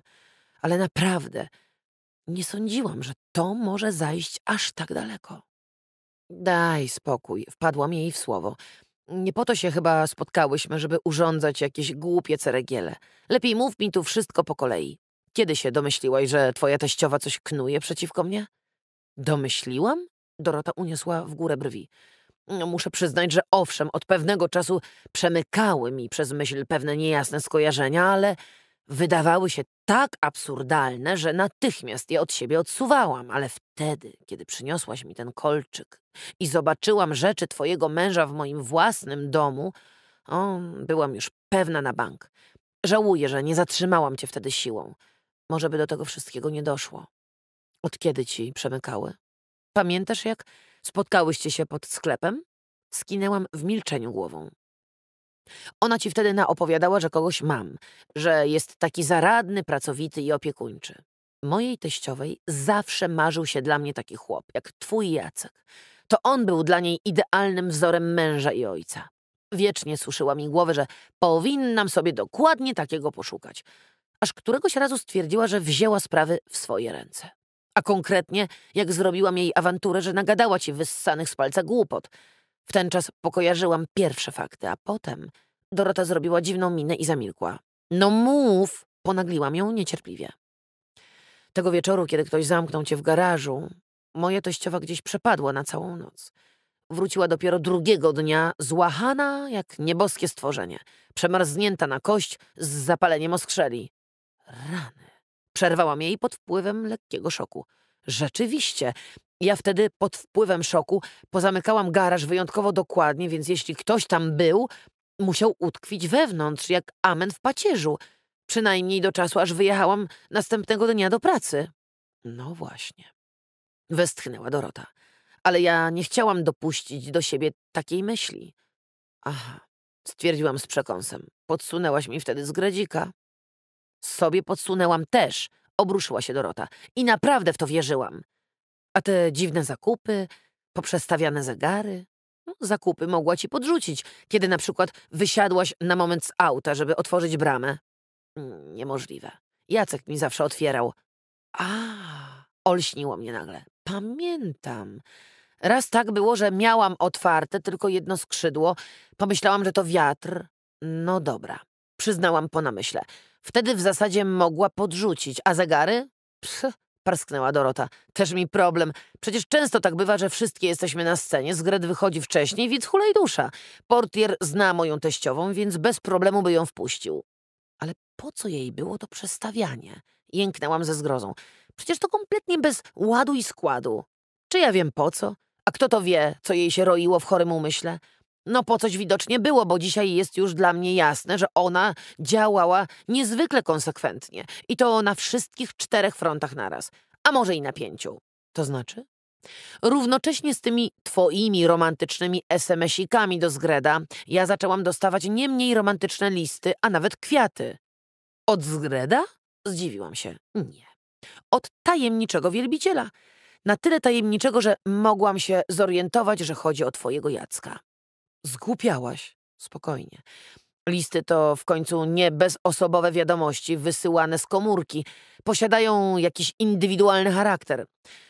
Dość szybko doszłam do tego, kto naprawdę mnie tak namiętnie wielbi, ale przyznam, że mnie to wyłącznie ubawiło. Potem Jacek zaczął otrzymywać donosy o twoim rzekomym romansie z szefem. Przypuszczam, że musiał też w końcu dostać jakiś cieplutki liścik ode mnie. Jacek? Przecież by mi chyba powiedział. Krzyknęłam wzburzona. Nie gorączkuj się, Julka. Teraz to i tak nie ma żadnego znaczenia. Może nie chciał cię denerwować, a może chciał ci powiedzieć, tylko nie miał już z tobą później kontaktu. Zresztą spytaj go sama. Pewnie, że spytam. A właśnie, czy ty wiesz, że ja miałam zablokowany telefon na połączenia zagraniczne i na komórki? Aż zawrzałam na wspomnienie tego odkrycia. Najpierw ktoś mi podiwanił mojego Samsunga dokładnie przed wyjazdem na festiwal, a potem oddał po to tylko, żeby mi tą drogą przekazać, że Jacek mnie rzuca. W międzyczasie próbowałam się z nim kontaktować setki razy. Myślałam, że się obraził i nie chce ze mną gadać, bo posprzeczaliśmy się wcześniej odrobinkę. A ponieważ on myślał tak samo, uniósł honorem i nie dzwonił. No tak, westchnęła Dorota. Skoro moja teściowa miała swobodny dostęp do twojego domu, no, mogła cię bruździć do woli. A jak głupia, jeszcze jej dziecko oddałam do rąk własnych. Jęknęłam ze zgrozą. Dzięki mnie jęknęła za mną Dorota. Ale kto mógł to wszystko przewidzieć? Dopiero kiedy pokazałaś mi ten kolczyk, olśniło mnie jak gromem z jasnego nieba. Bo przecież jeszcze dzień wcześniej, jak durna, pozwoliłam jej się wystroić w naszyjnik od tego kompletu. I ja tu myślę, że niestety mimowolnym i bardzo cennym źródłem informacji była dla niej twoja Antosia. Julka, wybacz. Chlipnęła Dorota. Ja nie wiedziałam, do czego zdolna jest ta baba. Owszem, zawsze była trochę nieteges, ale raczej w stronę dewocji, czy, czy, czy też dość specyficznie pojmowanych wartości rodzinnych, a, a nie działalności kryminalnej. Nawet jak przemalowała swoje palio na wiśniowe, niczego nie zajarzyłam. Dopiero ten kolczyk. Ja ciebie o nic nie obwiniam, Dorota. Nikt by przecież nie przewidział, że ona będzie udawała mojego Jacka. I nie bucz mi tu. Powiedz lepiej, dlaczego przez tyle lat trzymałaś się tej zwichrowanej baby? Za pokutę. Chlipnęła. Za jaką pokutę? Spojrzałam na nią zdumiona. Bo ja, żeby wyjść za Romka, zasymulowałam ciążę. Wyznała jednym tchem i zastygła w oczekiwaniu na moją reakcję. Nie mogłam jej oczywiście powiedzieć, że o tym wiem, gdyż obiecałam to jej byłemu. Wydałam więc z siebie mało przekonujący jęk. Tak, Julio. Potwierdziła Dorota z całą mocą. Zrobiłam to. A kiedy wszystko wyszło na jaw i Romek odszedł z domu, ona została sama jak palec. Przeze mnie. Już tam, przez ciebie. Zaprotestowałam. Sama przez siebie. Apodyktyczna, cholera jedna. I co? Teraz tyle wysiłku włożyła, żeby wydać cię za cudzego chłopa, zamiast pojednać cię z własnym. Mój własny jest nie do pojednania. Westchnęła. I sorry, ale chyba jednak łatwiej poszłoby jej z cudzym. Ale tak, po trupach? Nie rozumiem. Wiele osób przecież marzy o posiadaniu szczęśliwej, kompletnej rodziny, ale nikt u diaska nie stosuje takich metod na, na wyrwę. No właśnie. Ja już sama teraz nie wiem, co nią kierowało. Zastanowiła się Dorota. Czy chodziło jej o to, żebym ja miała lepiej, czy żebyś ty miała gorzej? Takie baby ze skłonnością do dewocji często poczuwają się do wymierzania bliźnim własnej sprawiedliwości. Sprawiedliwości? Zawyłam z cicha. A tak? Odparła spokojnie Dorota. Bo skoro jeden coś posiada, a drugi nie, to jest niesprawiedliwe, prawda? No więc trzeba zakasać rękawy i podzielić porówno. Oto sposób myślenia mojej teściowej. Ależ to chore. Owszem, chore. No, dlatego też pilnują jej teraz lekarze, a nie klawisze. Yy, mogę wam przeszkodzić? W tym momencie Jacek włożył głowę w drzwi. Możesz, zezwoliłam niechętnie. Ale tymczasem wszystko mamy, jeśli o to ci chodzi. No chyba, że może odrobinę winka. Jacek bez słowa otworzył drzwi na całą szerokość i wtedy za jego pleców wyskoczyła Marzenka, a za niej zgredzik z wielkim koszem. Tadam! Delegacja z pracy! oznajmiła radośnie Marzenka. A i winko jest! Kierownik potrząsnął koszykiem. O, to właśnie, siadajcie! Zachęcałam, lekko zaskoczona tą wizytą. Gdzie i na czym kto może? Tem chata bogata, co goście przynieśli. Doniosę krzeseł. Zaoferował się Jacek. Ja pomogę. Wyrwał się za nim ochoczo zgredzik. Jacek, zawołaj dziewczynki! Krzyknęłam za nim. Jak świętujemy, to świętujemy! E, mogę otworzyć czekoladki? spytała Antonina prędzej niż się pojawiła. Że też ty od razu musisz o wałówie, pulpecie, usłyszałam tuż za nią głos Marysi. Zamknij się, syknęła Antosia. Dla ciebie też się coś znajdzie, tylko poproś ładnie o kieliszek. Dziewczynki, zgromiła mnie groźnie, samym tylko wzrokiem. Macie może jakieś dodatkowe krzesło dla zabłąkanego wędrowca? Wrzasnęła Aldona, wtaczając się na taras schodami od strony ogrodu. Jasne, zawołałam entuzjastycznie. Krzeseł ci u nas popachy. No, to masz. Wcisnęła mi w ręce wielką blachę z domowym sernikiem. Hej, pannice, nakryjcie jakoś ładnie do stołu, mamy gości! Zarządził Jacek, odbierając mi sernik. Wszyscy krzątali się teraz wokół mnie, bez ładu i składu, coś dostawiając, donosząc, bądź przekładając z miejsca na miejsce. Kiedy każdy znalazł już sobie coś do siedzenia oraz miejsce pod łokieć na stole, nastąpiła niezręczna cisza. Czułam się trochę jak misternie przyozdobione główne danie. Każdy wpatrywał się we mnie w łakomym oczekiwaniu, że może ktoś inny dziabnie je widelcem jako pierwszy. a to się narobiło, Westchnęłam przeciągle, chcąc cośkolwiek zagaić. I chwała Bogu, że tylko na tym się skończyło. Dorota musnęła ręką moją gipsową kończynę. I że jesteśmy tu teraz wszyscy razem. Normalnie, bez żadnych tych zaszłości i innych, no, knowań i niecnych domysłów. Skończyłam za nią, wiedząc, co chcę powiedzieć, ale nie bardzo wie jak. Wobec tego za panią Julię Zgradzik wzniósł w górę kieliszek z czerwonym winem. I za to, że jest jak jest. To znaczy, że nie jest tak, jak mogłoby być, gdyby było tak, jak na to wyglądało. Dorzucił z właściwą sobie elokwencją. No więc za Julię, Jacek dołączył się do toastu. Jedyną kobietę mojego życia. Najcudowniejszą, najwspanialszą i najpiękniejszą. A jeśli ktoś posiada jakąś wątpliwość, zwłaszcza co do wymienionych przeze mnie przymiotów, tu symbolicznie zakasał rękawy.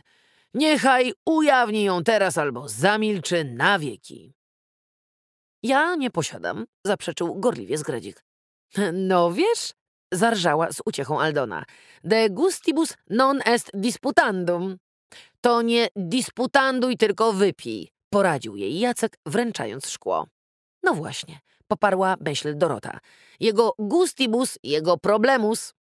Ostatecznie mogę, niech wam będzie, mrugnęła do mnie Aldona, unosząc kieliszek. No to teraz ja parę słów jeśli państwo pozwolą. Marysia wstała z krzesła, a Zgret pospieszył ku niej z lampką wina. A panienka, że tak powiem, pełnoletnia? spytał. Z grubsza. Odparła swobodnie Maria i wyjęła mu ją z dłoni. Ja wiem, że wszystkim, jak tu jesteście, zawdzięczam, że mam dzisiaj całą rodzinę w komplecie, zaczęła z namysłem. A panu w szczególności, tu skłoniła się dwornie w stronę Zgredzika, ale i ja pozwolę sobie wypić toast właśnie za mamę. Ej, wychrzto! Ślubowałaś przy komunie, że nie będziesz chlała aż do osiemnastki? Wysyczała jej za plecami Antosia. E, wypić za mamę, powtórzyła z naciskiem, walnąwszy dyskretnie siostrę z łokcia, bo do niedawna mi się zdawało, że znam ją od urodzenia, po prostu była, odkąd sięgam pamięcią i już.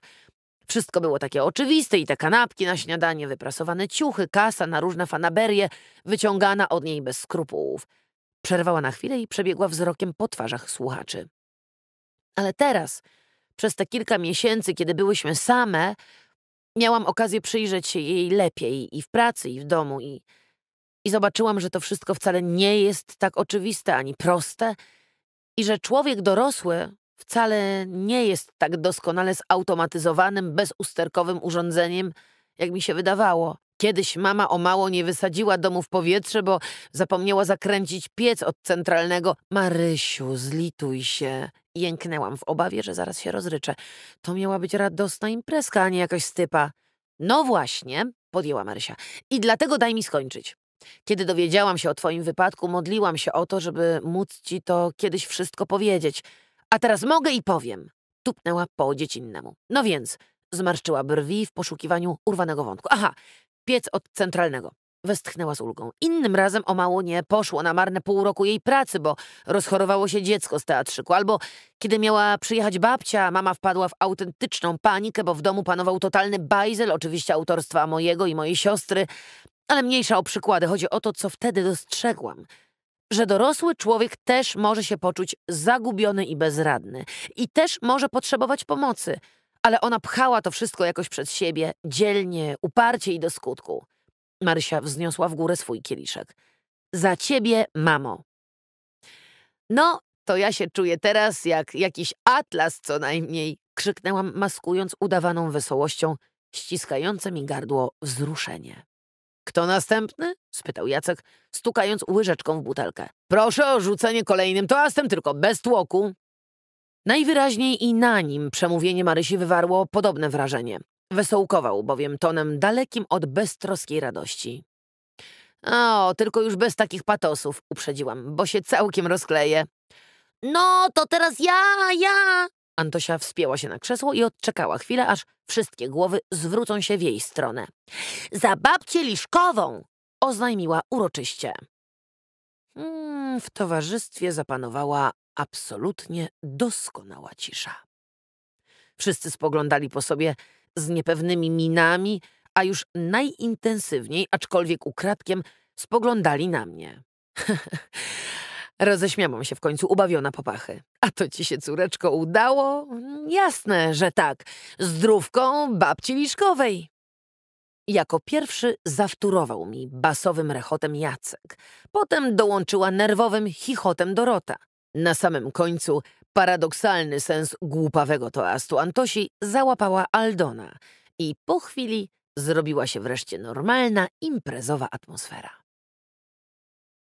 Dziękujemy za wysłuchanie książki Danuty Noszczyńskiej zatytułowanej Mogło być gorzej i zapraszamy do pozostawienia opinii oraz do wysłuchania innych audiobooków autorki. Czytała Ewa Abart.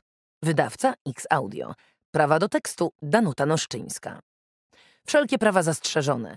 Kopiowanie, wynajmowanie, wypożyczanie, wykorzystywanie do wykonań publicznych i nadań RTV bez zezwolenia zabronione.